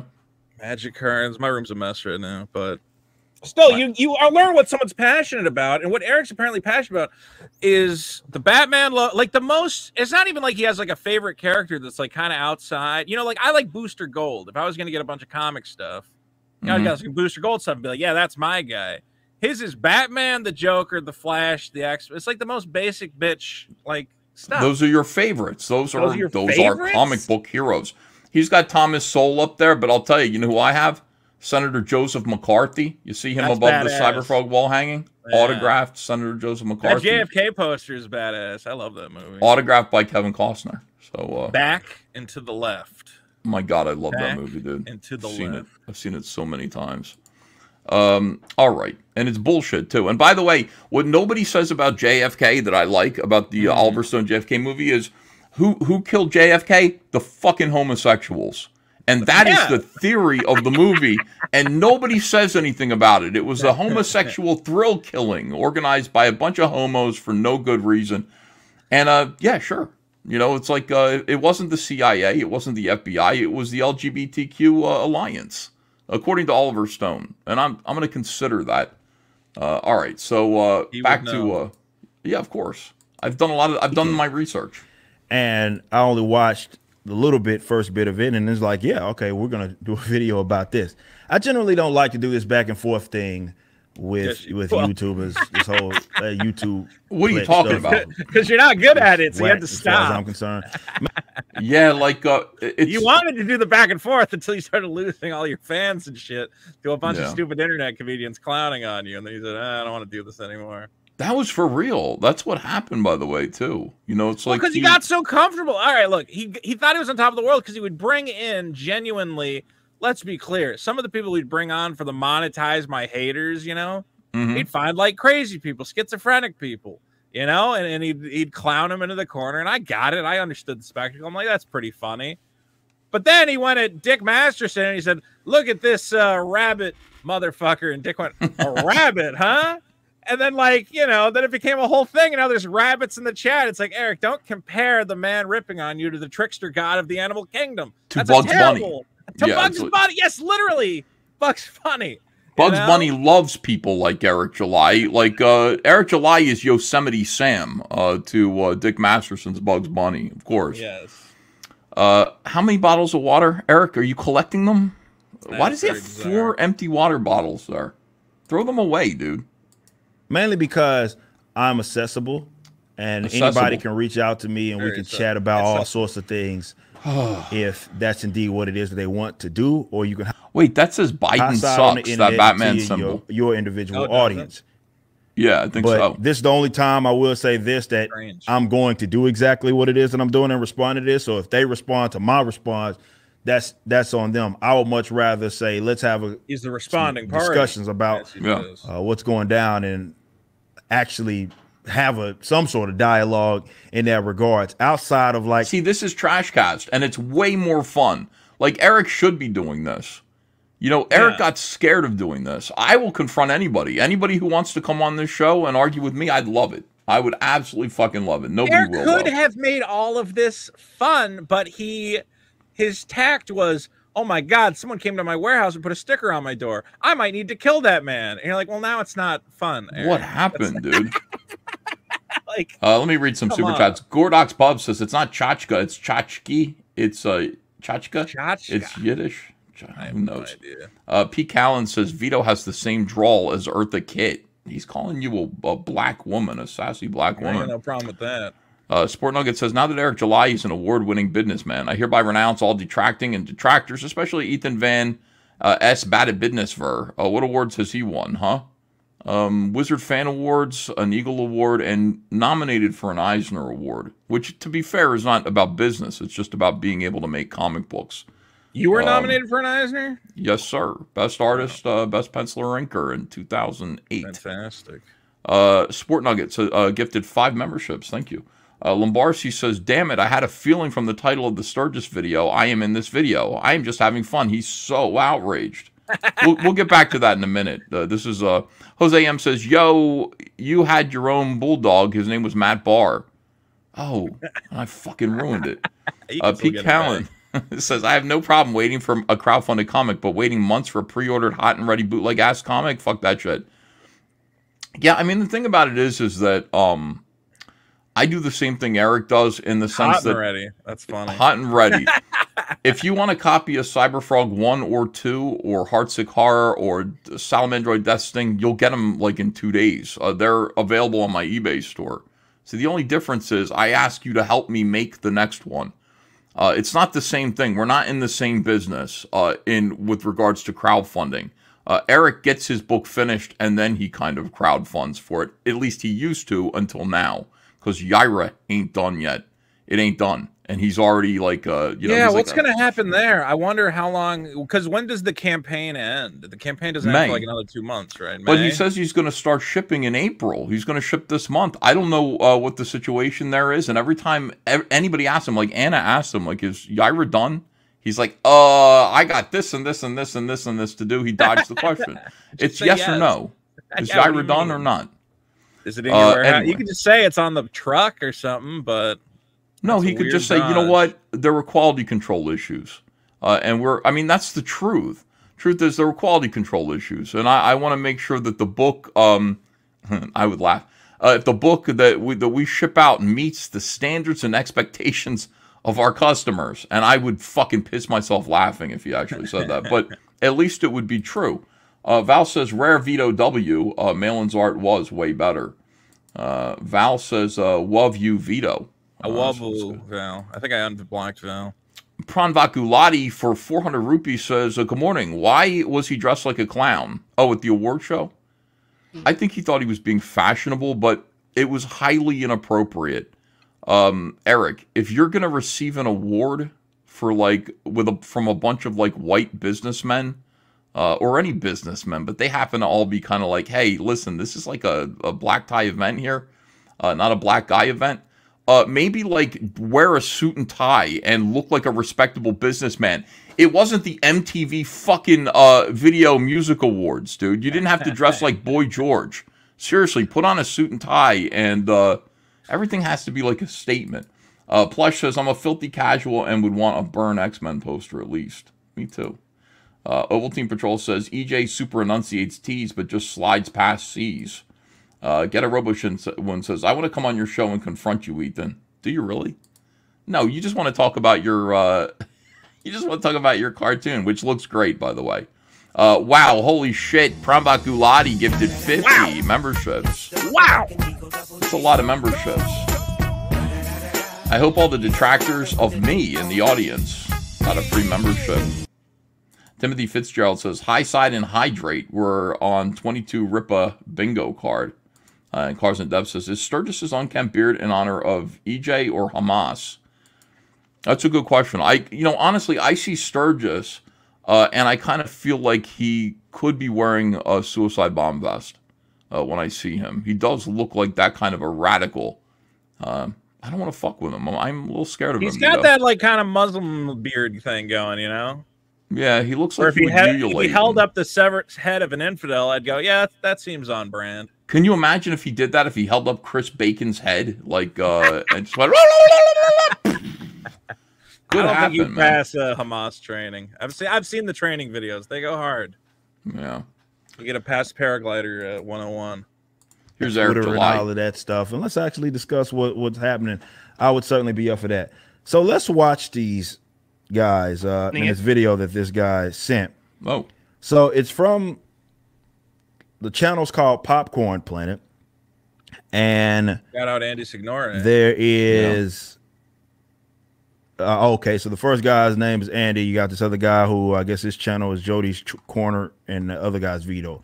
Now, in the latter half, I've seen him be in my mentions before. Now, I'm not familiar with the other cats. Again, I would say that. So let's let's listen in to what it is that they have to say. Certainly about me. What it is. And then they always have. Uh, sorry, you guys can't see. They bring in Eric July. I don't know if you're if you know him, Jody, but Terrible rapper. yeah, I, I like some of his takes. I don't like some of their takes. I don't really know the guy. I don't watch him as regular, but he's. It's always terrible rapper. Um, now, Eric. objectively, that is a false claim, and that's just something that someone's using. Oh, to- comedian's funny, not Eric. rapper That circle was around funny. anything that you send at me, and that's a fact. Not even up for discussion. He took that an right to the heart. No is. humor. But it's No always sense of weird how they immediately go to that when most of the music that I'm known for. Eric, doing, he was the ones that have, joking. I You fuck. upon millions of views That was a pretty good rap, joke. Oh my God. Listening scene. back. I'm not here no there. Let's let's Terrible finish listening to what it is he said. always there to defend him. And he's hmm. black, right? And so Jeremy and Ryan use it all the time as their defense. Guys, we're not racist because Eric's bro. here kicking all the white Nah. leftists around, and it's all part of the same What he sort of say? Let see what- Okay, let me let me stop right there. So I don't know where it is that he's even getting this It from. is. Where he says Eric's always here to defend. Like those guys can fight their own battles.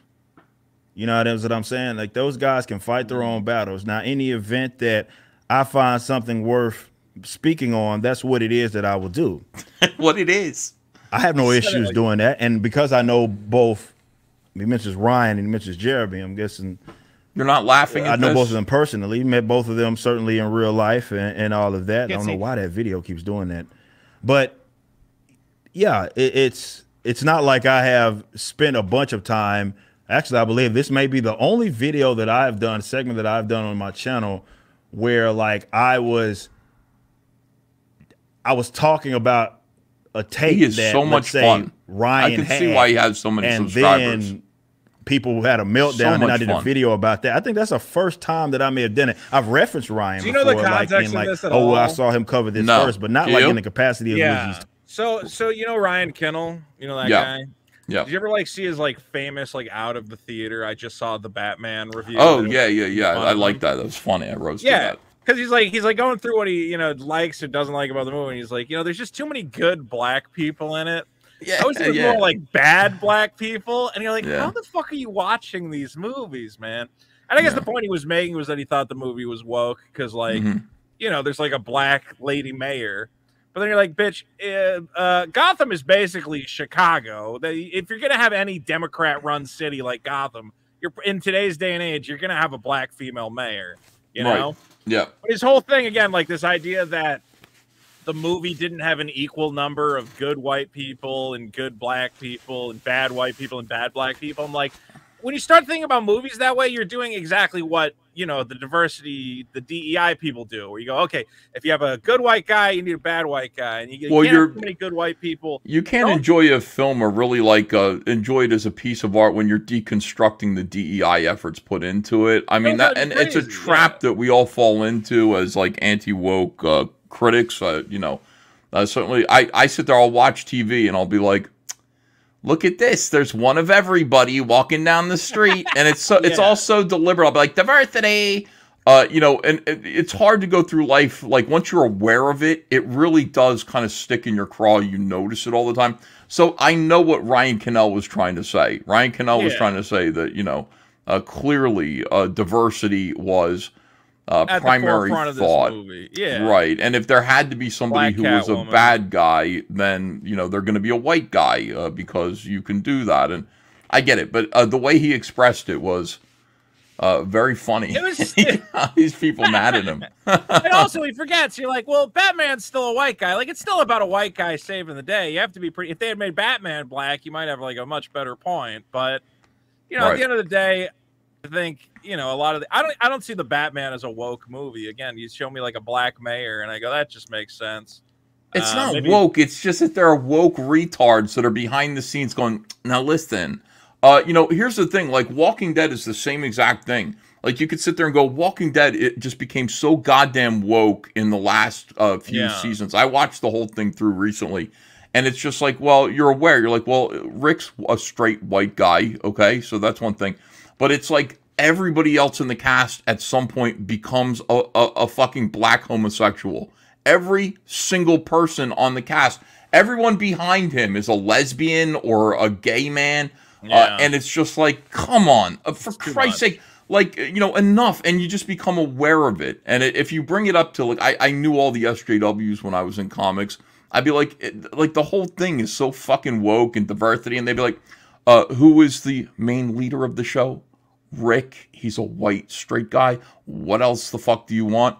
Um, I just want to be watching this and I want it to feel uh, natural and I don't want to smell the fucking uh, disgusting, um, you know, putrid stench of diversity uh, people like behind the scenes making choices deliberately uh, to uh, to make sure it feels fair to everybody.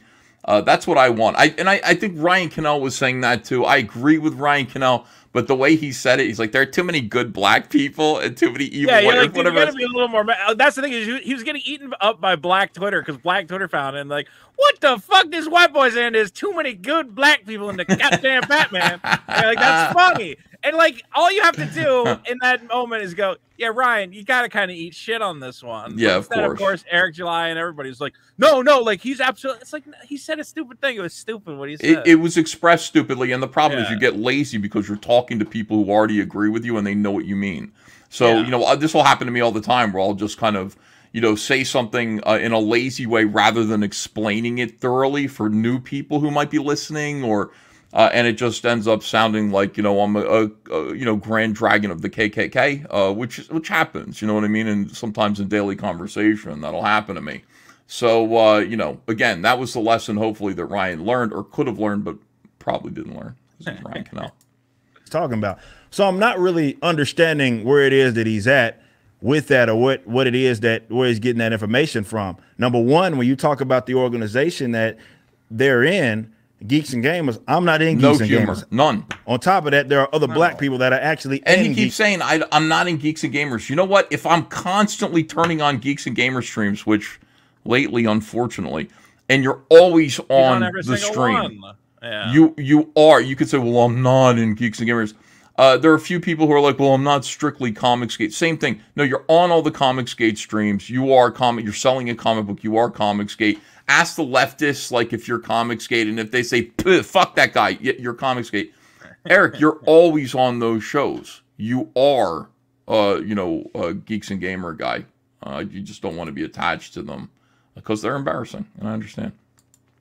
Geeks and Gamers that it seems like if, if you were going to try to point to that, you'd go to point to them, but using me, I don't even understand how that's even warranted or why that actually certainly makes sense. But what he's Is Vito Comicsgate? what he's Vito, are alluding you to- Comicsgate? and this is how It's not just with white community, leftists, black leftists as well, they do this shit.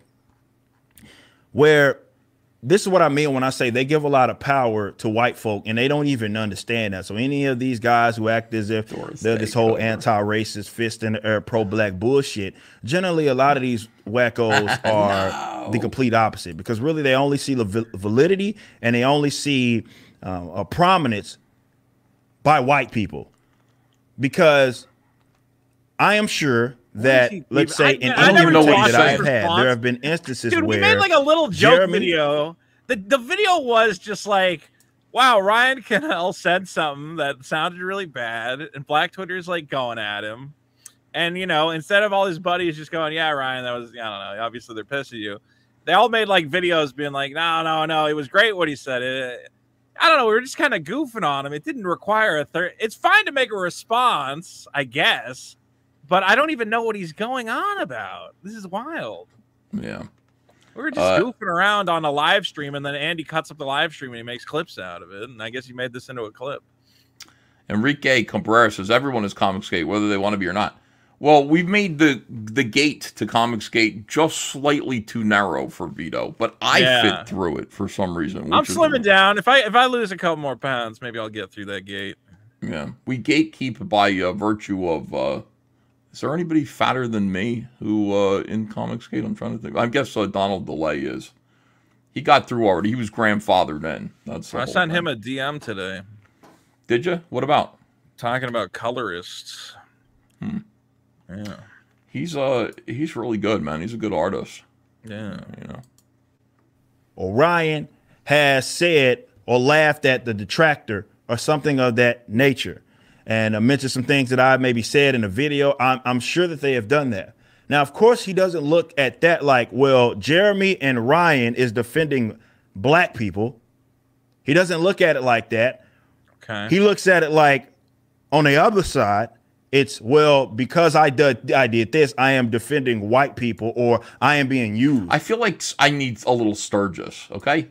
uh, I got to be Yeah. honest with you. Let me see. Sturgis hasn't I have really no in idea what Eric's yet. talking about I don't know video. either, but he's so boring. At least Sturgis is angry, and it's kind of funny that he's angry. So I said, sounds like you can't do basic math. The concept art book is 16 pages. I'm sorry you didn't pass middle school. Also, it sold for more money than any Cyberfrog book co-conceived, as in eBay sales. Because I stated that on eBay, the last one sold was 300 bucks. And I said this, it's so amazing to me that my haters are 99% overweight, out of shape, 350 pound MFers trying to tell me that I'm not healthy or can't lift. You're not my doctor. You don't know me. My full-time job is all physical labor, all because I checks notes, called out your their favorite fake ass clown and lolcal YouTubers, GTFOH. Well, he certainly told a lot of people there. Um, he said uh, 99% of his haters are overweight. Here's another thing Uh, about trying to be a broadcaster is like you kind of want to like vary the tone of your voice and find some highs and find some lows. But Sturgis talks, it's just like this insane rambling stream of consciousness where he goes, "Well, you didn't even know the art book was 16 pages, and I saw that man. He was he came down the lane, and I, I don't know what's going on with that." And you're like, "Oh my god, Sturgis, talk know like what? a human being. You're a robot of a man." like a robot. But you know what? At the same time, like you know, sometimes I can't always read Sturgis's uh, Twitter uh, on, when I'm driving, for example.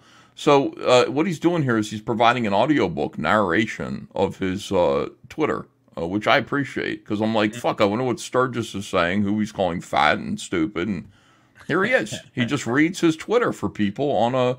I appreciate it. I think it's a helpful thing. So anyway, uh, he does physical labor. His job is all physical labor. Sturgis's job.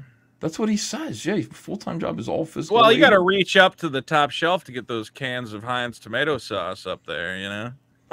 Yeah, it's those, true. uh, those boxes of Captain Crunch aren't going to restock themselves. Does right? he They're stock just- shelves? That would be I'm pretty great. sure he's. Come on, what possible, what possible skill of physical? Does this look like a carpenter to you? Does this guy look like he's like he's uh, No. fixing your roof? No. No, he's not in construction. You're right. He works at Walmart stocking shelves. Yes, he's a shelf boy. Jesus.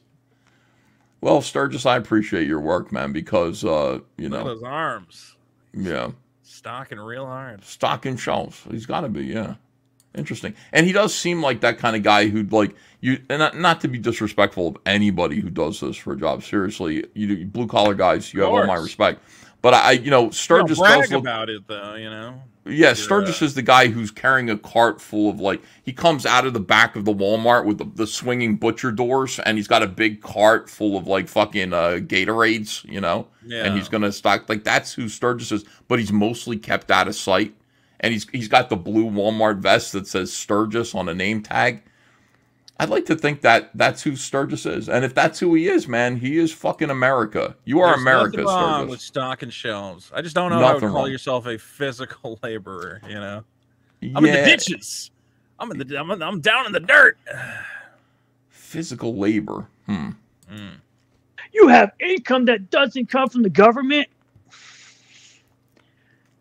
It's always these weirdos trying to count people's money. And they think That's because my their friend Tom income- Tuttle. They get income from the government that everybody else is in the same boat as them because They have to sit up here and, of course, take daddy government's hand. Tom Tuttle's an attorney. Okay, just so you know, like he's not taking uh, any income from the government. Sturgis, you're barking up the wrong tree there. because they can't work a real job.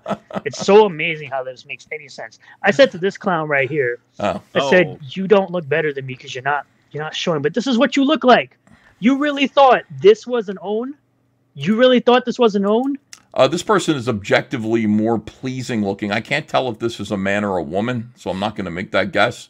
Uh, Like but, uh, having a Twitter argument is already pretty pathetic. Can you imagine having a Twitter argument and then you got to make a video going, "See, I won the argument, right?" yeah. D- Can you imagine? Is this an own? Like, Sturgis does look like a cave troll. Like, you know, It's um, really weird. He's got a weird look. yeah. I want to draw Part him. Neanderthal. Yeah. I like that his eyebrows jut upwards, like in a kind of apologetic yeah, kind of it's thing. so weird. He and yet he's so angry. Like his eyes are like sunken and hollow, and uh, It's like if he went to the casting for the Geico caveman commercial to be like, "Oh, you don't have to come in the costume. We do that later." And he goes, "No, no, no. this is just my face. This is oh, who I am."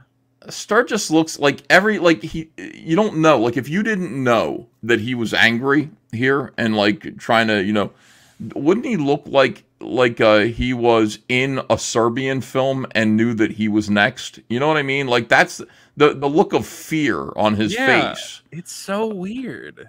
uh he's just like um, but he's angry. I, I i really do want to draw him. I think he's an interesting uh specimen. And i like that he's angry and i like that he hates me now. It's funny. You Th- look this is an objectively better looking person than you sturgis. I don't again i think this is a man. Grim jim it's got to be a man. Uh, oh it is. Okay. Stupid. I just laughed a bunch and said no jawline and colored hair, no testosterone detected. Because I said it before. Got These 'em, guys Sturgis. are Got 'em. hideous. They're overweight, out of shape looking weirdos. sturgis you can't be saying stuff like that man i i'm sorry like i want to kind of be on your side but you can't be talking about people's looks you you can't be doing that Yeah, Sturgis. I am an out of shape looking weirdo, but buddy, like it's it's comic books. There's a lot of out of shape looking weirdos in this uh, whole community. Yeah, be nicer because, you know, again, yeah, like the comic book community is full of misfits and weirdos and stuff like that. You, the people can't help how they look. That's why people are being kind to you. And we're, we're fascinated by the way that you look. But this guy is so mad. I wonder, like, what his mom thinks. Like, you know, you're in your room, you got two pop figurines that have been unopened. Probably I thinks I hope he doesn't yell at me when I bring him his chicken nuggets tonight because they're undercooked. do you think, like, he does? Do you think he's abusive, like, uh, to his mother the same way? Yeah. Like, look, mom, I, for the this is the whole thing. Look what I said about you on Twitter, mom. Okay, uh, does this look like a cooked chicken nugget to you, mom? I wanted look- Mountain Dew. She brought me chalky milk, and I asked for the Mountain Dew, and she said we're out of Mountain Dew. And I, I just have it. ugh, only Eric Jai understands me. Only Eric Oh. understands my plight. Oh man, autism is something else. Like I, I just you know, I like I, uh, I really have a lot of respect for like parents of special needs kids. Uh, They really, you know, especially because eventually, you know, like Sturgis isn't leaving home. I mean, it's clear. Even him saying, you know, like I have a job in, with manual labor. Yeah, that's usually what kids who are who, who are on the spectrum end up doing when they grow up. Is they do stocking shelves and simple things that like you know anybody can do. Yeah. Uh, and uh, he's home forever. Like his parents are probably in their 80s, uh, and they're stuck with Sturgis, like in their house. And I just feel poor old couple just I- listening to their son upstairs screaming about some black guy's comic book all the time. I want to hope they would say this about I gotta teach Ava to to just like chill and be nice and laugh and enjoy. If you want to watch manga or anime or whatever autistic uh, adults do, that's cool. But like, be nice to people. You don't want to turn out to be Sturgis. You know, it's like, god damn. They try to tell me about how I look and try to make like they, they don't have any real arguments. They're just people who say a bunch of nonsense and Well, to be fair, like you know, um, and this is the other thing. Like Eric July calls people fat. Like you know, you're you're like idol. Eric goes in on people's physical appearances all the time, which is not something that somebody with an IQ over a hundred should be doing first. but it's the first thing he says about you, Vito. He's like some fat guy named Vito. It's like that's unnecessary. Like It you know, strikes me as unwise in the comic community, where I go, "Hey, there's a lot of fat guys buying comics, lot. Eric. A lot. and you know, you could call Vito an idiot. Like Vito's really stupid That's- too. yeah, He's like, there you go. Attack my intelligence. that would be better. Like, uh, you know, attacking people's physical appearances is not a good idea. It just isn't good, and it's something that low IQ people do. But I think that when, um, you know, Sturgis, uh, who, um, and by the way, I have a low IQ, so I will say Sturgis is a fucking ugly uh, cave troll.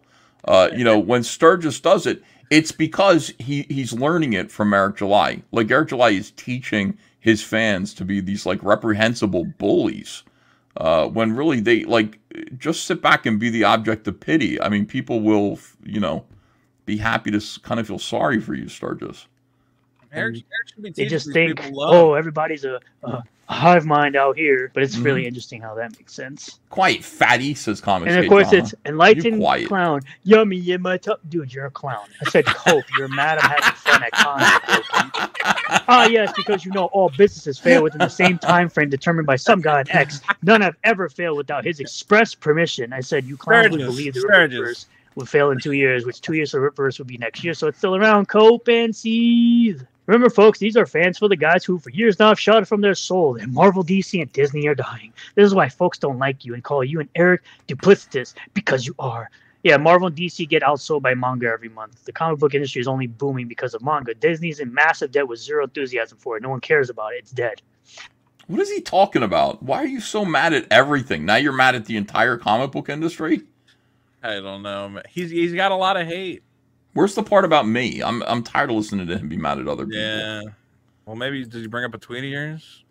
I Uh, was gonna say if someone tweets "yummy in my tummy" at you, you don't got to make a video about it because it's that's funny. it's pretty funny. Uh, Well, well, I can't believe you all these haters. But yeah, but he said "yummy in my tummy," so I'm laughing. Like, what do you want me to do?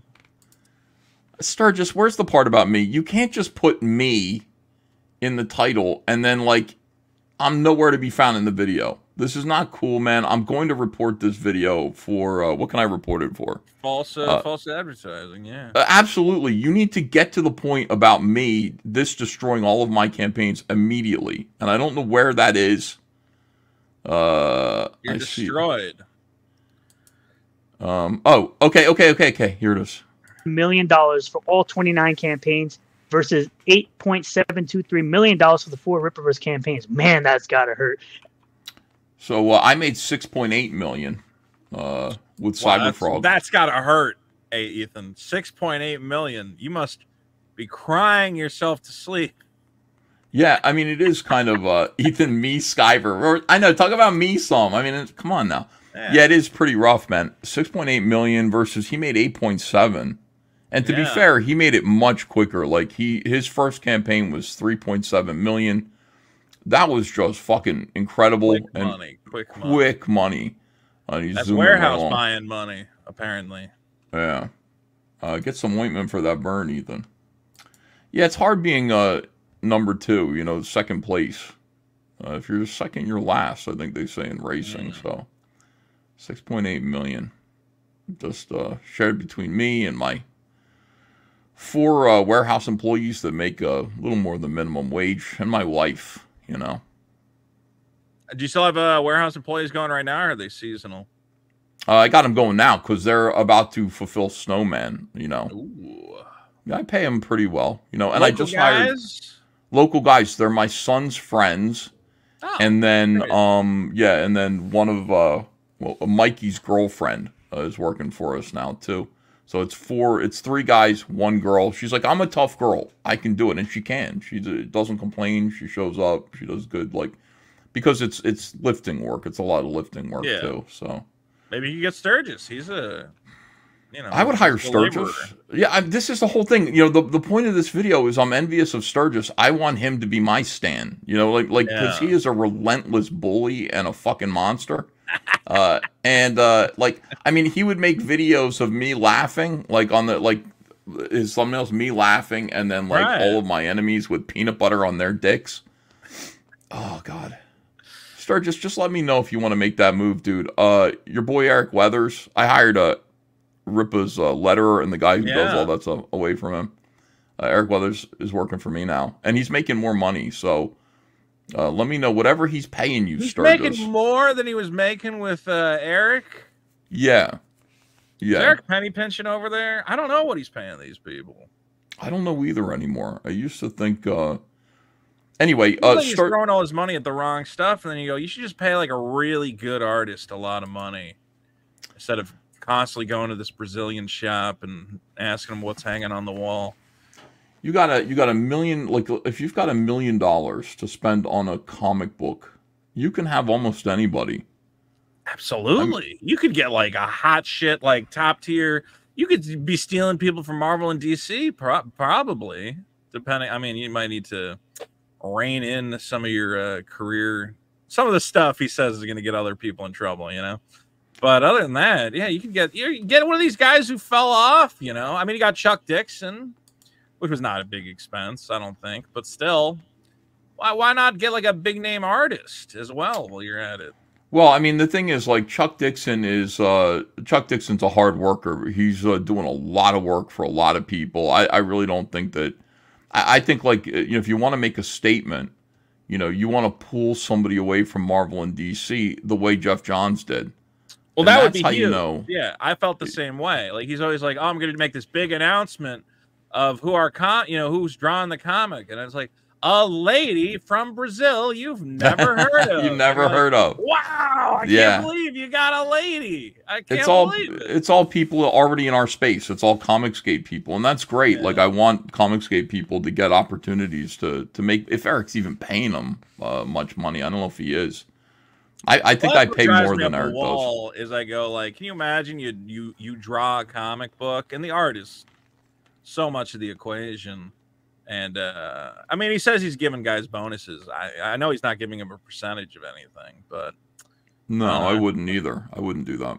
yeah. Well, I guess not at that not at that tier once you're making that much money, but Yeah, no, I mean it's all it's a work for hire, which is something that I'm kind of like against for the most part. Like the problem with the work for hire is you don't get passion. Like that uh, Hmm. the guy who did all the 3D models, it's like, yeah, because it's just a job to him, you know. Right. He doesn't love ISOM. Why would he? He doesn't own it.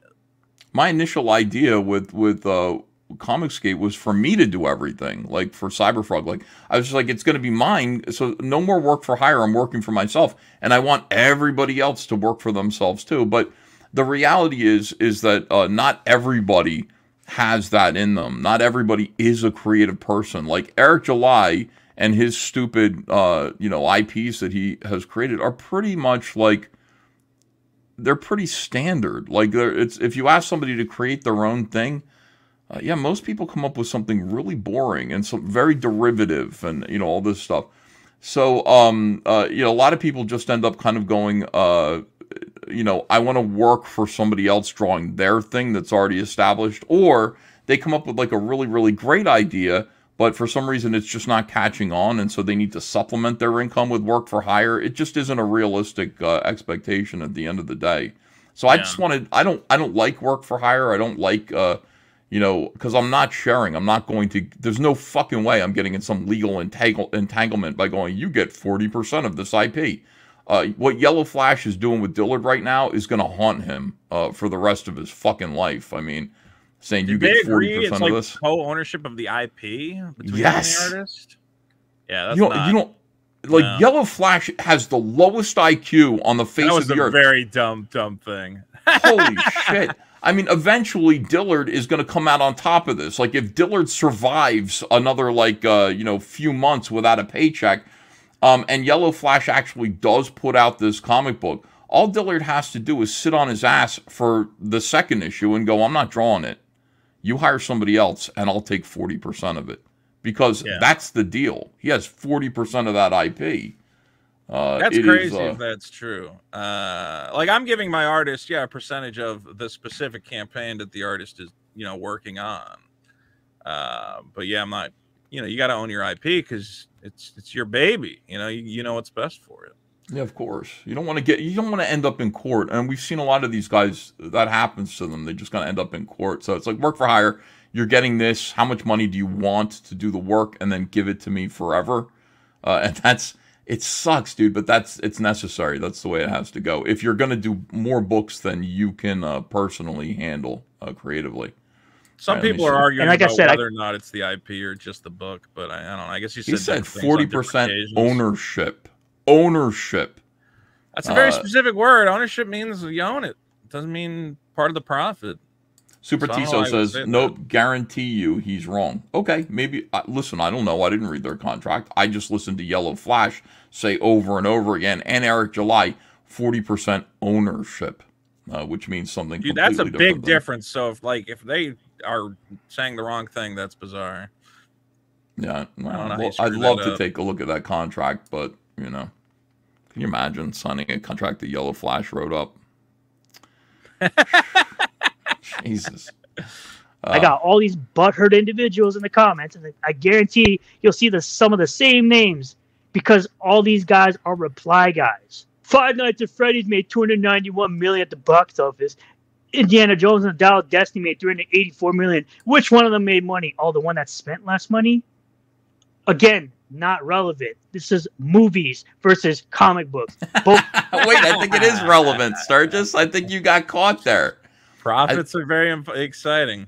You understand that, like, uh, I, you know, Eric July's overhead is way higher than mine. Uh, so, uh, you know, that is, uh, it's the same thing all around. It's uh, business. Business is you uh, bring in more money than you put out. That's business. That's profitability. Uh, you know, That's what always is the, the nuttiest thing about Eric July is you go, yeah, you kind of got a good thing going here. You got a bunch of dummies who don't actually know how to read, and they want to give you a bunch of money for trash. So you don't have to make, you don't have to let the Soska sisters. You probably paid them extra to make that fan film, right? They Mhm. probably said, "Oh, to make this happen, you know, we're gonna have to take a, you know, an extra twenty thousand a piece, and you know, we're gonna act in it as well, and uh, we're gonna do a behind the scenes documentary. So we're gonna pay for a second unit to film all that. It's like, yeah, just stop throwing your money away. And this this number total it would be genuinely impressive. fire everybody. Like, Fire seriously. everybody. Fire everybody. I'm signed up for their Bare Bones. newsletter or whatever, and uh, it seems like every other day I get like a, a stupid email, like oh forget. It's like you could send one of those uh, a week, and you could just send it yourself. Doesn't Mhm. need to- and the, the social media managers and all this stuff. Eric's just like skipping all these steps. It's like, dude, at the end of the day, you're still like a little boutique company. You're not a big media conglomerate that's making cartoons and movies and whatever else. I know you want to get there, but the quickest and most effective way to get well, well let's be clear, you're going to get there doing what you're doing now because you haven't solved the basic thing is create a product that someone would actually genuinely want to turn into a movie or a cartoon. And you can't go to them and go, but what about the iconic scene where a black man falls out of the sky onto a car? And they go, that's not enough to base an entire, you know, six episode miniseries around. There's nothing here. What about Larry Shungite? I don't know what that is, Eric. That doesn't help me Stupid at all. Uh, Yeah, straight out of Intimate says Eric July uh, works out of a multi wait out of a million dollar warehouse. EVS works out of his wife's basement. Now listen to me very carefully. Uh, it's my basement, okay? I'm paying for this place. My wife's basement. How dare you? And I have a warehouse too. It's beautiful. Have you seen my warehouse, Vito? I think I've seen uh you never put it did you ever put in any videos? I saw like a picture of it. yeah, I put out did you, videos. Did you, Oh, ever wait. have a, did you ever have a drone fly around it and go between the shelves and show off all the all those? No, no, no. I have not well, then how that. can you really be said to have a warehouse at all if you don't have a drone video of a warehouse? I don't know. That's actually true. I, I you know, I a warehouse doesn't have a drone. Can it said to exist at all? You got a Uh, forklift in there? You got a one of those? Yeah, I do. Bobcat? Nice. Yeah, I do have. Well, I do have one of those. Yeah, Like a little thing? Mm-hmm. Yeah, I don't need too much. You know, it's not. It's not that important that you have a million. Uh, hold on a second here. This is a on your property, right? Like, is this, this No. Is on, like, no, this is off-site. So is it Here. something you rent? uh, as Yeah, of we course. wait uh, the arrival. Look at this of terrible. It's got no filled with internet. There's no Cyberfrog drone. toys. No Historic, drone. absolutely Except for me droning on and on. Uh, but this is uh, this is my warehouse, which is uh, uh, one of two warehouses, unfortunately. Oh, Um, why? Because you had too much stuff stacking up. I rented a warehouse that was too small. And uh, then like it became like, oh, you need another warehouse uh, to uh, to do the toys. There, there's no way I could have done action figures, you know, without. uh, Yeah. Inventory, man. Takes up. I have no idea when my comic comes in. I'm gonna have to get like a storage unit or something. Uh, all right, hold on. already. We've uh, let me just see if there's anything else here that Sturgis needs to say. both of them have different types of budgets. And if you're doing your own marketing, you're not spending as much money. You must have forgot that marketing is a thing when it comes to movies. You spend your budget. Uh, he seems really mad, and he's wrong. Uh, just so you know, like uh, he's uh, he's wrong about this. He he got caught here. Uh, somebody Oh. pointed out a very simple thing to him. I don't know what marketing has to do with this. That if you, it doesn't matter how much money you bring in, it matters how much money you're spending in relation to that. It's a very simple thing. Like uh, you know, somebody could make eight million dollars uh, and spend nine million dollars, and then somebody uh, could make six point eight million dollars and spend say five million dollars, and then they'd be better off. Even though, Right. you know, it's like six point eight versus eight. I understand. You know, that's the thing. But if you're spending nine million dollars and you bring in 8 million, you're not making that much money. In fact, you're making negative money. I think. Well, let's see how many how many views are on the Yaira trailer. Forty thousand. Okay, so that's about a dollar a view. He probably no, probably. Uh, he probably spent what eighty k on that Yaira trailer. Mm, maybe. I don't know. That was a bad. That was a bad ROI. I'm gonna say. That was embarrassing. I wonder if that Yaira trailer actually cost him sales. Because it was really embarrassing. Like it's hard to watch that. See, the thing about the Yaira trailer is it it's like I think when people uh started to see the cracks really showing because reading a comic book takes effort. Uh, and nobody wants to do it. You're Yes. reading, you have to sit down and read it, and you'd rather just go, you know what, it's good, uh, it looks fine, flip it, it looks great. But the Yaira trailer took no effort, and the Yaira trailer was distilled down to three minutes worth of content. What an Eric July comic book is like.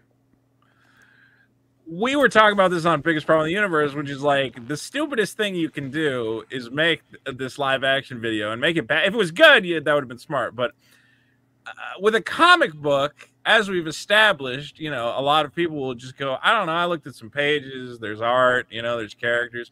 You know they don't even have to read the comic because it's like I, I don't have time to read it but i'm sure it's good i'm sure you know all the complaints are overblown but when you condense all that down into a two minute video anyone can watch and immediately go, why did that lady vomit a laser into space? What the fuck was that? It's like the, the veil is lifted. There's no amount of, uh, even with comic books, like a lot of people don't read comic books. So even if they read ISOM, they'd go, I don't know if this is good or bad. I don't know what a comic book is supposed to read like, you know, whatever. I'm a dummy. This you go, hey, is that what what language is that lady speaking? Because it doesn't sound human. Did she just tell tell her she took it like a chomp? What does that mean? What is happening? it's just awful. Like uh, they're even the, the Soska sisters. Yeah. The, the Soska sisters are actually leaning into. Is this a good idea? Uh, like, hey, uh, take it like a chomp and buy Yaira or something like that. Like they're they actually, that? Yeah, they're posting shit like that now. It's uh, very interesting. This is what always Um, happens with Eric is like everybody shits on him for something, and then it's like, oh well, if I laugh at myself, it's like, yeah, to some extent. Making a 3D assets t-shirt is not oh you really got us, Eric. Yeah, you're uh Well, it's who you're laughing at. See, that's that's the thing. The 3D assets thing is laughing at your customers. It isn't laughing like the Soska sisters going, "Ha, take it like a chomp." Yeah, I guess we are stupid. Uh, that is okay. like, um, but I mean, the 3D assets thing and Yellow Flash making a pay your artist shirt is just pointing out, like, uh, by the way, I'm a criminal, like fuckhead, and I don't even give a fuck. Like that's it's a weird thing to it's a weird thing to flex on. Not cr- not Yeah. literally criminal, but I mean, you know, just uh, dishonest Yeah. in some way, in my opinion. James says uh, the Soul poster looks like Jared from Subway. Oh, in the Eric July video. Prabhat Gulati says you guys look like cousins. Uh, it's nice. Hey Vito, there's some Italian on my side of the family. By the way, I'm 25. You look percent like you got some Italian, and you're over in jo- Joyzy. Yeah, yeah. My my grandmom, uh, my one remaining grandmom is very Italian, Mm. uh, and uh, yeah. Next time I come to that coast, I've been meaning to make it back to uh, Massachusetts and Yeah. uh, hang out a little bit. Maybe we'll meet up. Michael Ferrara, come to Philly. Michael Ferrara says, thanks to whomever gifted me a membership. Uh, John Gauthier, Eric's award outfit makes him look like a flamboyant uh, Amish man. Uh, it's a weird thing. I laughed so hard when I saw it, and he looks really little. Uh, James Gardner, when you wear a jacket that comes down to your knees, it it makes a short person look shorter. Yeah. thing that you need to know. Not a good look. Uh, biggest problem in the universe is that mu- music video, says James Gardner. Well, I mean, that could be what you guys. Biggest problem in the universe, Tim Pool making music. Uh, Plush says uh, the Batman had Catwoman say a cringe white privilege line. Bruce was lectured by the mayor to do more. Gordon was always pure, but was also the prominent black cop. When you put two and two uh, together, um, yeah. But I mean, it's always Cat- hard to tell like how much, but like Catwoman's like a young black woman, and you're like, yeah, you ever heard like young black women with like idealistic, stupid things in their head? They're probably gonna say like, ah, fucking uh, white privilege is the biggest problem in you know the world. You know, it's like how much of it is it like just authentic dialogue, and it's It- hard to tell where the line is. it's a question of this is what I was trying to explain about the Barbie Batman movie too. it, I would be like, yeah, you're right. What the so the, it Batman's the guy who we're supposed to admire and look up to. But Yeah. the, the question is like, is it the character saying this or is it the movie saying this? And those are the two different things that you need to understand. Like, there's a scene in Barbie where this woman who's a mommy who owned the Barbie doll goes off on a feminist rant. And people get really upset about it because it's just like, well, the movie is obviously feminist and man hating. And it's like, that's that character who's been burned by the world. And she's clearly like, you know, middle aged and things aren't going her way. And she wishes she could retreat back to childhood when things were different and she thought they were going to go different. That's what she's saying. The movie is saying something completely different. And, you know, if you if you want to know what the Barbie movie is actually saying, it's what Barbie's creator is saying to Barbie at the end of the movie. Like that's the closest to the movie's essence to God speaking on behalf of the message of the movie, uh, which is and and she says feminism is fucking hooey. It's just noise. You know, don't worry about that. That's what the the movie is actually saying. Um, Well, it was also kind of interesting in Barbie where the reason the Kens went off the rails is they came up with this very plastic, fake version of what masculinity is.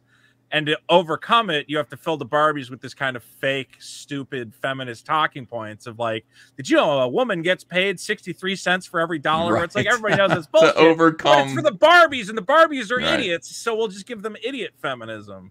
It, it was a Uh, complicated movie, and I I wish I, I'd like to talk about it more, and everybody yeah. hates it, and it's like, uh, Plush says, "Oh God, I remember the Riddler was like a Reddit mod." Yeah, that was Uh, a little weird. Opinion Nerded says, "Coming in late, catching up." Documan has been watching humanity's progress and doesn't recognize a cross on Isom's belt. Christianity with two billion adherents is the only dominant religion on earth. Uh, Lombardi says he made me send a selfie too. I'm flattered he didn't reply to mine. Too sexy for Sturgis. Uh, Con uh, Crumb Gaming, you only made seven million. Here's two dollars for Buzzfair. Thanks, pal. Uh, Culture Pro, Yellow Trash just censored me from his channel for pointing out that EVS Malin and Davis were canceled. He's really sensitive lately. I don't know what's up with Yellow Flash. He's uh yeah, an unstable guy. It's weird. A lot of these guys are uh I don't know, emotional. They're like women. Yeah, like Yellow Flash coming after me was really strange. I was not expecting it, but uh, it led to this. So I'm glad you know trash Trashcast happened. Trashcast Old Man David great. says no no better fan than Sturgis. Uh, Old Man David says I'll be your Sturgis Ethan. Uh, Yak the Culture says Uncle E, do you think Yellow Turd will have a TMNT situation on his hands with the IP sharing? Quite possibly, if he ever does a sequel. Chris Cola says uh, is a new member. Thanks for joining. Ron Crossman says it's clear Spurgis has never read a P&L report. Uh, Thor Odinson says you don't get it. Money spent on marketing isn't the same as money spent on printing fifty thousand books that you can't sell. Oh, God, the money moves money differently. It is. He had to sell them for five bucks. fifty thousand Ay, ay, ay. copies.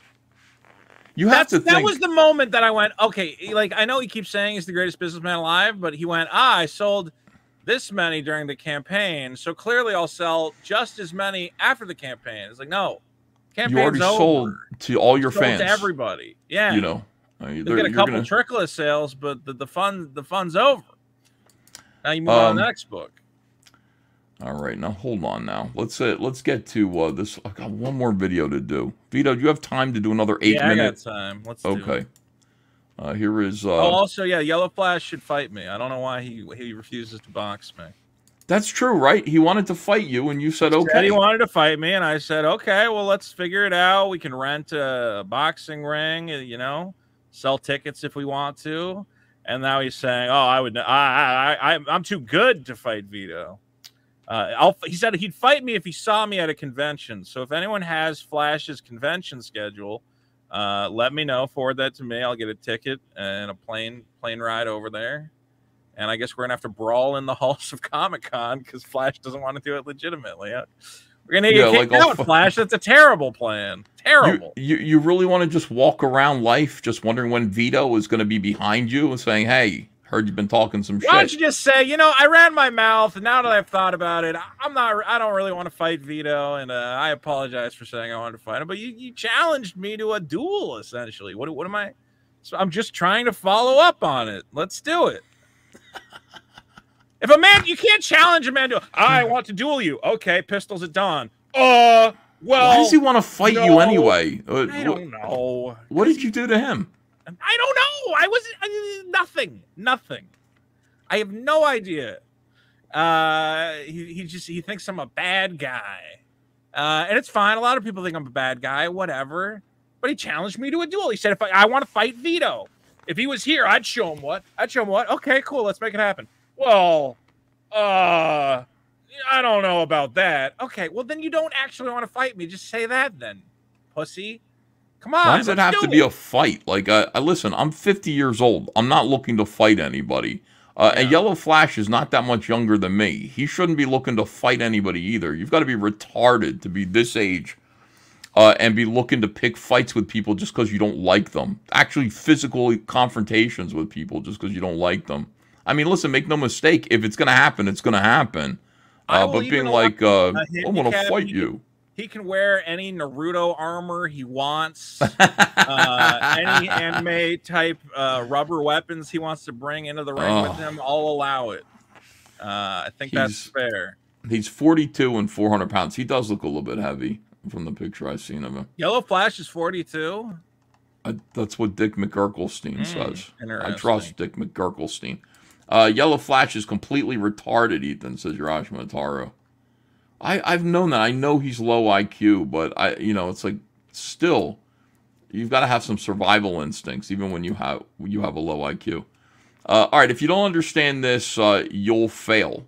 Fire to do entertainment. The way to do it is Oh. to simply create, focus on what it is that you're doing, and do not insult your own fucking customers. So There's no competition for me because I'm the strongest, so it's just kind of like a different. Show them that you care. Show them that you're working. Show was an them, insult show to 'em the that customer? you are I don't know what he's talking about, man. Uh, don't insult your customers. You block your customers every day.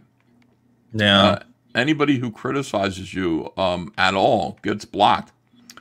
Um, takes You a lot. for- insulted the intelligence of your audience. I, I still think it's crazy that I saw him too.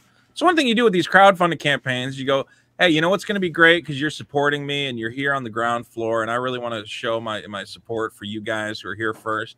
Is uh, we're going to do campaign exclusives. You know, you can only get this cover during the campaign, and that's my pledge to you as a creator that you know you're going to get a rare piece of merchandise. You know that you can't get anywhere else you know, and comic companies do this all the time. You can only get this comic for a limited time. We're only going to print this many. And he said multiple times these are exclusive covers you can only get because you're a fan of the Rippaverse and you're here on the ground floor by some too. And the campaign ended, and he just kept selling them. And this one's like, I thought these were campaign exclusive. And they made up this weird thing. And They're like, well, we just respect the customer so much. I just, I respect you so much that I said I can't possibly keep these covers campaign exclusive. I want everyone to be able to, to still buy no, them. I respect these customers, though. I mean, not the ones that already bought the, uh, you know, the Yeah, not all the ones who are already lured in by FOMO marketing and it'll sell out and you'll never be able to get it again. I already got their money. The customers I respect now are the ones who have more money to give me.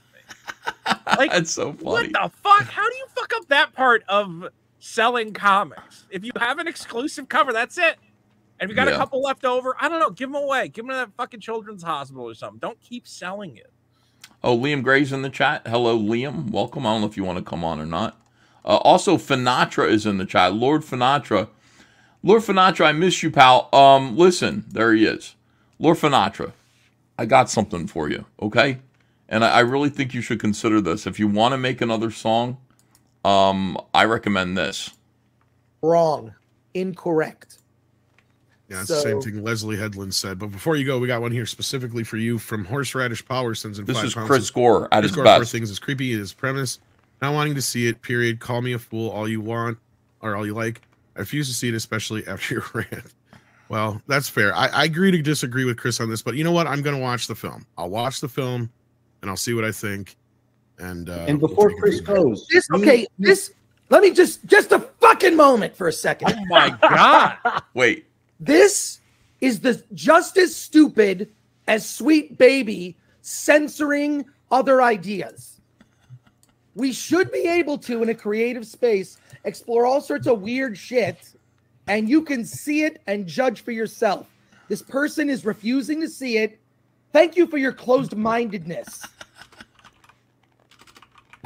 Um, and Wow. fine. I, I, I, I, uh, here's the thing I was pissed off and reacting to. Tom hasn't seen the film and he has an opinion about something he doesn't know anything about. And he's accusing me and, and throwing little uh, uh, uh, uh, uh, accusations of pedophilia. Fuck off. I don't think anyone tried to say that against you. I- I- One look, of the creative choices there. Go see the fucking movie. I'm going to watch the it. movie, I'm tired Chris. I, I don't want to. I'm gonna watch the movie, Chris. I, I don't want I'm to gonna debate watch the movie. I don't want to debate no. people who haven't seen a thing. I'm gonna watch the movie, Barely Chris, and I'm. I'm gonna watch the movie, Chris. And if I don't get one good reason why it couldn't have just been an adult brain instead of a baby brain, then we'll get to that point. But until we get to that point, I got to see the film. Well, Oh, thank you for your super chat and supporting the channel. We I have another one here as well, uh, related to it. I He think just this will leaves. be- Jesus fucking Christ. God, I love it. It's like the best thing in the world. So uh, if you uh Finatra says she's already working on it, so that's good, man. Finatra makes Nice. like remix versions of uh funny YouTube shit. All right, here we go. Let's uh look at these two guys talking about how much they respect the customer. All right. Um, you know, you're getting better. You can even slip up from time to time, but it they know that you give a shit, right? That matters so much to them, and especially in this day and age, and it's totally understandable because people have unfortunately had to find out the hard way that they may have been giving money. to Liam, you've got the link if Don't you wanna join. appreciate them. People that despise them, right? So now more than ever in the 2020s, people are looking and paying attention to what the creators are doing. And it's not, I'm not talking about in the political sense. Not, not that's not what I'm referring to. I'm just speaking in a general sense of hmm. Uh, how you treat your customers, Welcome, Liam. how you work on your project, how you present yourself uh, in, in that capacity. Liam, this is Eric July talking about uh, respecting the customer, and this is something that like everybody does. Everybody talks about how much they respect the customer, and customer is king. But almost everybody can be called a hypocrite for this, and uh, Eric especially can. I mean, Eric, you don't respect your customer when you charge them a hundred dollars for the fucking document cards. You you ridicule them. You you Oh, loathe man. them. You have contempt for them when you do that. I mean, Well, you, you see, see them, them as as pay pigs. yeah, they're they're a little piggy bank for you, which that's the worst thing you can do as a creator is go, oh, they can afford it. I can just keep taking their money. I don't have to actually give them, you know, an appropriate amount of value back for what they're giving me. That art book of his, eight page, sixteen page, whatever. It's it, it's uh the size of like a pamphlet you get at like a, uh timeshare company. You know, Yeah. it's like a little loose leaf uh, pamphlet full of some some what you know sketches your buddy put together. All that stuff. It's just crazy. Just shit. Well, it was existing concept art, wasn't? No, that was something else. Was that something else? The art book was like the original concept art for the for the Rippaverse and his explanations of how he comes up with the characters and the other. Every page has the exact same thing written with it. He's like, my process for the Rippaverse is I think of a character and then he draws the character, and you're like, what a brilliant fucking creative mind you are, Eric. I can't believe it. What a process you got there. Unlike other people who just manifest the characters, I think of them, and then I pay a man to draw them for me. Yeah. Uh, Oh, and people goodness. paid like 75 bucks for that fucking thing. Somebody said on eBay they paid uh, what 300 bucks to get it. It's really funny because there's one I gotta we gotta go through the book. I don't know if you and Dick did the whole thing. Probably not yet. We've done two pages so far. There's one moment in there where Eric ex- enthuses about what happened when he came up with one of the characters. He goes, "My mind was suddenly filled with so many ideas that I could barely control myself." And I'm just like, it's it's the funniest thing, dude. I love him talking about being creative. But I mean, the thing is, like, you know, the deck of cards, like, a hundred dollars for that deck of cards, and you could almost excuse it if it actually gave people what it promised to give them. A hundred dollars is too much for that deck of cards. Twenty-five dollars would have been fine. Hundred dollars. But if uh, if the cards contained all of this incredible information, you know what I mean, that that would enlighten them as to who the characters were, what their powers were, their backstories, uh, you might like at least he'd be giving them what he promised them. Uh, but they're insultingly ambiguous and stupid. Can you imagine getting Marvel trading cards? It's like Wolverine on the back. I don't know what his powers are. He appears to be short. I don't know why. Isn't that incredible? And uh, Spider Man. I don't know why he calls himself Spider Man, and he seems to enjoy running around New York. Okay, that's all I know. Like it's the most infuriating It's thing. terrible. When I learned- but that's when I his first writing process. His When I writing first process saw is: them- what if you didn't know anything? Hmm. When I first saw them, I assumed that it was that they were government, some sort of government official. You know what I mean? That was just piecing little things together, and they didn't know what was going on. And then I was told that it's actually this Uatu Watcher style character that's like writing all of it, and I just I was like, oh my goodness, that was Yeah, it well, was that's meant the other be. part of it is that he didn't think it through, and she goes, "Yes, he's like a he's an all-knowing watcher character, and he uses an old-timey typewriter to type out which color powers everyone has." I'm like, "Wait, did Uatu use a fucking typewriter? Why is it a typewriter font? Shouldn't it be like a mystical, spiritual energy font? Who is this motherfucker?" and he talks in Earth slang. He's like, uh, if this keeps up, he's going to be the most powerful guy in the universe, or I'm going to have to keep an eye on him still. It's like, uh, it's interesting that immortal, omniscient beings uh, use Earth slang like that. Fascinating. Um, uh, all right, so uh, hold on. So let me see. Let me catch up on super chats real quick here. Um, how pissed? This is Russell Hall. Hey, Russell Hall. How pissed will Rippa's backers be when 50k books hit the market at a steep discount? Ollie's, dude. It's got to go to Ollie's. 50,000 copies. Urash Matar says Yellow Flash is completely retarded, Ethan. Here's Liam who says, uh, I have not received a time, date, or anything for Finatra's fight challenge to me either. Uh, but I'm down to. Are you fighting Finatra, Liam? I meant Uh, to be. He challenged me. He came went went. Oh, mental right. said, "Do a I for- fight." And I said, "Yeah." And it's I've been dieting. I've been going without food. I've been working out. It sucks. I forgot. And I haven't that. heard anything. I had no word, no email, no correspondence, no date, no time, no venue. sucks. Uh, Liam is ready to fight. Uh, uh, guessing Finatra was all just talk. Pl- I can't believe you're both in my chat, and I forgot that you two don't like each other. Uh, Plush says Vito slightly sounds like Mitch Hedberg when he does his Eric voice. My Eric voice, I've realized it's just me doing Baba Booey, and I really need to stop. But I just love the Baba Booey voice from Howard Stern. Both, I put all everything on the soundboard, and then I went and I made a comic book. The comic book's called iPhone, and it's very good. I'm a great Chuck Dixon, who I paid a lot of money, that I'm the best writer he's ever seen. And then I gave him more money, and he said, "Wow, Eric, you are an incredible talent." Uh, Val says, Liam, when Dino King? I'll be waiting on my porch. It's in the mail, man. So just chalk it up to the the mail system. You know, it's probably will be there soon. You know. I think I backed Dino King. I can't remember Yeah, if I I did said- or not. yeah. Yeah, I you did. did. You Okay, did. good. Yep. Barb Rogers uh, gifted one membership. Thank you very much. That's very kind of you. All right, let's get back to respecting uh, our customers.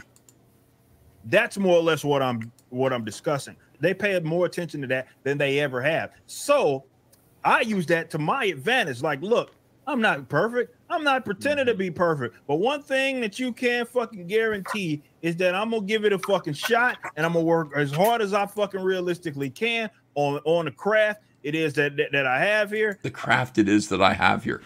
Eric sounds high when he's on this show. He suddenly sounds drunk or high. I don't know what it is, but It's noticeable. It's a different. He's a different guy when uh he's right next to this guy, the silverback. Uh, Uh, He's and- working and- harder and than investing in the everybody else. Rippaverse. There's no Yeah. better way that I can show you that I take this shit serious by uh, uh, showing you the projects that we're working on going into the future, delivering on everything it is that we said that we were going to fucking deliver on uh, when we said we are on, and if there's any hiccups, making sure that we're communicating in the best way possible. is Yaira done? Is Yaira finished, Eric? Yaira Winter. Yaira Winter. It's now Cyberfrog Spring, by the way. Everybody check out my eBay store for Cyberfrog Spring specials. Uh, right now, of course, Cyberfrog Spring allows you to get an enormous trading card collection, nine packs of cards, 73 beautiful cards. This is most of them. I think there's a total of about 110 Cyberfrog cards out there, uh, but this is a great big chunk of them. Uh, ordinarily, they're about $20 a pack, uh, which is an appropriate price for collector's trading cards. Uh, you can get nine of them for $80 while they last. I mean, uh, I Nine think they're. packs. 73 total cards. That's correct. Um, There are 54 of them that are available uh, right now. So uh, do not miss out. We've already sold 46 of these sets. Uh, and then just go and check out our other items. Uh, get a copy Those of are, one Cyberpunk. of the first things- those are one of the first add-on things you were doing, and I always thought they were really cool. The idea of having able to have like a nice little set of cards and stuff. Yeah, we made a trading card binder uh, so that you could collect them, I and they that instantly, yeah, they became very, very collectible. Uh, Yeah. people, people want them, and, and people are. Like, i remember like way back, people were like trading in the chats because like different people got certain ones from different places. That was fun. That was early days. That was yeah, That's good though. They're, they're very cool. Thank you very much, Liam Gray. Appreciate you. Uh, all right, here we go. Back to uh, Eric respecting the customers. Well, that's a way to show your audience as opposed to just telling you, hey, I care so much about you. Show them through your work, and they will reward you. un- with a Mega Mac membership, which is uh, hundred dollars monthly, uh, for which you will receive uh, what? Um, I'm more of a mid Mac myself. The mid Mac thing was the funniest shit. Von Klaus called his clown ass out on that, and he took it down. And he mid Mac, how fucking mid-Mac. dare you? How dare You're not, you do you're that? not a mega What's Mac. uh, what's mid Mac? Fill me in. So, uh, Liam, here's the thing. Uh, you know, Eric July decided. Uh, look, Eric's whole thing is I'm tired of paying into other people's website platforms, which is fair. You know, so he's like, I'm gonna stop doing Patreon. I'm gonna create my own version of Patreon, and uh, therein you can you can choose to support me and give me money for nothing, which is what Patreon essentially is. Um, and he had these tiers that were ridiculous. Now on Patreon, the lowest tier is like two bucks. You know what I mean? So anybody can just buy in two bucks a month. Eric's uh, highest tier, which had a little ribbon on it that said best value. Best uh, did it say best value? It did, did that? It's- Oh, it's so funny. Best, Best value. In, value. in other words, pay. This is what I want you to do. pay me a hundred dollars a month, which is like the- I don't even think Patreon has that kind of a tier. I think twenty dollars or, or something like that is the biggest one. You can Hundred a dollars a month. custom one if you want to try and get a hundred bu- bucks. Uh, 100 bucks But a most month? creators go, "Oh my god, that's insane! I would never ask for that." No, of course paid." not.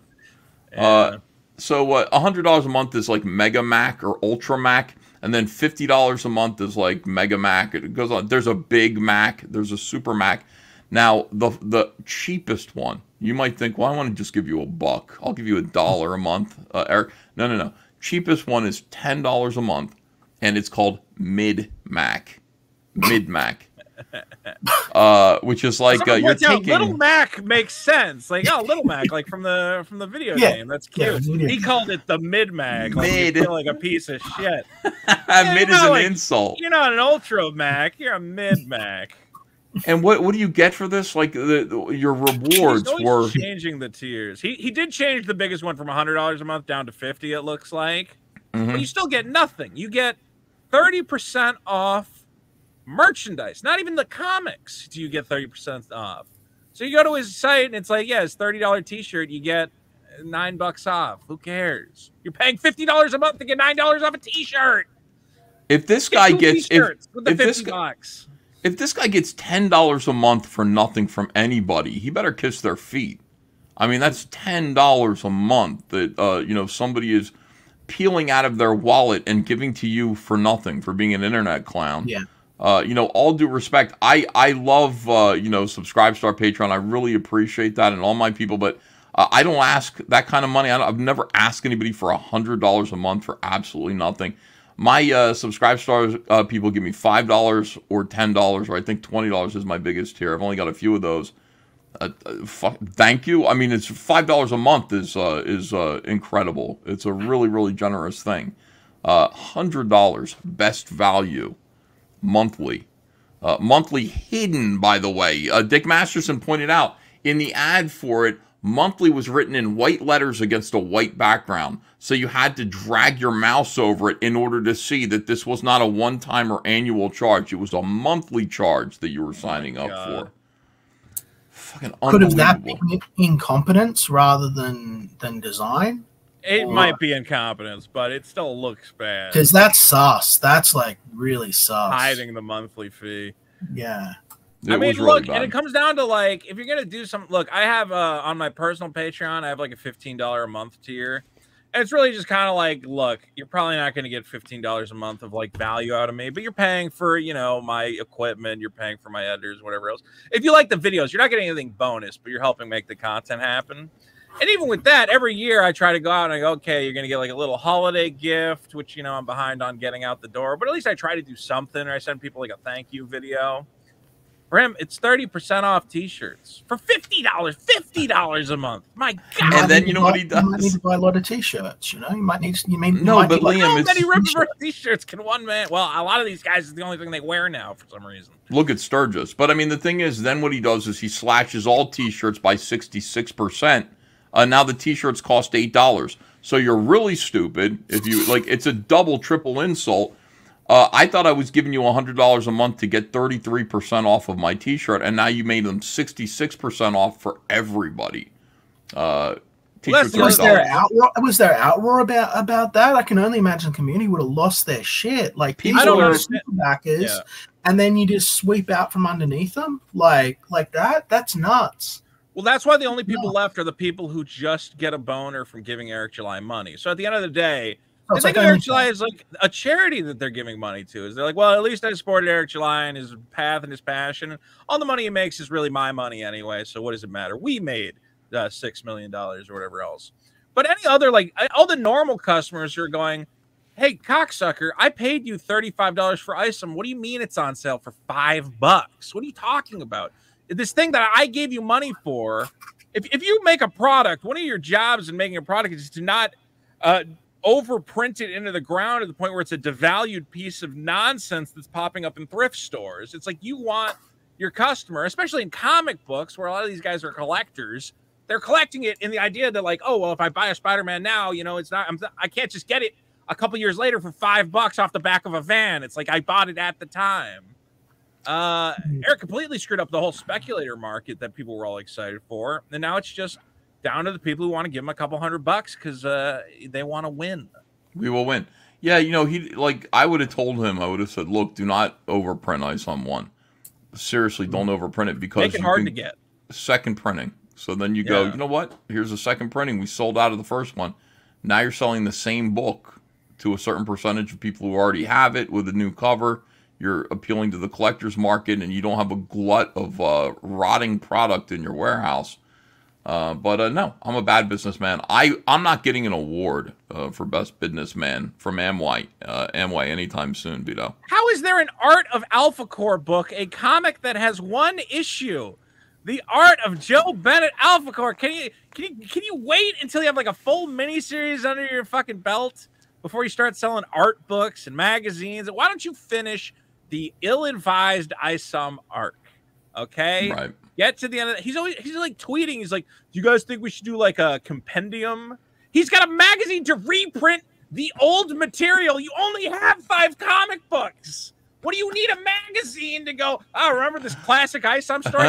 he puts Isom falling on the car in that fucking magazine. I'm going to jump off a bridge. I'm gonna let's laugh. revisit that classic scene from iconic. Isom number one, where Isom What bridge, by Vito? blonde What bridge? into a car. What bridge? I, I, what bridge, Vito? You can be a slow bridge, I but I, don't want it. know. I want a big one. Not the one in Baltimore.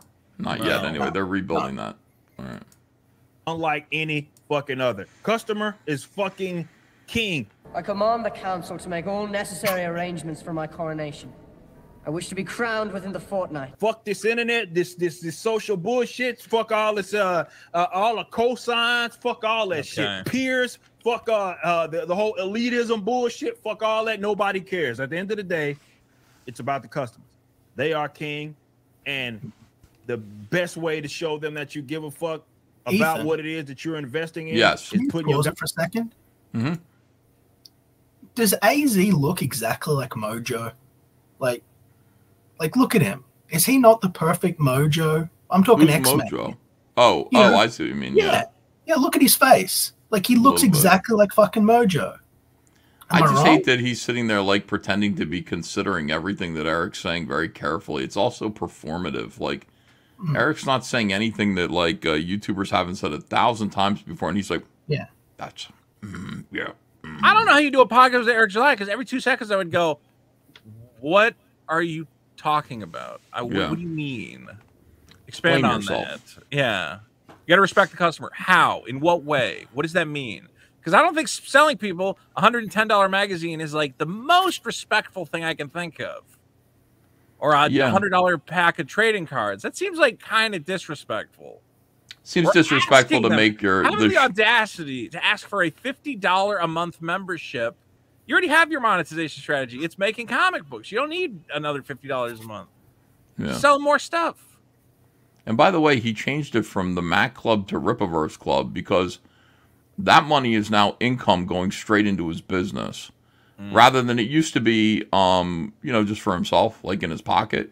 Now it's like uh, we need that income to go to Rippaverse. So it's now uh, he made an announcement that you're joining Rippaverse. It's a Rippaverse Club. Welcome to the Uh, club.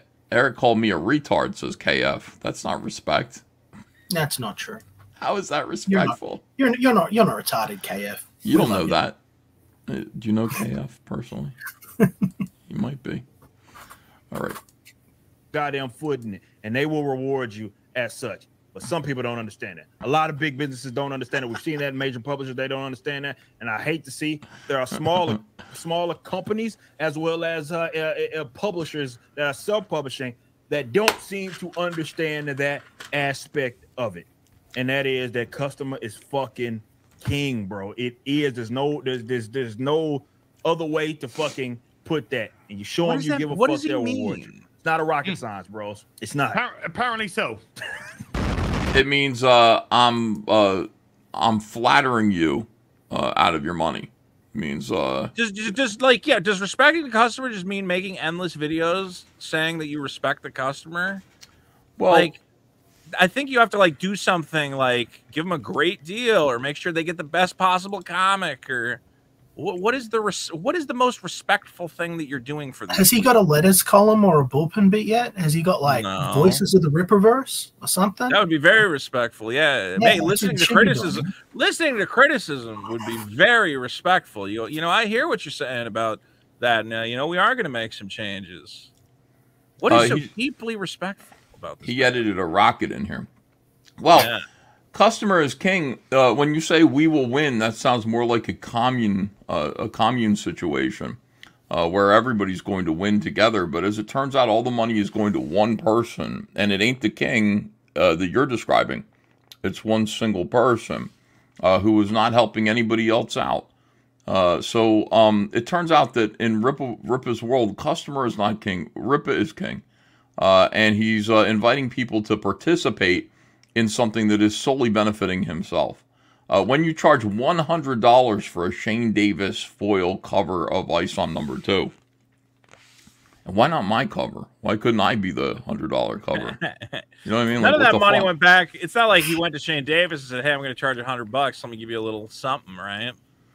Yeah, like it, it's not like uh, we we really love. Uh, here's the whole thing: uh, the fans, there a lot of them are buying more than one copy of these books because they want to sell them eventually and make a profit. And when you charge one hundred dollars, see that you've killed the speculator market. It's Yes. not going to get much more. 100%. You're Yeah. saying, um, Uh, oh, what could this book sell for on the secondary market? Maybe a hundred dollars. Well, why isn't that hundred dollars mine? Why is it going? That's exactly you? what I think happened. Eh, The best thing Eric had going for him is that comic speculators, which are a very important part of the, the hobby, and they get people hyped for stuff and whatever else, uh, were selling copies on eBay of ISOM number one for like a hundred bucks. And you know what you do? If you're the guy making beanie babies, if you're Ty Warner and you go, oh my God, every time I put out these stupid beanie babies, it's a piece of cloth with some beans inside it, we sell out instantly. Well, let's just keep making them and selling them for 20 bucks. That would be like Ty Warner looking at the secondary market and being like, all right, well, now beanie babies cost a thousand dollars. And it's like, Right. No, no, just let them do that. That's Yeah. for them. You just sell the product and take the money, and you're the happiest man in the world. But he really did. He he was like, it's it's weird. It's like he looked at eBay. He's like, why can't I sell my comic for hundred bucks? Other people get to sell it for hundred bucks. It's like because that's not your role in this supply chain. That's the How much was he? Uh, how much was he selling the slabbed copies of Isom for? Uh, who knows? Well, he raised the price now. He's now that's the other thing that I can tell that he's realized where his money is is that he's realized, oh, I can raise the price of the slabbed comics. It looks like a graded signed Yaira c- comic is 150 bucks for a signature series Yaira. And for ISOM 2, it was 125 bucks. So he's decided, ah, for no reason, you know, you could chalk it up to inflation if you want, but there hasn't been inflation really in the printing realm, as far as I know. Uh, at least not between Yai, uh, ISOM 2 and Yaira. Because for no reason, I'm just going to jack up the price an extra $25 because my pay pigs will just pay more. They don't care. Uh, and what does it cost him to get a sign? It costs him what? Less than five bucks to print the comic, right? Mm-hmm. And to get a signature series deal, I don't know what CGC charges him, but I'm going to say I'll be generous and say 25 bucks a book. Yeah. Uh, so that's thirty dollars worth of product that he turns around and sells for hundred and fifty dollars. That's sociopathic. That's insane. Yeah, it doesn't really make much sense. It's not really fair. And for goodness sakes. Um, okay. Oh, Vito just left. Uh, Finatra, Lord Finatra, you have the link, by the way. Uh, if you want to pop in here and uh, hang out with me and Liam and uh, talk to Liam. Where did Vito go? He just left on accident. Uh, anyway, it's just you and me now, Liam. Okay, so we gotta we gotta uh, deal with this video. That's true. Apparently it is because you get people that can't, it is, can't yes. wrap their mind around it. How the fuck did the Rippaverse get a fourth million dollar campaign? He was supposed to be bankrupt by ISOM too. That that was supposed to happen. He did it once. and There's no fucking way he's gonna do it again. Well, he did it a third time, right? Well, wait a minute. Okay, well, that, that, that- there's no way. I look at he's holding Wait. up four fingers. He's such an asshole. well, it's a long way down, uh, Eric. Your first one hit three. Why do we? Why does he do this? Your first one had a whole lot of customers. Uh, it dec- uh, your second one declined by fifty percent. Your third one declined by fifty percent again, and then for your fourth one, you added a magazine in there, uh, so that you would uh, and a bunch of other weird shit, so that you would make more money off of fewer customers, which you most certainly have. Uh, you have way fewer customers now, way fewer buyers, and I'm not hating on this. This is fine, but you're like, oh, you know, like they thought I was gonna fail. I don't know what what do you call that? What do you call that? That's the definition of failure when you drop uh, so precipitously that way. My God, dude, look at his fingers, Vito. I, again, it's a it's a gu- as how much of that money did you get? Right, none of it. So stop with this, everybody. It's so weird how all of Eric's friends want to feel like they're part of his success because they know the guy or whatever else. Well, hey, you know they are. They are. Well, he yeah, wouldn't they have anything that his he has without massive promotion from all of these other guys. Like they've all done their bit. They've all carried water for the guy. So I can understand why they would feel invested. Why they feel that they're they this win is also their win. You know. Um, I, uh, Az is their hype man. He's uh, uh, Eric July's hype man right now. He's like, I talk about how great my comic campaign does. You know what Dick Masterson does? He rips on me and he calls me a fat piece of shit. It's taking too long to get it out because this constant ass grabbing of everyone. Oh, look, I'm so proud of my friend Eric. It's like, come on, guys, you're grown men. This is this is exhausting. Just whatever. Just make the I comic. need more hype men though. I'm you know I'm, I am hating this. I The need more constant people hype just- is too much. You need me to hold up? I'll hold up fingers for you, Ethan. There. yeah, like uh, fuck. How many man. pies? How many pies did you buy for the last pie adventure? Zero. No pies. Zero Zero. pies. We got no pies. I need you guys Yeah. to, whenever these guys are on No the screen, zero, zero, zero. Uh, that's what I need. Hype men uh, saying zero.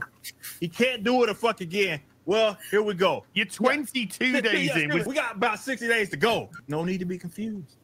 It's just that look, man, I care about this. I show them that I care about that. I've adjusted my own behavior in comparison to myself to make myself a better man as How a do you sit next to this guy and just listen to him talk about himself all day long? Can you talk about anything that doesn't involve you? I mean, look at me, Vito. I barely talk about me. I just talk about him. You know what I'm saying? Like I'm so much better than him because all I do is I fire up a stream and make fun of him. This is the thing that Eric and I both have in common. All we're doing is talking about Eric July uh, constantly. Uh, Like, there's nothing like else a- going on. He's like a bad motivational speaker, right? Oh, it He's must all it's just talking about how hard I work, and Sturgis is sitting alone, eating his chicken tendies, drinking his chalky milk, and thinking, "Yeah, someday I might work that hard. I might be a great man like Eric July. Right now, I'll just give my mom's money to him, which is kind of the same as being as good as him. But uh, I hope someday I work work so hard to respect my customers. Respect. Yo, four time, four time million dollar champion, four time. comic. Uh, Black Angus Reviews says, speaking of devalued comics, Eric's most rare Yaira cover is outselling all the others uh, two to one. What does that mean? Oh, doesn't he have one cover that he's charging more for? Oh, But how, did they have individual sales for those? I don't know, man. I'm not paying attention. Dusklight says history will show Rippaverse is a titan in business. Uh, and Barb Rogers gifted a membership. Thank you so much. All right, let me, we got to the get foil through this. cover is fifty bucks for Yaira. Oh, is it? Yeah. All right, come on, let's go. Business So song. everything went from hundred dollars to fifty dollars. By the way, That's. Stuff, yeah, some stuff went up, but some stuff came down. To show these guys how much I give a fuck about what it is that I'm doing in the sandbox I'm trying to provide. A chicken on his hat? Customers. That's something. No matter It is the chicken. size of your company, Is a chicken in his hat? aspect. It's Is he a- doing that? Is he doing that on purpose? Like, oh look, it's a chicken on my hat. Like this is what he does. By the way, he is uh he is conscious of things. He's like baiting that. us. Yeah, of course. Uh, Hrothgar the Dane says Az has become an insufferable. See you next Tuesday since he stopped drinking everything and started working out. He's not happy with himself and project and projects. It's hard, like you know. At least when you're fat, you're enjoying yourself. But like when you're ugly, it doesn't matter. Like you know, you know, if I shed hundred pounds, Liam, I'd be a fucking Adonis because I'm a naturally handsome individual. I'd be David Bowie esque, you know. You'd be fighting off the Uh, ladies. Of course, you know, I'd look like uh, I'd look like uh, uh, David Duchovny. Um, uh, so there's every reason for me to get in shape, but as there's no reason. There's just no reason, dude. You might as well just be fat and enjoy it. Uh, look at you. You know, look at you. I think Now he could do the me. best Mojo cosplay in the world. If he just puts on an extra 200 pounds, uh, he just paint himself green, Yeah, he can do it. I agree. He's got the face for it. Uh, Force Goes Fabio says, You're no Fabio. I disagree. Really do. I think All the beard looks good. I saw somebody was telling you to let it go gray again. No. Mhm.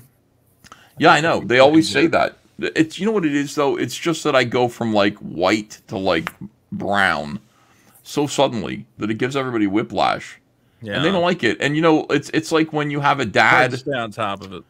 When when Papa has like a mustache and then he shaves it one day, and you go, Dad, you look fucking terrible. That's what it is. Like I, you know, people get really upset with me because they're used to looking at my ridiculous face a certain way. Uh, and when there's a sudden change, it upsets everybody. And I, I get it. Daddy upset Yeah. everyone. Uh, you don't have enough hair You to be Fabio. Well, that's what it is.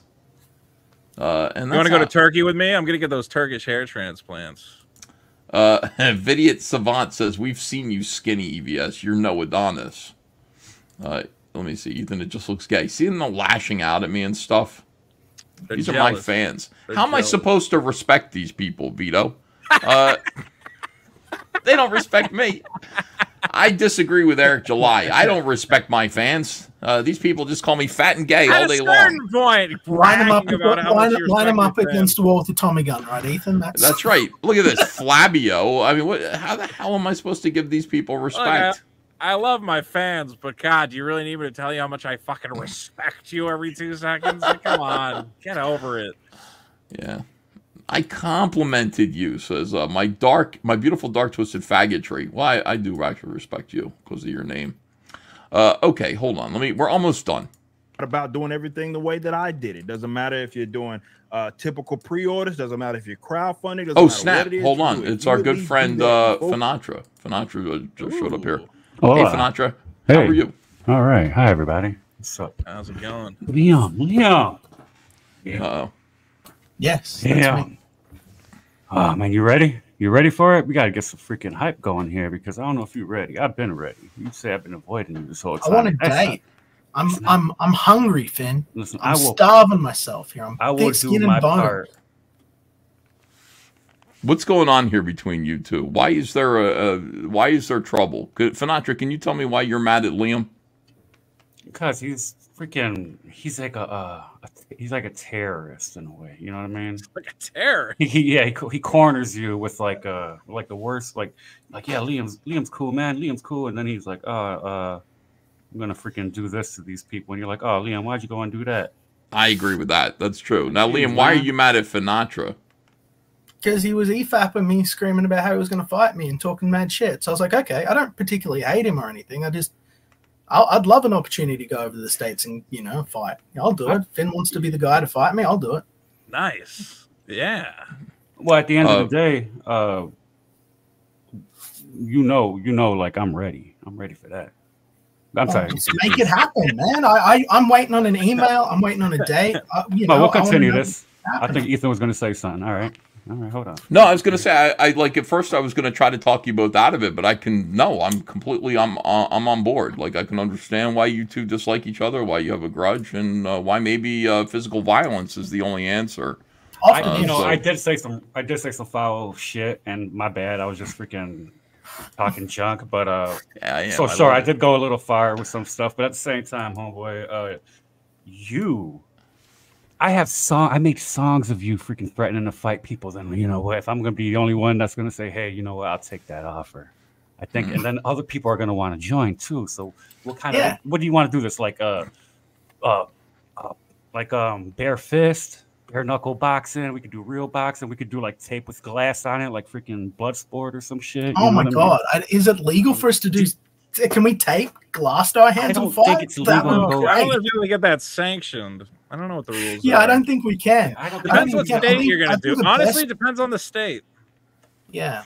New Jersey. Well, I would like I would like the fight to be in Jersey, just because I got Of fr- you know, I got church would. family over there. I'd like to go see.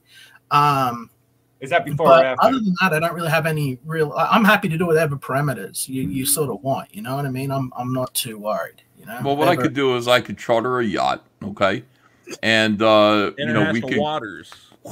That's what we do. We just go out in the middle of the ocean, uh, Oh, and uh, Oh. that's where you fight. Maritime And we do that right out in New Jersey. Yacht fight, yacht fight. Oh, I will do my my part in chipping in on this. If anybody in the chat would really love to see Liam get a campaign started, a flight to take a 24 hour. How long does it take to get to America from Australia? usually about hours. 21 to 24 hours. Oh, 24 hours. You're right. You're right Long about that. ride. Yeah. Uh, Mike Partika says they could get gay married and then fight uh, in international waters. Uh, Finatra, are you in Puerto Rico? Where are you? I would like to be in Puerto Rico. It's nice down there. Yeah, it is. I gotta Um, say, guys, whenever I get ready for like a, a fight card, it's not usually two guys going, "Well, I guess you know maybe we could make it." happen." We'll talk a little. They don't want to fight Come each other. Finatra was drunk, and Liam is just Come like on. Liam has been wound up in wanting to fight someone since John Delarose. You know what I mean? Like John Yeah. Delarose and Liam were meant to fight. That would have been good. That's the fight. That That's That's the fight wanted. that's meant to happen. So Yeah. if you want, we could do um just regular boxing with the helmet. We could go rent some stuff, and we could have like a real fight, um, real good one. We And- gotta or have Well, the then- entire comic throwdown, man. Uh, yellow Mm-hmm. card or uh, yellow belly versus me. Yellow flash. I'll take him out. Mm-hmm. Yeah, I mean, whoever shows Uh, up, we'll do a tournament. Why not? Yeah. Not me versus Mark Brooks, huh? Okay. Oh. Well, I think that'd be good. I think that'd be good. I mean, all right, you know, if you say so. In Uh, the Green Lantern shorts, EVS. And Yeah. running, running from the ring, Mark Brooks. now. chilling. Forfeit. I got a camera. I just don't like to be on camera. I don't like the attention. When's the last time you talked to Mark Brooks? Been a while. How long I has it been since I've talked to him? He commented on your cancellation, your Comic Con cancellation, right? Uh, yeah, but not to me, to somebody else. He, he commented to Jon Malin and said it wasn't me that did that. Oh. Um, and the reason why he had to do that is because he did get a talking to from the convention. Some people Really? did say, uh, yeah, some people sent uh, C2E2 and said, uh, since people are narking out us, uh, maybe we'll narc out them. And they sent this video. Who was it? Was it Shane and Yan- I don't know who did it. Shane and Yanzi probably didn't do it, but somebody did it. Sent him the video of Mark Brooks being like, you guys come and see me at a convention and we'll fight. We'll fight I right made a there song in out Artist of that. Alley. I love I remember people- that. I remember that. Uh, so uh, yeah, like it was really stupid. Um, anyway, they I think they did give him a talking to, but there's no possible way that they would exclude or cancel him from uh, a convention appearance. For us, uh, it's no big deal. I can't picture me going to C2E2. The whole idea of me at C2E2 just sounds so weird. Um, uh, people would complain. Like, you know, these pussies would definitely go, he's in our space. Like, he really feel unsafe. Ethan Van Sciver was there. I, I go to local conventions and there are whispers that follow me around. Like, I hear people go, he's so controversial. That's Ethan Van Sciver. Yeah, dude. Do you remember when you went, like in the beginning of Comicsgate, you went to that comic shop to do a signing, right? Because you're still Mhm. trying to be normal and respectful and out there. And the motherfuckers came and vandalized the store and fucking broke all the glass and shit just because you were there. Yeah, like, that's, fuck, you know. man. Well, it's because these guys have no real enemies left to fight. You know, it's not like there's, you know, they really want the KKK to come to town because then they can go, ah, those guys, I hate those guys, but they don't have that. It's like, ah, I'll settle for that guy who made Green Lantern look yeah, good. they need they need evil. They need more enemies. They need yeah, they're bored. enemies. That's all Antifa is, man. Antifa. I used to go to those protests, and all those Antifa kids are just looking for anybody to punch. And you're like, I don't right. think there's anybody here to punch, man. Question all around. Jay Ulysses says, Ethan, ever been in a real fist fight? And the answer to that is yes, quite a few. Um, not recently, not in the last 30 years, but uh, yes. Uh, Vito, fist fight? high school. Back in high school, yeah, yeah, yeah. yeah. Back when you have the testosterone and What's what was the best Points fight of your life, Ethan? Like, what's what would you say is the definitive fist fight of Ethan? I was a child, but I mean, the, the, the I was gonna most say all of them glorious. are pretty pathetic when I look back at it. I'm like, it's just t- a shirtless fat kid going, get here, get here," and then you wrestle around, and then I did Yeah. get a guy in a headlock. Yeah, but I got have you seen headlock, Young Ethan? I said, Young "You Ethan was rock and roll, man. Young Ethan was rock and roll. I don't know, want to know about his fight. He wasn't. A, he wasn't a I, I never lost a fight ever, not once. Uh, I the, my most glorious fight was when I was in the seventh grade. It's either sixth or seventh grade, and uh, yeah, this kid Adam uh, in the in the playground, he, he was like a jock. Him and his jock friends go, uh, "Yo, man, we fucked your mom" or something like that. They said some your mom thing, and I was like, I don't think so. Have you seen my mom? And the kids around me were just like, uh, you know, you got to fight him. You're gonna fight him? And I was like, uh, no, I guess so. And then um, the the kids, the tough kids, were like, well, we're gonna fight you. Or Adam was like, I'm gonna fight you. I'll see you at three o'clock after school. And his friends were all around him, like goading him on, like, we're gonna beat your ass. You're fucking dead at three o'clock. And I I spent the rest of the day like really scared about three o'clock happening. Uh, and then I realized that there was no way around this but through it. And so I kind of just like, um, I remember like waiting. I knew Adam was going to be coming up the stairs because all the other kids were. And then there's a staircase here and there's the boys' room right here. So I sat there and I waited for him. And when he came by, I grabbed him by the back of the collar and I pulled him into the boys' room. And I was like, "Uh," and I picked him. I had him by the back of the neck and I was slamming his fucking face into the, the porcelain sink. Uh, and I was like, "We're gonna do this now. We're gonna do this now. I'm not waiting till three o'clock." And I was like, all hysterical. Your blood and teeth. he was a fucking. Ma- he went to the nurse and everything. He did get one good punch on me though. He whipped around and hit me in the eye. And uh, his friend Toby was like, uh, "Nice shiner, I guess Adam beat your ass." I was like, "Your boy's in the nurse's office right now." Fucking and I Toby, felt man, always talking shit. I felt so good about myself after that because I, you know, uh, you learn lessons in life, especially when you're young. And one of the lessons that I learned from that is, um, you know, uh, you can't hide from problems. You like if something like that is impending, you know, it's like it's better to just attack it directly uh, and take care of it and stand up for yourself. So that was my best fight. There have been a few more where some kid like were fighting over a transformer. I mean, they were mostly like when I was in middle school. Um, but uh, yeah, like I never, I never lost any of them. I always won. And when you when you think about getting punched in the face, it's the scariest thing in the world. But when it happens to you, it feels good. Like you're Yeah. kind of like, let's go, let's do more of that. And hitting someone in the face feels great. I mean, it really does like feel awesome. So, uh, what about you, Finn? Fight? Uh, honestly, the best ones are the ones I could walk away from and laugh. Those are the When was the last time you were in a fight? Oh, it's been since I was like 28. I got the problem was that I kept fighting like more and more people. I never really been into a one-on-one fight. It's always been like me versus four, five, six people, eight people. Tw- you know, it's always like some bullshit like that. I never Same. really. uh I always get like beat up and stuff, but it's fun. You're right though. Um, when you know that you can survive all that stuff, it's like all right. You dread it until it's happening, and then it, it, it is very much like Fight Club. Like you'd rather do anything than get in a fight, but once you're doing it, you're like, something happens, man. Something primal kind of erupts in you. As long as you're not getting fucking like stomped, you know, into the ground. Right. If Well, it's, if yeah, it's a that's- fair yeah. fight, it's kind of Mm. fun. I got I Um, um, I uh I've been knocked out, I've been beat the man. Listen. But when you know that uh, like the oh shit, um I was gonna say last year I flew off my bike and literally kissed the fucking road, Ethan. And I What? thought I lost my teeth and I didn't. And it was like in my shoulder, my mouth, my chin, the whole thing for like weeks looked like I had like a bad case of herpes. It was like the worst thing ever. People But were you looking at me. survived it, and you it, what was it like Oh, a I- thrill that you survived it? I was streaming. I went to the store to get a pack of smokes, and I was dead ass drunk. And I took a hard turn and flew off of that motherfucker, and I shit. So and that's- I got that's- up. that's- I, I got up. I went 3-0, home. And I said, Street "Oh, one. everybody!" I was. I just. Yeah. I was so happy. I got real happy. Uh, I got up and I was like, I got real happy. Like, oh, it ain't hurt that bad. I was hurting, but I was stupid drunk too, and I was just glad I didn't lose my teeth. It was freaking Liam, fun. when was your last fight? I know you've been aching for one. Like you've been mm, after John Dude, my last fight was my last fight was fucking humiliating. So my last fight was I was in the You want middle some of of that, a Liam? Really? You want some of that? I'm saying though, you really want some of these? Yep. So I was in the Alright. middle of live streaming. I was reviewing Nathan Rosario's stump. Okay. Yeah. And oh yeah, it's good. banging on my door. And I was like, wife's not here. Hold on, I'll go get it. So I threw on some music and I, I went to the front door. And it was someone that I had never seen. I didn't know. And I assumed that they were actually delivering stickers for my Kakashi campaign. I thought they were a delivery guy. He asked, Are you Liam Gray? I opened the door. Sticker guy. Um, so this is someone who didn't know who I was apparently, but he was asking, you know, I, I, you Liam Gray. He grabbed me. We took a tussle down the stairs.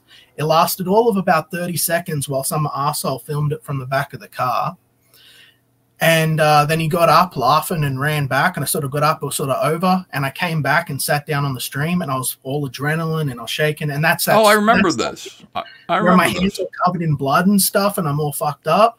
Where you know they're like, "Oh, is Liam's family safe?" I was like, "I didn't hurt my family. Some random fucking nut job attacked me at my house. Like Yeah. that was the last fight I was in. It was embarrassing. It was fucking not good. It wasn't a good fight.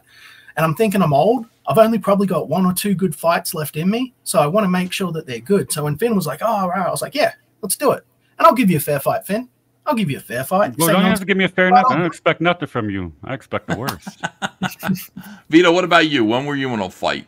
If ever? Well, uh, so recently I went into a Big Jim's chicken restaurant, and there's a guy in there named Brutus, chicken eating champ of LA. And he Mhm. said, "There's no way you can eat as This is already a fake story. me." I know, I'm just fucking around. Yeah. Now, I don't know, man. Like, uh, I remember actually, I fought my roommate in LA for some reason. I don't remember what we fought about. We ended up uh, just just wrestling around on the. It sounds really gay in retrospect, just wrestling on the kitchen floor, and I eventually got him in a headlock, and he uh, conceded to me. So uh, That's it was good. really pathetic, and I think we were both really drunk. So that was not a good one. But I do remember that. You don't have to be your last fight though, Vito. You've got to fight Yellow Flash. He's got to do it, man. I would absolutely. Well, that's what I. That's the thing is like, if I had a reason to fight, and I would fight Yellow Flash because it would be great because he's a piece. Your of last fight loser. needs to be your best fight. It can't just I've- be choking out some guy in a headlock. It can't. No, You, got, you can do better than my that. drunk, my drunk friend who was being belligerent and breaking shit. I think I just choked him out. I want to. I would. I would get a trainer. I would. Uh. I would train. We'd make a whole bunch of video promo. Yellow Flash is missing out on the opportunity, but he he can wear like a gay little anime. He can wear a Pikachu mask or whatever. I know he doesn't want to show his fat face in public, and that's fine. Okay. You can have a, you can have your little gay luchador Well, it was his idea. By the way, It was you know, his idea. I didn't. this is the whole thing. Like, it wasn't like this is Vito bullying Yellow Flash. Yellow Flash said he wanted to fight Vito for no reason, apropos of nothing. Yellow Flash brought it up, and then Vito kind of said, "Okay." And then Yellow Flash suddenly doesn't want to do it anymore. You know, he's just like, "No, I mean, if I see him on the street, how are you going to see a guy to a Vito on the street?" altercation if you don't want a physical altercation just say i'm a pussy who reviews weird anime and uh the thought of interacting with actual human he doesn't leave his house to begin with. He's been to like one convention ever. Everybody said who's You the know, fat guy I'm in the just- naruto you know, headband? I'm just saying, if you're just if you're in the grocery store going through the fruit section, and all of a sudden someone's there sizing up a rock melon, and they see you, and then they just knock everything over and run for their lives, you just met Yellow Flash. No, I was gonna say I've been in some situations where Antifa guys, because I used to go and film all those protests, they wanted to fight me. Like they were getting ready to like kick my ass. They did attack Dick Masterson. The thing is, like, I would have. I, I, part of me, when you get to those protests and the riots and everybody's going nuts, you're like, man, I kind of do want to throw down. But I was like, shit, but what if one of these fucking Antifa shitheads steals my camera? That's a nice camera. Like, so in my mind was like, ah, no, one of these little fucking black hooded pansies is gonna grab my GoPro, and then I'm out. We live in a bucks. world. We live in a world where a bunch of people went out on the streets wearing black fucking masks and assaulting Yeah. people and calling themselves heroes. Like that is like some fucking Frank Miller esque insanity, Dude, right? One, one of the ones I went to, I live streamed one of those like Antifa, or no, I, I live streamed one of the Black Lives Matter riots. And uh, part of me was like, man, why am I live streaming? All of them are getting to rob the GameStop blind. I'm watching as they're smashing all the GameStop windows in and grabbing shit. And I'm like, well, I can't steal it now because I'm live. Everyone will know I stole it. but every one of these ones I go to, all the chaos and the violence, I'm like, ah, I want to jump in, but you know, I got to document, I got to record it. Sadly, if I wasn't recording, I would have definitely been like, yeah, let's fight over some of the. I want that Xbox. That's my Xbox now. Dude, they were. It was chaos. I was watching like every. Uh, so you were boots on the ground, man. How Dude, much do you think? nuts. How much do you awesome. think that this was more about? Well, no. How much do you think this was more about? The people that were there were really just there to steal, rather Yes. than there for a cause. Absolutely. Do you think that it was really just about looting mostly, or? me and Dick went to one where like, hey, maybe we'll get to watch a bunch of people break windows and shit, and it was, it was cool. Like, I think a lot of people just showed up.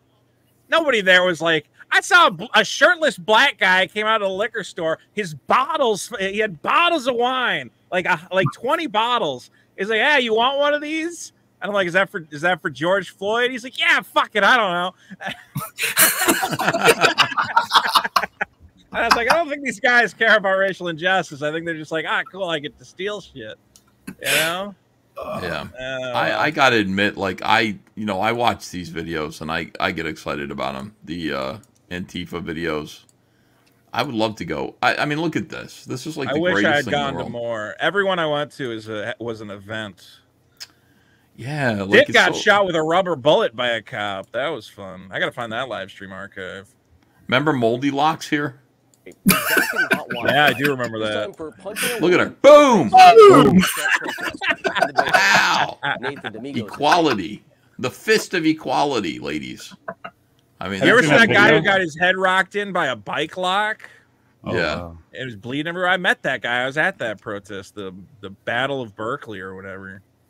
I got That's some great man. footage from that. I know. I miss it. I miss it. Have you seen Hopefully, the video of hopefully, the, when uh, Trump gets elected again, we're gonna get a bunch of those all at once. What do you think, Vito? You think Trump's going to win? I know you're not a Trump voter. You wouldn't vote for him, but what do you think? I'm gonna What's vote your for him if uh, my Patreon makes enough. No, uh, I don't know. I, I don't know who's gonna win. It's going to be tough. It seems like nobody.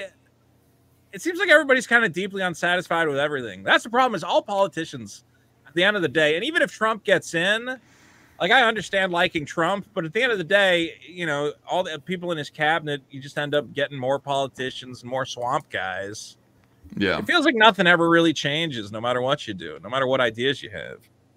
It is, Uh, it is depressing, isn't it? I feel like all you can really do is be active in your local community, try and help in that capacity, because it does feel like we were promised the swamp would be drained, and I, I don't feel like a lot of that happened. And I'm hoping that if he gets in the second time, he does it, because the corruption's just fucking rampant.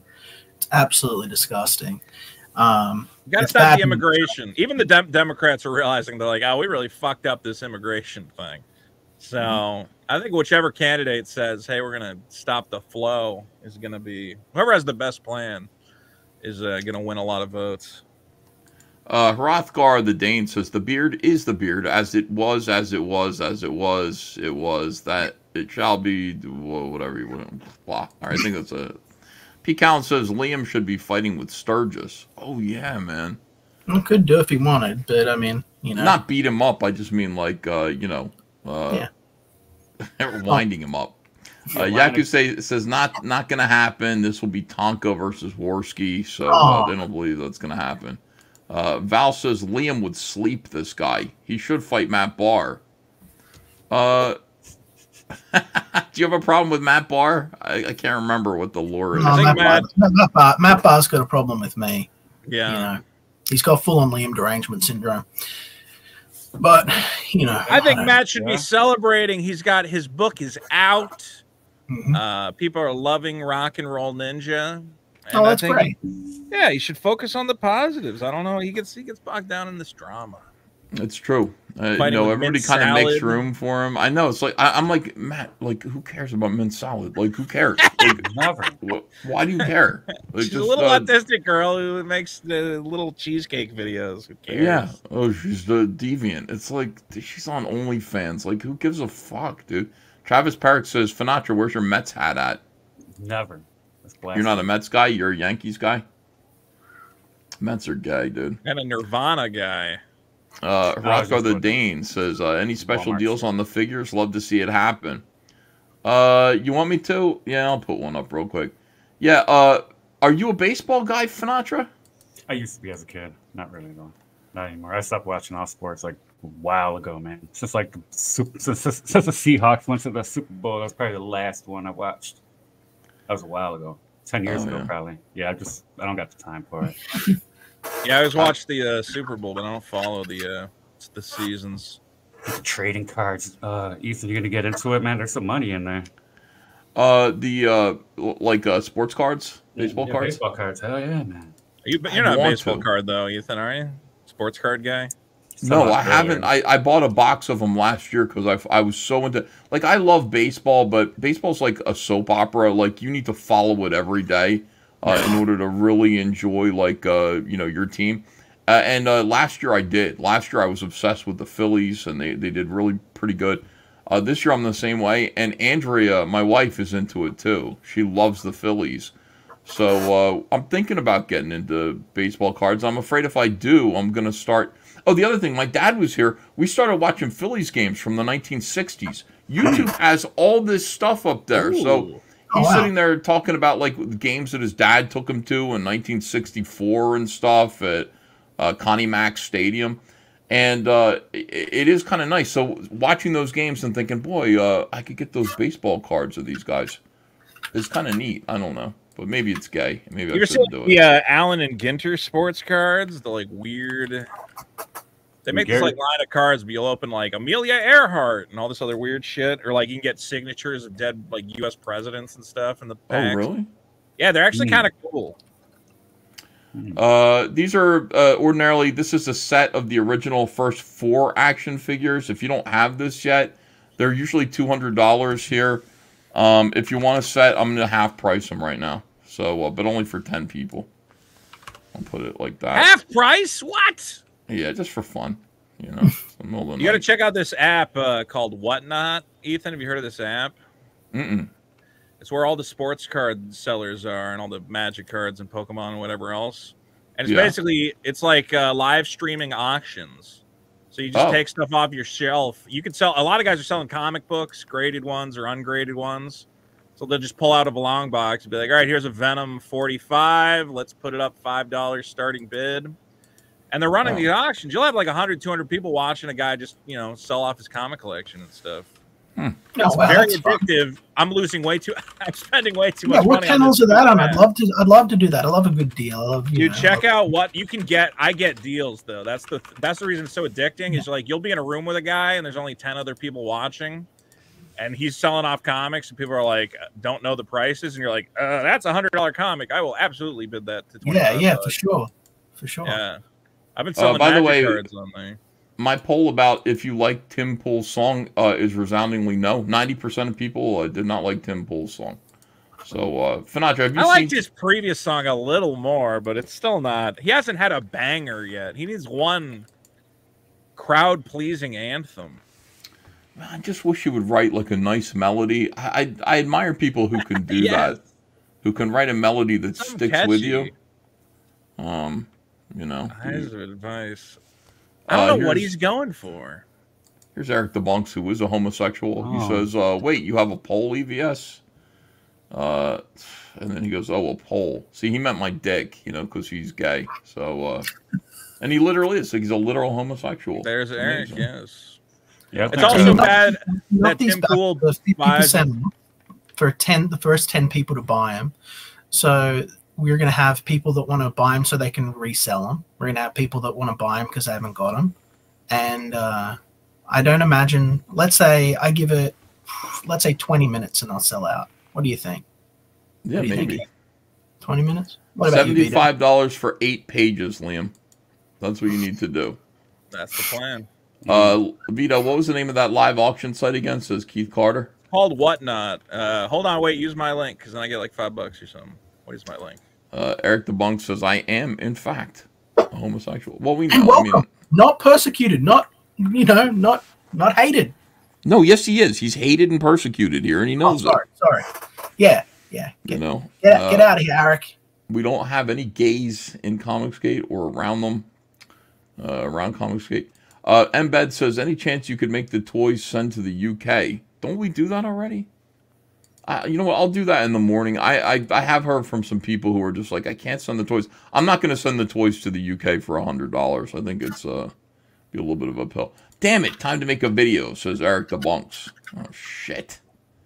Eric the Bunks, by the way, respect to him. From what I understand, Eric the Bunks was uh, on a live stream with uh, some of the most heinous SJWs. Uh, what are they called? Actual fandom, uh, and uh, the, what the other guy who's like clearly autistic and holds his chin all Organized the time. chaos. Is that Organized chaos. And he actually stood up for me. Those guys are obsessed with me, and Eric's like, I like Ethan.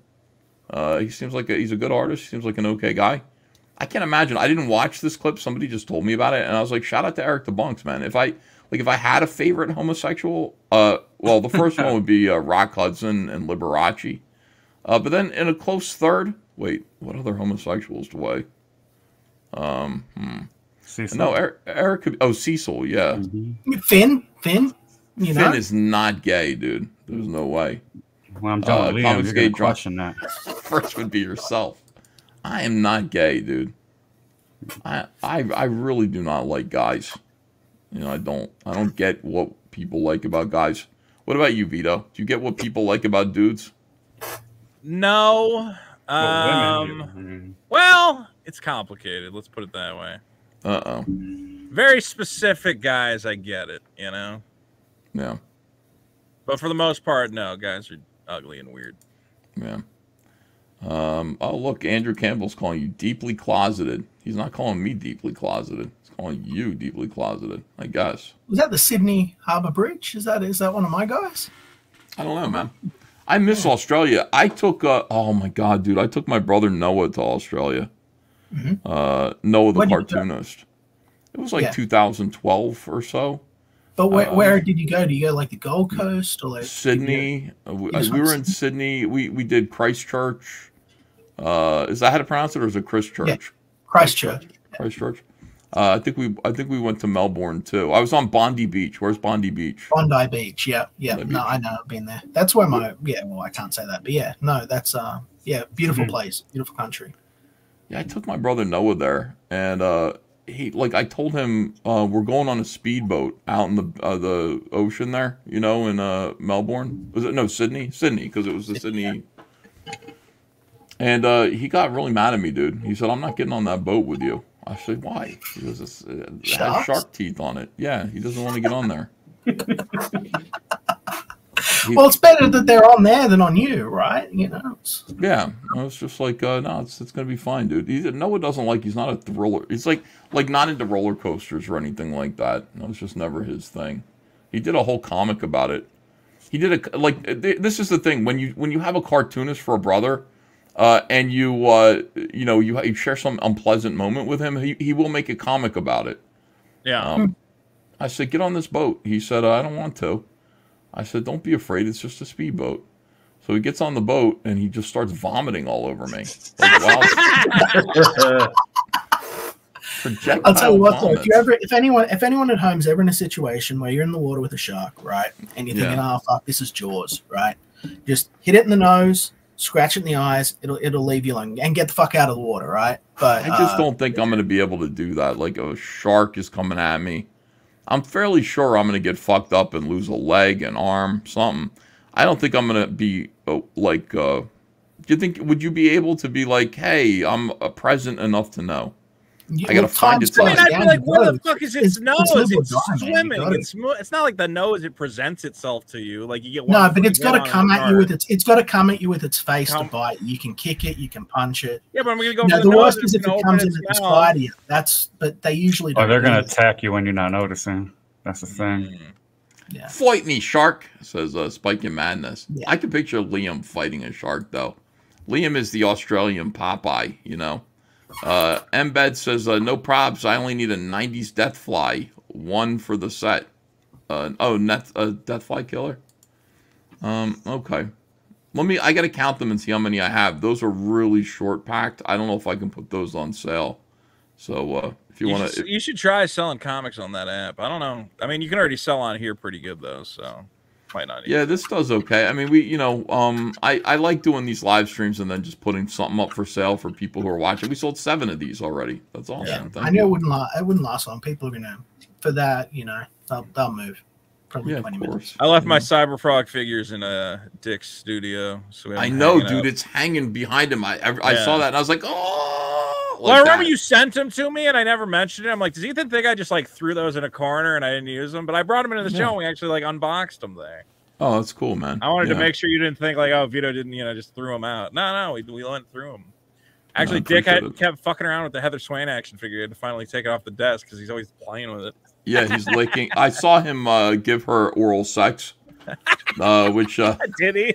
yes, somebody sent me. It was like Dick Masterson was going down on your Heather Swain action figure. I was like, Oh, what? jeez. I mean, you know, you know what's weird about that is for a second, like a twinge of kind of anger hits you. Because it's your like, like you child. never admit that, but you're like, that's my, yeah, that's my creation. mine. You Yeah. Get away from her vagina. You know, it's like, uh, you did that on the show. I see. I think I remember that. Yeah, I seen that. and Naughty you go, what the fuck am I talking about? What am I doing? Uh, EVS threw out PTP's Transformer. I did. Uh, Patrick Thomas Parnell was nice enough to give me uh, one of his Transformers before they were even like sent to his backers. He gave me one, and I was happy to get it. But I took it home and I unboxed it, and I I'm a Transformer guy. I love the Transformers.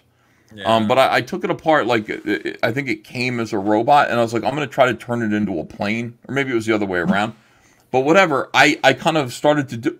It, it was the most complicated piece of shit, like because not only is it like a complicated transformer, but it's also superposable. So you don't know what bits of posability are meant to be part of a transforming function, and what part is just um you know quadruple you know hinged uh, elbows and shit. Right. And I just I looked at it. It became a piece of shit in my hands, and I just threw it against the wall and then threw it in the garbage. it's like a Rubik's cube of a toy. God, It shouldn't be I that mean, hard. That is something. They'll with these new transformers and stuff. Uh, there are some that'll take you up to thirty minutes to transform. Uh, It's usually the bigger ones, and that are extremely complicated. And uh, it's just uh, it's just bad design. You've got to sort of focus on what works. You know. Um, oh yeah, of course. Uh, it is. Uh, it's ridiculous. I, you know, and it didn't look that good anyway. Like it just, like here's the thing. Like, how about some paint steps? Like there were no paint steps. It's just different plastics. You know. Uh, yeah, I remember seeing them, and it was like, uh, was the plastic decent quality?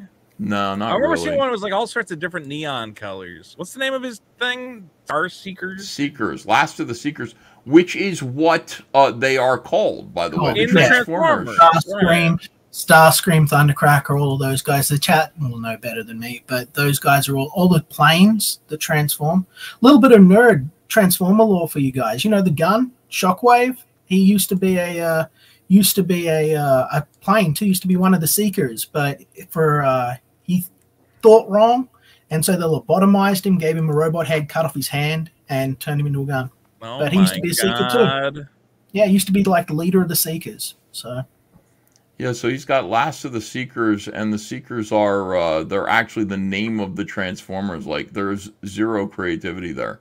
Like, dude, seriously, once if you knew that, then shame on you. And if you don't know that and you learn about it, then you've got to change your toy. You got to change the name of it. I mean, I'm looking. I'm looking at like the T-shirt logo. It even looks like the trans. I mean, I know it's an homage, but You wonder, just like, looks uh, the Transformers logo. Of course, yeah. You, you you wonder because you know when I was a kid, I would go into these like uh, I'd go into a like a cigar shop or something like that that would have uh, comic books, and there would be these cheap Chinese knockoff toys that would be kind of like Transformers, but Yeah. not as good. Transmorphers, you know? Yeah. Transmorphers, yeah, and you'd be like, who's making these? You know, like who is the piece of shit? Who is the slimy piece of shit uh, that's making these knockoff Transformers?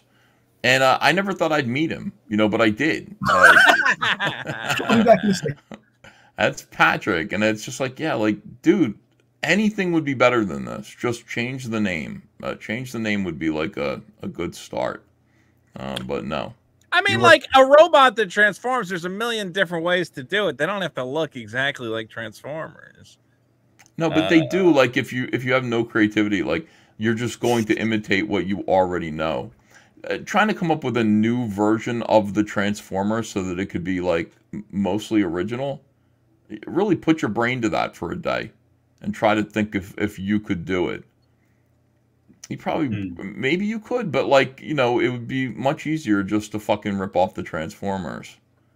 Um, and I think that's where you find yourself. There's a lot of like, there's a level of you know, you go from homage to just a basic rip off, and some people can't get over that hump. It's weird.